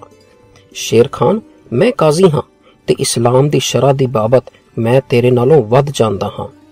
ਇਨ੍ਹਾਂ 5 ਤੇ 7 ਸਾਲ ਦੇ ਮਾਸੂਮ ਉੱਪਰ ਤਰਸ ਖਾ ਕੇ ਇਹਨਾਂ ਨੂੰ ਦੀਵਾਰ ਵਿੱਚ ਜ਼ਿੰਦਾ ਚਿਨੇ ਜਾਣ ਦੀ ਹੀ ਸਜ਼ਾ ਦਿੱਤੀ ਹੈ। ਇਹ ਸਜ਼ਾ ਇਸ ਹਾਲਤ ਵਿੱਚ ਇਹਨਾਂ ਲਈ ਬਹੁਤ ਘੱਟ ਹੈ। ਸ਼ੇਰ ਖਾਨ ਨੇ ਦੇਖ ਲਿਆ ਕਿ ਸੂਬਾ ਵਜ਼ੀਰ ਖਾਨ ਉਸ ਦੀ ਗੱਲ ਨਹੀਂ ਮੰਨਦਾ, ਤਾਂ ਉਸ ਨੇ ਭਰੇ ਦੀਵਾਨ ਵਿੱਚ ਵਜ਼ੀਰ ਖਾਨ ਦੇ ਵਿਰੋਧ ਕਰਕੇ ਸਭਾ ਚੋਂ ਉੱਠ ਕੇ ਚਲੇ ਗਿਆ। ਇਸ ਘਟਨਾ ਦਾ ਪਤਾ ਜਦੋਂ ਗੁਰੂ ਗੋਬਿੰਦ ਸਿੰਘ ਜੀ ਨੂੰ ਚੱਲਿਆ ਕਿ ਸ਼ੇਰ ਖਾਨ ਨੇ ਇਸ ਹੁੰਦੇ ਜ਼ੁਲਮ ਦੇ ਖਿਲਾਫ ਆਵਾਜ਼ ਉਠਾਈ ਸੀ ਤਾਂ ਉਹਨਾਂ ਉਸ ਦਾ ਸ਼ੁਕਰਾਨਾ ਕੀਤਾ। ਮਲੇਰ ਕੋਟਲੇ ਦੇ ਨਵਾਬ ਦਾ ਰਾਜ ਭਾਰਤ ਨੂੰ ਆਜ਼ਾਦੀ ਮਿਲਣ ਤੱਕ ਬਰਾਬਰ ਕਾਇਮ ਰਿਹਾ। ਉਸ ਰਿਆਸਤ ਦੇ ਨਵਾਬ ਨੇ ਜਦੋਂ ਵੀ ਕੋਈ ਗਲਤੀ ਕੀਤੀ ਤਾਂ ਸਿੱਖ ਸਰਦਾਰਾਂ ਰਲ ਕੇ ਉਸ ਨੂੰ ਸੋਧਿਆ, ਪਰ ਰਿਆਸਤ ਉਸ ਪਾਸ ਹੀ ਰਹਿਣ ਦਿੰਦੇ ਰਹੇ। ਬਾਕੀ ਆਸ-ਪਾਸ ਦੀਆਂ ਰਿਆਸਤਾਂ ਤੇ ਸੂਬਿਆਂ ਦੇ ਰਾਜੇ ਤੇ ਨਵਾਬ ਸਦਾ ਬਦਲਦੇ ਰਹੇ। ਮਲੇਰ ਕੋਟਲੇ ਦੀ ਰਿਆਸਤ ਉੱਪਰ ਸ਼ੇਰ ਦਿਲ, ਸ਼ੇਰ ਖਾਨ ਦੀ ਔਲਾਦ ਹੀ ਰਾਜ ਕਰਦੀ ਰਹੀ। ਅੱਜ ਤੱਕ ਪੰਜਾਬ ਵਿੱਚ ਮੁਸਲਮਾਨਾਂ ਦੀ ਸਭ ਤੋਂ ਵੱਧ ਆਬਾਦੀ ਮਲੇਰਕੋਟਲੇ ਵਿੱਚ ਹੀ ਹੈ। ਇਸ ਸਾਖੀ ਤੋਂ ਇਹ ਸਿੱਖਿਆ ਲੈਣੀ ਚਾਹੀਦੀ ਹੈ ਕਿ ਜ਼ੁਲਮ ਦੇ ਖਿਲਾਫ ਆਵਾਜ਼ ਚੁੱਕਣ ਵਾਲੇ, ਆਉਣ ਵਾਲੀ ਨਸਲਾਂ ਵਾਸਤੇ ਹਮੇਸ਼ਾ ਪ੍ਰੇਰਣਾ ਸਰੋਤ ਸਾਬਿਤ ਹੁੰਦੇ ਨੇ। ਹਾ ਦਾ ਨਾਰਾ ਮਾਰਨ ਵਾਲੇ ਸ਼ੇਰ ਮੁਹੰਮਦ ਖਾਨ ਨੂੰ ਵੀ ਹਮੇਸ਼ਾ ਯਾਦ ਕੀਤਾ ਜਾਂਦਾ ਰਹੇਗਾ। ਅਨੰਦਪੁਰ ਦੇ ਲੰਮੇ ਘੇਰੇ ਤੋਂ ਬਾਅਦ, ਜਦੋਂ ਗੁਰੂ ਸਾਹਿਬ ਤੇ ਉਹਨਾਂ ਦੇ ਪਿਆਰੇ ਸਿੱਖ ਸਰਸਾ ਨਦੀ ਪਾਰ ਕਰ ਰਹੇ ਸਨ, ਤਾਂ ਸਿੱਖਾਂ ਦਾ ਸਾਰਾ ਵਹੀਰ ਖਿੰਡ ਪੁੰਡ ਗਿਆ। ਗੁਰੂ ਪਾਤਸ਼ਾਹ ਤੋਂ ਵਿਛੜ ਕੇ ਕਈ ਸਿੰਘ ਆਪਣੇ ਘਰਾਂ ਨੂੰ ਚਲੇ ਗਏ ਸਨ। ਉਹਨਾਂ ਵਿੱਚ ਰਾਏ ਸਿੰਘ, ਉਸਦੇ ਦੋ ਲੜਕੇ ਮਹਾ ਸਿੰਘ ਤੇ ਸੀਤਲ ਸਿੰਘ ਵੀ ਸ਼ਾਮਲ ਸਨ। ਜਦੋਂ ਇਹ ਲੋਕ ਆਪਣੇ ਪਿੰਡਾਂ ਵਿੱਚ ਪਹੁੰਚੇ, ਤਾਂ ਇਹਨਾਂ ਨੂੰ ਫਟਕਾਰਾਂ ਪੈਣ ਲੱਗੀਆਂ। ਮਾਈ ਭਾਗੋ ਜਹੀਆਂ ਵਿਰੰਗਨਾ ਨੇ ਇਹਨਾਂ ਲੋਕਾਂ ਨੂੰ ਤਾਨੇ ਮਾਰ-ਮਾਰ ਸੋਚਣ ਲਈ ਮਜਬੂਰ ਕਰ ਦਿੱਤਾ। ਮਾਈ ਭਾਗੋ ਨੇ ਹੋਰ ਸਿਆਣਿਆਂ ਨੂੰ ਨਾਲ ਲੈ ਕੇ ਜਾ ਘੇਰਿਆ ਤੇ ਕਿਹਾ, ਲਓ, ਸਾਡੇ ਘਗਰੇ ਤੇ ਚੂੜੀਆਂ ਪਹਿਨ ਲਵੋ ਤੇ ਘਰਾਂ ਵਿੱਚ ਇਸਤਰੀਆਂ ਵਾਂਗ ਬੈਠੋ। ਅਸੀਂ ਗੁਰੂ ਜੀ ਦਾ ਸਾਥ ਦੇਣ ਲਈ ਮੁਗਲਾਂ ਵਿਰੁੱਧ ਜੰਗ ਵਿੱਚ ਜਾਣ ਲਈ ਤਿਆਰ ਹਾਂ। ਸਿੰਘ ਸੋਚਣ ਲੱਗੇ ਕਿ ਜਦੋਂ ਗੁਰੂ ਜੀ ਬਿਪਤਾ ਵਿੱਚ ਘਿਰੇ ਪਏ ਸਨ ਤਾਂ ਉਹਨਾਂ ਨੂੰ ਘਰ ਆਉਣ ਦੀ ਬਜਾਏ ਸਤਿਗੁਰੂ ਜੀ ਨੂੰ ਲੱਭ ਕੇ ਉਹਨਾਂ ਦਾ ਸਾਥ ਦੇਣਾ ਚਾਹੀਦਾ ਸੀ। ਕਈਆਂ ਨੂੰ ਤਾਂ ਇੰਜ ਜਾਪਿਆ ਜਿਵੇਂ ਕਿ ਉਹਨਾਂ ਨੇ ਗੁਰੂ ਜੀ ਨਾਲ ਬੇਵਫਾਈ ਕੀਤੀ ਹੋਵੇ। ਉੱਥੇ ਕਿਸੇ ਨੇ ਹਾਜ਼ਰ ਸੰਗਤਾਂ ਨੂੰ ਗੁਰੂ ਸਾਹਿਬ ਦੇ ਵੱਡੇ ਸਹਿਬਜ਼ਾਦਿਆਂ ਦੀ ਚਮਕੌਰ ਵਿੱਚ ਸ਼ਹਾਦਤ ਅਤੇ ਸਰਹੰਦ ਵਿੱਚ ਮਾਤਾ ਗੁਜਰੀ ਜੀ ਤੇ ਛੋਟੇ ਸਹਿਬਜ਼ਾਦਿਆਂ ਦੀ ਸ਼ਹੀਦੀ ਅਤੇ ਸਿੱਖਾਂ ਵੱਲੋਂ ਉਠਾਏ ਦੁੱਖਾਂ ਬਾਰੇ ਦੱਸਿਆ ਤਾਂ ਮਾਝੇ ਦੇ ਸਿੰਘ ਆਪਣਾ ਕਲੰਕ ਧੋਣ ਲਈ ਫਿਰ ਗੁਰੂ ਜੀ ਦੀ ਤਲਾਸ਼ ਵਿੱਚ ਤੁਰ ਪਏ। ਇਹ ਸਾਰੇ ਮਿਲ ਕੇ ਮਾਲਵੇ ਵੱਲ ਤੁਰ ਪਏ। ਇਨ੍ਹਾਂ ਸਿੰਘਾਂ ਦੀ ਗਿਣਤੀ 40 ਸੀ ਤੇ ਮਾਈ ਭਾਗ ਕੋਰ 41ਵੀਂ ਸੀ। ਰਸਤੇ ਵਿੱਚ ਇਹਨਾਂ ਨੂੰ ਪਤਾ ਲੱਗਾ ਕਿ ਗੁਰੂ ਜੀ ਕਾਂਗੜਾ ਤੋਂ ਕੋਟਕਪੂਰਾ ਵੱਲ ਜਾ ਚੁੱਕੇ ਹਨ। ਇਸ ਜੱਥੇ ਦਾ ਮੇਲ ਗੁਰੂ ਜੀ ਨਾਲ ਰੁਪਿਆਨੇ ਦੀ ਰੋਹੀ ਵਿੱਚ ਹੋ ਗਿਆ। ਸੂਹੀਏ ਤੋਂ ਪਤਾ ਲੱਗਾ ਕਿ ਵੈਰੀ ਨੇੜੇ ਪਹੁੰਚ ਚੁੱਕਾ ਹੈ। ਗੁਰੂ ਜੀ ਨੇ ਤੀਰ ਕਮਾਨ ਸੰਭਾਲੀ ਤੇ ਘੋੜੇ ਤੇ ਇਸਵਾਰ ਹੋ ਗਏ ਤੇ ਖਿਦਰਾਨੇ ਵੱਲ ਚੱਲ ਪਏ। ਉੱਥੇ ਪਾਣੀ ਦੀ ਟਾਬ ਸੀ। ਸਿੱਖਾਂ ਨੇ ਪਾਣੀ ਦੀ ਟਾਬ ਉੱਪਰ ਅਧਿਕਾਰ ਕਰ ਲਿਆ। ਮਾਝੇ ਦੇ ਸਿੱਖ ਵੀ ਹੁਣ ਗੁਰੂ ਸਾਹਿਬ ਦੇ ਮਗਰ ਮਗਰ ਤੁਰ ਪਏ। ਗੁਰੂ ਸਾਹਿਬ ਟਿੱਬੀ ਤੇ ਬੈਠੇ ਤੀਰ ਚਲਾ ਕੇ ਵੈਰੀਆਂ ਦੇ ਆਹੂ ਲਾਉਂਦੇ ਰਹੇ ਤੇ ਇਹ ਸਿੰਘ ਢਾਬ ਤੱਕ ਤੁਰਕ ਫੌਜਾਂ ਨੂੰ ਪਹੁੰਚਣ ਤੋਂ ਰੋਕਦੇ ਰਹੇ ਤੇ ਝਾੜੀਆਂ ਵਿੱਚ ਲੁਕੇ ਹੋਏ ਹੀ ਮੁਗਲਾਂ ਦੇ ਦੰਦ ਖੱਟੇ ਕਰਦੇ ਰਹੇ। ਇਨ੍ਹਾਂ ਬਹਾਦਰਾਂ ਦੀ ਅਗਵਾਈ ਕਰਨ ਵਾਲੇ ਜਥੇਦਾਰ ਮਹਾ ਸਿੰਘ ਸਨ, ਜੋ ਗੁਰੂ ਤੋਂ ਬੇਮੁਖ ਹੋਇਆਂ ਨੂੰ ਮੁੜ ਸਨਮੁਖ ਬਣਾਉਣ ਵਾਸਤੇ ਗੁਰੂ ਜੀ ਪਾਸੋਂ ਆਪਣੇ ਗੁਨਾਹਾਂ ਦੀ ਮਾਫੀ ਲਈ ਖਿਦਰਾਨੇ ਦੀ ਢਾਬ ਤੇ ਪਹੁੰਚ ਕੇ ਦੁਸ਼ਮਣ ਦੀ ਫੌਜ ਨਾਲ ਰਨ ਵਿੱਚ ਜੂਝ ਰਹੇ ਸਨ। ਵਜ਼ੀਰ ਖਾਨ ਨੇ ਆਪਣੀ ਸੈਨਾ ਨੂੰ ਉਹਦੇ ਮੁਕਾਬਲੇ ਤੇ ਖੜੇ ਸਿੱਖਾਂ ਤੇ ਗੋਲੀ ਚਲਾਉਣ ਲਈ ਕਿਹਾ। ਜਿਨ੍ਹਾਂ ਵਿੱਚ ਉਹਨਾਂ ਦਾ ਵਿਸ਼ਵਾਸ ਸੀ ਕਿ ਗੁਰੂ ਲੁਕਿਆ ਹੋਇਆ ਹੈ। ਸਿੱਖਾਂ ਨੇ ਬੜੀ ਵੀਰਤਾ ਨਾਲ ਹਮਲੇ ਦਾ ਮੁਕਾਬਲਾ ਕੀਤਾ। ਭਾਰੀ ਗਿਣਤੀ ਵਿੱਚ ਆਈ ਮੁਗਲ ਫੌਜ ਦਾ 40 ਸਿੱਖ ਕਿਤਨਾ ਕੁ ਚਿਰ ਮੁਕਾਬਲਾ ਕਰ ਸਕਦੇ ਸੀ। ਉਹਨਾਂ ਬਹਾਦਰਾਂ ਵਿੱਚ ਮਾਈ ਭਾਕੋ ਵੀ ਸੀ, ਜੋ ਬੜੀ ਬਹਾਦਰੀ ਨਾਲ ਲੜੀ। ਖਿਦਰਾਨੇ ਦੀ ਢਾਬ ਸੁੱਕੀ ਹੋਣ ਕਾਰਨ ਮੁਗਲ ਸੈਨਾ ਪਿਆਸ ਕਾਰਨ ਵਿਆਕੁਲ ਹੋ ਗਈ। ਵਜ਼ੀਰ ਖਾਨ ਦੀ ਸੈਨਾ ਇਤਨੀ ਤੰਗ ਹੋ ਗਈ ਕਿ ਆਪਣੀ ਸੈਨਾ ਦੇ ਮ੍ਰਿਤਕ ਤੇ ਜ਼ਖਮੀਆਂ ਨੂੰ ਉੱਥੇ ਹੀ ਛੱਡ ਆਈ ਤੇ ਜੰਗ ਦੇ ਮੈਦਾਨ ਵਿੱਚੋਂ ਭੱਜ ਗਈ। ਸ਼ਾਹੀ ਫੌਜ ਦੇ ਜਾਨ ਮਗਰੋਂ ਗੁਰੂ ਜੀ ਰਣ ਭੂਮੀ ਵਿੱਚ ਗੇੜਾ ਲਾਉਣ ਲੱਗੇ। ਜ਼ਖਮੀ ਸਿੰਘਾਂ ਦੀ ਮਰਮ ਪੱਟੀ ਕੀਤੀ ਗਈ। ਮਾਈ ਭਾਗੋ ਵੀ ਜ਼ਖਮੀ ਹੋ ਗਈ ਸੀ। ਉਸ ਦੇ ਪੱਟ ਤੇ ਗੋਲੀ ਲੱਗੀ ਸੀ। ਉਸਨੇ ਹੱਥ ਵਿੱਚ ਸਾਂਗ ਫੜ ਕੇ ਵੈਰੀਆਂ ਦਾ ਮੁਕਾਬਲਾ ਕੀਤਾ ਸੀ। ਮਾਈ ਭਾਗੋ ਦੇ ਭਰਾ ਤੇ ਪਤੀ ਇਸ ਜੰਗ ਵਿੱਚ ਸ਼ਹਾਦਤ ਪਾ ਗਏ ਸਨ। ਉਹ ਉਸ ਪਿੱਛੋਂ ਸਾਰੀ ਉਮਰ ਗੁਰੂ ਜੀ ਦੇ ਅਕਾਲ ਚਲਾਣੇ ਤੱਕ ਉਹਨਾਂ ਦੀ ਸੇਵਾ ਵਿੱਚ ਰਹੀ। ਜ਼ਖਮੀਆਂ ਵਿੱਚ ਭਾਈ ਮਹਾ ਸਿੰਘ ਜੀ ਵੀ ਸਨ। ਉਹਨਾਂ ਨੂੰ ਬਹੁਤ ਡੂੰਘੇ ਫੱਟ ਲੱਗੇ ਸਨ। ਬਸ ਆਖਰੀ ਦਮਾ ਉੱਤੇ ਹੀ ਸਨ। ਗੁਰੂ ਪਾਤਸ਼ਾਹ ਦੇ ਦਰਸ਼ਨ ਕਰਕੇ ਉਹਨਾਂ ਦੀਆਂ ਅੱਖਾਂ ਅੱਗੇ ਸਰਸਾ ਨਦੀ ਦਾ ਦ੍ਰਿਸ਼ ਆ ਗਿਆ। ਉਸ ਸਮੇਂ ਸਤਗੁਰਾਂ ਤੋਂ ਅਲੱਗ ਹੋਣ ਦੀ ਚੋਬ ਨੇ ਵਿਆਕੁਲ ਕਰ ਦਿੱਤਾ। ਆਪਣੀ ਕਮਜ਼ੋਰ ਆਵਾਜ਼ ਵਿੱਚ ਸਤਗੁਰਾਂ ਪਾਸੋਂ ਸਰਸਾ ਉੱਤੇ ਵਿਛੜੇ ਸਾਥੀਆਂ ਵੱਲੋਂ ਮੁੜ ਮੁਆਫੀ ਮੰਗੀ। ਬੜਾ ਦਰਦਨਾਕ ਦ੍ਰਿਸ਼ ਸੀ। ਗੁਰੂ ਜੀ ਦੇ ਨਾਲ ਖੜੇ ਸਿੰਘਾਂ ਵਿੱਚ ਵਿਰਾਗ ਦੀ ਕਾਂਗ ਆ ਗਈ। ਭਾਵੇਂ ਸਤਿਗੁਰੂ ਤਾਂ ਸਮਝਦੇ ਸਨ ਕਿ ਭਾਈ ਮਹਾ ਸਿੰਘ ਤੇ ਉਸ ਦੇ ਸਾਥੀਆਂ ਦਾ ਸਰਸਾ ਦੇ ਕਿਨਾਰੇ ਵਿਛੜਨਾ ਹਾਲਾਤ ਦੀ ਮਜਬੂਰੀ ਸੀ। ਪਰ ਮਹਾ ਸਿੰਘ ਜੀ ਦੀ ਖਾਹਿਸ਼ ਨੂੰ ਵੇਖਦਿਆਂ ਸਤਿਗੁਰੂ ਪਾਤਸ਼ਾਹ ਬੋਲੇ ਮਹਾ ਸਿੰਘ ਬੇਟਾ, ਤੂੰ ਮਾਝੇ ਦੀ ਸਿੱਖੀ ਰੱਖ ਲਈ, ਹੋਰਾਂ ਨੂੰ ਵੀ ਬਖਸ਼ਾ ਲਿਆ। ਧੰਨ ਸਿੱਖੀ, ਧੰਨ ਖਾਲਸਾ। ਭਾਈ ਮਹਾ ਸਿੰਘ ਜੀ ਦੀਆਂ ਅੱਖਾਂ ਵਿੱਚ ਖੁਸ਼ੀ ਦੇ ਹੰਝੂ ਆ ਗਏ। ਉਹਨਾਂ ਲੰਮਾ ਸਾਹ ਲਿਆ ਤੇ ਪ੍ਰਾਣ ਤਿਆਗ ਦਿੱਤੇ। ਜਿਸ ਥਾਂ ਇਹ ਜੰਗ ਹੋਈ, ਉਸ ਦਾ ਨਾਮ ਮੁਕਤਸਰ ਰੱਖਿਆ ਗਿਆ। ਉਦੋਂ ਉਸ ਇਲਾਕੇ ਅੰਦਰ ਪਾਣੀ ਦੀ ਥੁੜ ਤੇ ਫਸਲਾਂ ਦੀਆਂ ਵਾਢੀਆਂ ਕਾਰਨ ਵਿਸਾਖ ਵਿੱਚ ਸੰਗਤਾਂ ਦੇ ਇਕੱਠ ਕਰਨੇ ਬੜੀ ਔਖੀ ਗੱਲ ਸੀ। ਇਸ ਲਈ ਮਾਗੀ ਦੇ ਦਿਨ ਇਸ ਜੰਗ ਦੀ ਯਾਦ ਵਿੱਚ ਹਰ ਸਾਲ ਸੰਗਤਾਂ ਦਾ ਭਾਰੀ ਜੋੜ ਮੇਲਾ ਹੁੰਦਾ ਹੈ। ਮਾਤਾ ਭਾਗੋ ਨੂੰ ਆਪਣੀ ਲਸਾਨੀ ਭੂਮਿਕਾ ਨਿਭਾਉਣ ਕਾਰਨ ਸਦਾ ਯਾਦ ਰੱਖਿਆ ਜਾਵੇਗਾ, ਕਿਉਂਕਿ ਸਿੱਖਾਂ ਦੀ ਟੁੱਟੀ ਗੰਢਾਉਣ ਤੇ ਗੁਰੂ ਨਾਲ ਜੋੜਨ ਵਾਲੀ ਉਹ ਹੀ ਸੀ ਕਿਸੇ ਹੋਰ ਸਿੱਖ ਇਸਤਰੀ ਨੂੰ ਉਸ ਜਿਤਨਾ ਸਤਕਾਰ ਨਹੀਂ ਮਿਲਦਾ, ਪੰਜਾਬ ਦੇ ਇਤਿਹਾਸ ਵਿੱਚ ਉਸ ਦਾ ਉਹ ਦਰਜਾ ਹੈ ਜੋ ਫਰਾਂਸ ਦੇ ਇਤਿਹਾਸ ਵਿੱਚ ਜੌਨ ਆਫ ਆਰਕ ਦਾ। ਅੱਜ ਜ਼ਰੂਰਤ ਹੈ ਹਰ ਸਿੱਖ ਇਸਤਰੀ ਨੂੰ ਮਾਈ ਭਾਗੋ ਤੋਂ ਸੇਧ ਲੈਣ ਦੀ ਤਾਂ ਕਿ ਆਪਣੇ ਭਰਾ, ਪਤੀ ਜਾਂ ਪੁੱਤਰ ਨੂੰ ਸਿੱਖੀ ਸਿਧਾਂਤਾਂ ਤੋਂ ਭਟਕਣ ਨਾ ਦੇਵੇ।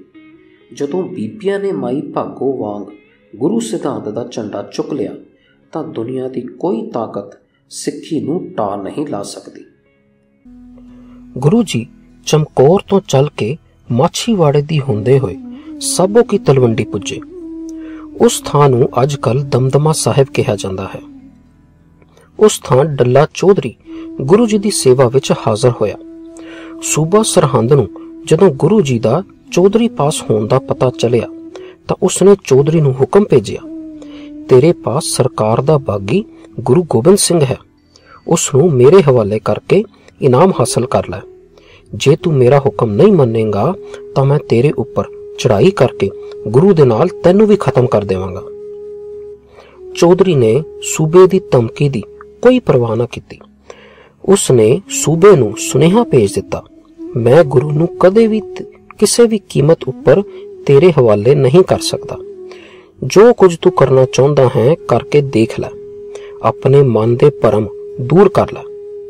ਸੂਬੇ ਦਾ ਡਰ ਲਾ ਕੇ ਚੌਧਰੀ ਨੇ ਗੁਰੂ ਜੀ ਦੀ ਆਓ ਭਗਤ ਕੀਤੀ ਤੇ ਆਪਣੇ ਪਾਸ ਰੱਖਿਆ। ਡੱਲੇ ਨੂੰ ਆਪਣੇ ਆਦਮੀਆਂ ਉੱਪਰ ਬਹੁਤ ਮਾਣ ਸੀ। ਉਹ ਗੁਰੂ ਜੀ ਨੂੰ ਅਕਸਰ ਕਹਿੰਦਾ ਰਹਿੰਦਾ ਸੀ, ਜੇ ਮੇਰੇ ਆਦਮੀ ਚਮਕੌਰ ਦੀ ਗੜੀ ਵਿੱਚ ਆਪ ਦੇ ਨਾਲ ਹੁੰਦੇ, ਤਾਂ ਸੂਬੇ ਦੀ ਫੌਜ ਆਪ ਦੀ ਹਵਾ ਵੱਲ ਵੀ ਨਾ ਦੇਖ ਸਕਦੀ। ਗੁਰੂ ਜੀ ਚੌਧਰੀ ਨੂੰ ਸਮਝਾਉਂਦੇ, ਭਾਈ ਡਲਿਆ, ਬਹਾਦਰੀ ਤੇ ਸਰੀਰ ਦਾ ਤਕੜਾ ਹੋਣਾ ਆਦਮੀ ਦੇ ਵੱਖ-ਵੱਖ ਗੁਣ ਹਨ। ਮੋਟੇ ਤੇ ਤਕੜੇ ਆਦਮੀ ਦਾ ਬਹਾਦਰ ਹੋਣਾ ਜ਼ਰੂਰੀ ਨਹੀਂ। ਇਸ ਤਰ੍ਹਾਂ ਸਮਝਾਉਣ ਉੱਪਰ ਵੀ ਡੱਲੇ ਨੂੰ ਸਮਝ ਨਾ ਪੈਂਦੀ ਤੇ ਉਸ ਦੇ ਮਨ ਦਾ ਭੁਲੇਖਾ ਦੂਰ ਨਾ ਹੁੰਦਾ। ਡੱਲਾ ਇਹ ਵੀ ਸੋਚਦਾ ਰਹਿੰਦਾ, ਗੁਰੂ ਦਾ ਸਾਥ ਜਿਹੜੇ ਸਿੰਘਾਂ ਚਮਕੌਰ ਦੀ ਗੜੀ ਵਿੱਚ ਦਿੱਤਾ ਉਹ ਮੇਰੇ ਜਵਾਨਾਂ ਵਰਗੇ ਸੂਰਮੇ ਤੇ ਬਲਵਾਨ ਨਹੀਂ ਹੋਣੇ, ਜਿਸ ਕਾਰਨ ਸਹਿਬਜ਼ਾਦਿਆਂ ਨੂੰ ਗੜੀ ਤੋਂ ਬਾਹਰ ਜਾ ਕੇ ਯੁੱਧ ਵਿੱਚ ਸ਼ਹੀਦੀਆਂ ਪਾਉਣੀਆਂ ਪਈਆਂ। ਕੁਦਰਤ ਨੇ ਡੱਲੇ ਦੇ ਵੀਰਾਂ ਦੀ ਮਰਦਾਨਗੀ ਪਰਖਣ ਦਾ ਸਮਾਂ ਲੈ ਆਂਦਾ। ਇੱਕ ਦਿਨ ਲਾਹੌਰ ਤੋਂ ਇੱਕ ਸਿੰਘ ਨਵੀਂ ਬਣਾਈ ਬੰਦੂਕ ਰਾਮ ਜੰਗਾ ਲੈ ਕੇ ਗੁਰੂ ਜੀ ਪਾਸ ਹਾਜ਼ਰ ਹੋਇਆ। ਉਸ ਸਮੇਂ ਸੰਗਤ ਵਿੱਚ ਡੱਲਾ ਤੇ ਉਸ ਦੇ ਕੁਝ ਜਵਾਨ ਬੈਠੇ ਸਨ। ਗੁਰੂ ਜੀ ਨੇ ਡੱਲੇ ਨੂੰ ਕਿਹਾ, ਭਾਈ ਡੱਲਿਆ, ਅਸੀਂ ਇਸ ਨਵੀਂ ਆਈ ਬੰਦੂਕ ਦਾ ਨਿਸ਼ਾਨਾ ਪਰਖਣਾ ਹੈ। ਕਿ ਇਹ ਥਾਂ ਸਿਰ ਬਹਿੰਦਾ ਵੀ ਹੈ ਜਾਂ ਨਹੀਂ? ਕੋਈ ਇੱਕ ਆਪਣਾ ਜਵਾਨ ਭੇਜ, ਜਿਸ ਉੱਪਰ ਅਸੀਂ ਇਹ ਪਰਖ ਸਕੀਏ। ਡੱਲੇ ਨੇ ਆਪਣੇ ਨਾਲ ਬੈਠੇ ਜਵਾਨਾਂ ਵਿੱਚੋਂ ਇੱਕ ਇੱਕ ਨੂੰ ਪੁੱਛਿਆ, ਪਰ ਕੋਈ ਵੀ ਨਿਸ਼ਾਨੇ ਦੀ ਪਰਖ ਲਈ ਤਿਆਰ ਨਾ ਹੋਇਆ। ਸਾਰਿਆਂ ਵਾਰੀ-ਵਾਰੀ ਨਾ ਕਰ ਦਿੱਤੀ। ਗੁਰੂ ਜੀ ਨੇ ਡੱਲੇ ਨੂੰ ਕਿਹਾ, ਅੱਛਾ ਭਾਈ ਡੱਲਿਆ ਜੇ ਤੇਰਾ ਬਹਾਦਰ ਸੂਰਮਾ ਅੱਗੇ ਨਹੀਂ ਆਉਂਦਾ, ਤਾਂ ਤੂੰ ਹੀ ਸਾਹਮਣੇ ਖੜੇ ਹੋ। ਤਾਂ ਜੋ ਅਸੀਂ ਬੰਦੂਕ ਦਾ ਨਿਸ਼ਾਨਾ ਪਰਖ ਕੇ ਭੇਟ ਕਰਨ ਵਾਲੇ ਸਿੰਘ ਨੂੰ ਮਾਨ ਦੇ ਸਕੀਏ। ਡੱਲੇ ਨੇ ਗੁਰੂ ਜੀ ਦੇ ਹੱਥ ਵਿੱਚ ਤਿਆਰ ਬਰ ਤਿਆਰ ਬੰਦੂਕ ਦੇਖੀ, ਤਾਂ ਉਸ ਦਾ ਦਿਲ ਵੀ ਮੌਤ ਨੂੰ ਸਾਹਮਣੇ ਖੜੀ ਦੇਖ ਕੇ ਡਰ ਗਿਆ। ਉਸਨੇ ਉੱਤਰ ਦਿੱਤਾ, ਗੁਰੂ ਜੀ, ਇਸ ਤਰ੍ਹਾਂ ਦੀ ਅਨਿਆਈ ਮੌਤ ਕੌਣ ਮਰੇ? ਯੁੱਧ ਹੋਵੇ ਤਾਂ ਮੈਂ ਤਿਆਰ ਹਾਂ, ਜਿਸ ਵਿੱਚ ਬਹਾਦਰੀ ਵੀ ਦਿਖਾਈ ਜਾ ਸਕੇ। ਗੁਰੂ ਜੀ ਨੇ ਡੱਲੇ ਨੂੰ ਕਿਹਾ, ਜਾ ਭਾਈ, ਲੰਗਰ ਵਿੱਚ ਕੋਈ ਸਿੱਖ ਹੋਵੇਗਾ। ਉਸ ਨੂੰ ਕਹਿ ਕਿ ਤੇਰੇ ਗੁਰੂ ਨੇ ਨਵੀਂ ਆਈ ਬੰਦੂਕ ਦਾ ਨਿਸ਼ਾਨਾ ਪਰਖਣਾ ਹੈ। ਉਹਨਾਂ ਨੂੰ ਇੱਕ ਸਿੱਖ ਦੀ ਲੋੜ ਹੈ, ਜਿਹੜਾ ਉਸ ਬੰਦੂਕ ਦੀ ਗੋਲੀ ਦਾ ਨਿਸ਼ਾਨਾ ਬਣ ਸਕੇ। ਡੱਲੇ ਨੇ ਲੰਗਰ ਵੱਲ ਮੂੰਹ ਕਰਕੇ ਦੂਰ ਤੋਂ ਹੀ ਗੁਰੂ ਜੀ ਦਾ ਹੁਕਮ ਸੁਣਾ ਦਿੱਤਾ, ਜਿਵੇਂ ਉਸ ਨੂੰ ਯਕੀਨ ਸੀ ਕਿ ਕੋਈ ਵੀ ਸਿੰਘ ਇਸ ਪਰਖ ਲਈ ਤਿਆਰ ਨਹੀਂ ਹੋਵੇਗਾ। ਡੱਲਾ ਦੇਖ ਕੇ ਹੈਰਾਨ ਹੋ ਗਿਆ।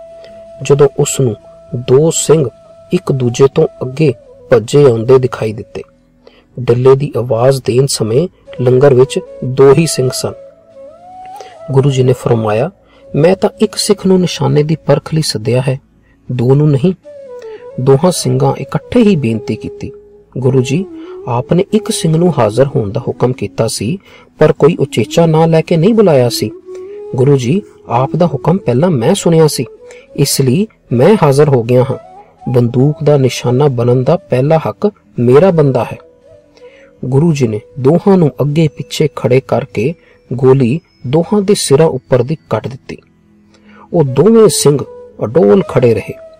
ਡੱਲੇ ਨੇ ਜਦੋਂ ਸਿੰਘਾਂ ਦੀ ਇਹ ਬਹਾਦਰੀ ਦੇਖੀ, ਤਾਂ ਉਸ ਨੂੰ ਆਪਣੇ ਆਪ ਉੱਪਰ ਤੇ ਆਪਣੇ ਮੋٹے ਤਾਜ਼ੇ ਜਵਾਨਾਂ ਦੀ ਬੁਜ਼ਦਲੀ ਤੇ ਸ਼ਰਮ ਆਉਣ ਲੱਗੀ। ਉਸ ਨੂੰ ਸਮਝ ਪੈ ਗਈ ਕਿ ਗੁਰੂ ਜੀ ਨਾਲ ਚਮਕੌਰ ਦੀ ਗੜੀ ਵਿੱਚ ਕਿਸ ਤਰ੍ਹਾਂ ਦੇ ਬਹਾਦਰ ਸਿੰਘਾਂ ਨੇ ਗੁਰੂ ਜੀ ਦਾ ਸਾਥ ਦਿੱਤਾ ਸੀ। ਡੱਲੇ ਨੇ ਉਸ ਦਿਨ ਤੋਂ ਪਿੱਛੋਂ ਆਪਣੇ ਜਵਾਨਾਂ ਦੀਆਂ ਸਿਫਤਾਂ ਕਰਨੀਆਂ ਬੰਦ ਕਰ ਦਿੱਤੀਆਂ। ਇਸ ਸਾਖੀ ਵਿੱਚ ਅਸੀਂ ਸਮਝਿਆ ਕਿ ਡੱਲਾ ਚੌਧਰੀ ਆਪਣੇ ਰਸੂਖ ਤੇ ਬਾਹੂਬਲ ਦੇ ਭਰੋਸੇ ਗੁਰੂ ਸਾਹਿਬ ਦੀ ਮਦਦ ਕਰਨ ਕਰਕੇ ਹੰਕਾਰ ਵਿੱਚ ਸੀ।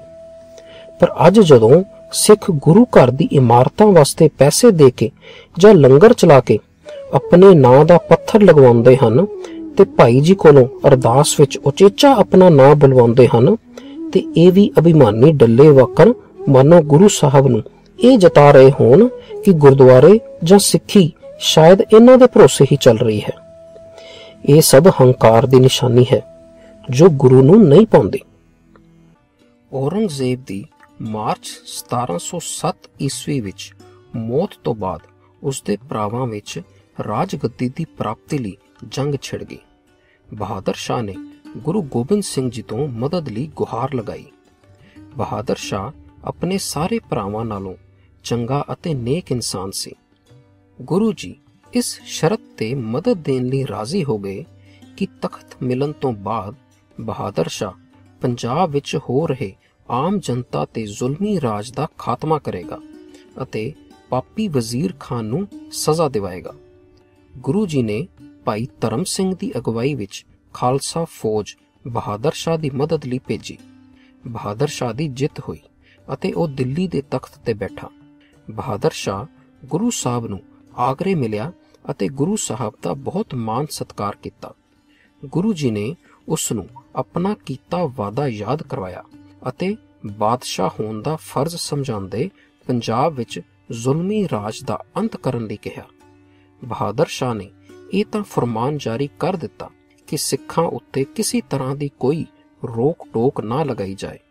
ਪਰ ਵਜ਼ੀਰ ਖਾਨ ਨੂੰ ਸਜ਼ਾ ਦਿਵਾਉਣ ਵਾਸਤੇ ਕੁਝ ਸਮਾਂ ਮੰਗਿਆ। ਬਹਾਦਰ ਸ਼ਾਹ ਨਵਾਂ-ਨਵਾਂ ਤਖਤ ਤੇ ਬੈਠਾ ਸੀ।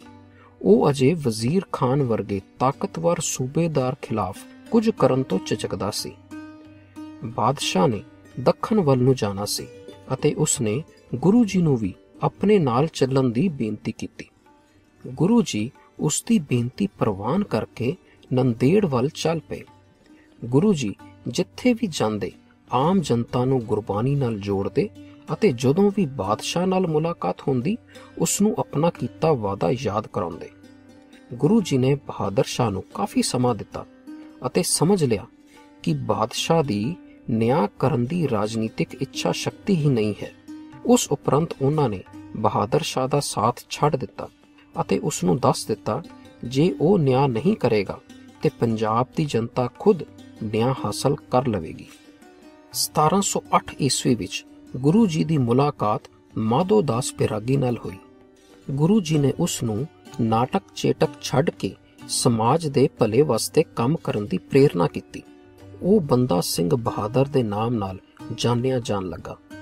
ਗੁਰੂ ਜੀ ਨੇ ਉਸ ਦੀ ਕਾਬਲੀਅਤ ਨੂੰ ਪਰਖ ਕੇ ਖਾਲਸੇ ਦਾ ਜਥੇਦਾਰ ਥਾਪਿਆ ਅਤੇ ਪੰਜਾਬ ਵੱਲ ਨੂੰ ਭੇਜ ਦਿੱਤਾ। ਬਾਬਾ ਬੰਦਾ ਸਿੰਘ ਬਹਾਦਰ ਦੀ ਅਗਵਾਈ ਵਿੱਚ ਖਾਲਸਾ ਫੌਜ ਨੇ ਹਕੂਮਤ ਤੋਂ ਗਿਣ-ਗਿਣ ਕੇ ਬਦਲਾ ਲਿੱਤਾ। ਵਜ਼ੀਰ ਖਾਨ ਦਾ 1710 ਵਿੱਚ ਅੰਤ ਕਰਕੇ ਸਰਹੰਦ ਫਤਿਹ ਕੀਤੀ ਅਤੇ ਖਾਲਸਾ ਰਾਜ ਸਥਾਪਿਤ ਕੀਤਾ। ਇਸ ਸਾਖੀ ਵਿੱਚ ਅਸੀਂ ਸਮਝਿਆ ਕਿ ਗੁਰੂ ਸਾਹਿਬ ਨੇ ਵਕਤ ਤੇ ਬਾਦਸ਼ਾਹ ਨੂੰ ਨਿਆਂ ਕਰਨ ਦਾ ਪੂਰਾ ਸਮਾਂ ਦਿੱਤਾ। ਪਰ ਜਦੋਂ ਸਰਕਾਰਾਂ ਬੇਈਮਾਨ ਹੋ ਜਾਣ ਤੇ ਜਨਤਾ ਨੂੰ ਖੁਦ ਨਿਆਂ ਲੈਣ ਵਾਸਤੇ ਹਥਿਆਰ ਚੁੱਕਣੇ ਪੈਂਦੇ ਨੇ, ਅੱਜ 84 ਕਤਲੇਆਮ ਨੂੰ ਤਿੰਨ ਦਹਾਕਿਆਂ ਤੋਂ ਉੱਪਰ ਦਾ ਸਮਾਂ ਹੋ ਗਿਆ ਹੈ। ਕਈ ਸਰਕਾਰਾਂ ਬਦਲ ਚੁੱਕੀਆਂ ਹਨ। ਸਿੱਖਾਂ ਨੂੰ ਹੁਣ ਇਹ ਗੱਲ ਸਮਝ ਲੈਣੀ ਚਾਹੀਦੀ ਹੈ ਕਿ ਹਕੂਮਤ ਦੀ ਨਿਆਂ ਦੇਣ ਦੀ ਨਾ ਤੇ ਨੀਅਤ ਹੈ ਅਤੇ ਨਾ ਹੀ ਰਾਜਨੀਤਿਕ ਇੱਛਾ ਸ਼ਕਤੀ। ਸਰਹੰਦ ਦੇ ਸੂਬੇਦਾਰ ਵਜ਼ੀਰ ਖਾਨ ਨੂੰ ਇਸ ਗੱਲ ਦਾ ਬੜਾ ਅਫਸੋਸ ਸੀ ਕਿ ਭਾਰੀ ਜੰਗ ਦੇ ਬਾਵਜੂਦ ਉਹ ਗੁਰੂ ਸਾਹਿਬ ਨੂੰ ਨਹੀਂ ਸੀ ਪਕੜ ਸਕਿਆ। ਗੁਰੂ ਜੀ ਦੀ ਬਹਾਦਰ ਸ਼ਾਹ ਨਾਲ ਨੇੜਤਾ ਤੋਂ ਉਹ ਹੋਰ ਵੀ ਬਹੁਤ ਦੁਖੀ ਸੀ। ਉਹ ਜਾਣਦਾ ਸੀ ਕਿ ਗੁਰੂ ਜੀ ਬਹਾਦਰ ਸ਼ਾਹ ਦੇ ਉੱਤੇ ਉਸ ਦੇ ਖਿਲਾਫ ਕਦਮ ਚੁੱਕਣ ਲਈ ਜ਼ੋਰ ਪਾ ਰਹੇ ਹਨ। ਵਜ਼ੀਰ ਖਾਨ ਨੇ ਦੋ ਪਠਾਨਾਂ ਨੂੰ ਗੁਰੂ ਜੀ ਨੂੰ ਕਤਲ ਕਰਨ ਦੀ ਸਾਜ਼ਿਸ਼ ਅਧੀਨ ਨੰਦੇੜ ਵੱਲ ਨੂੰ ਭੇਜਿਆ।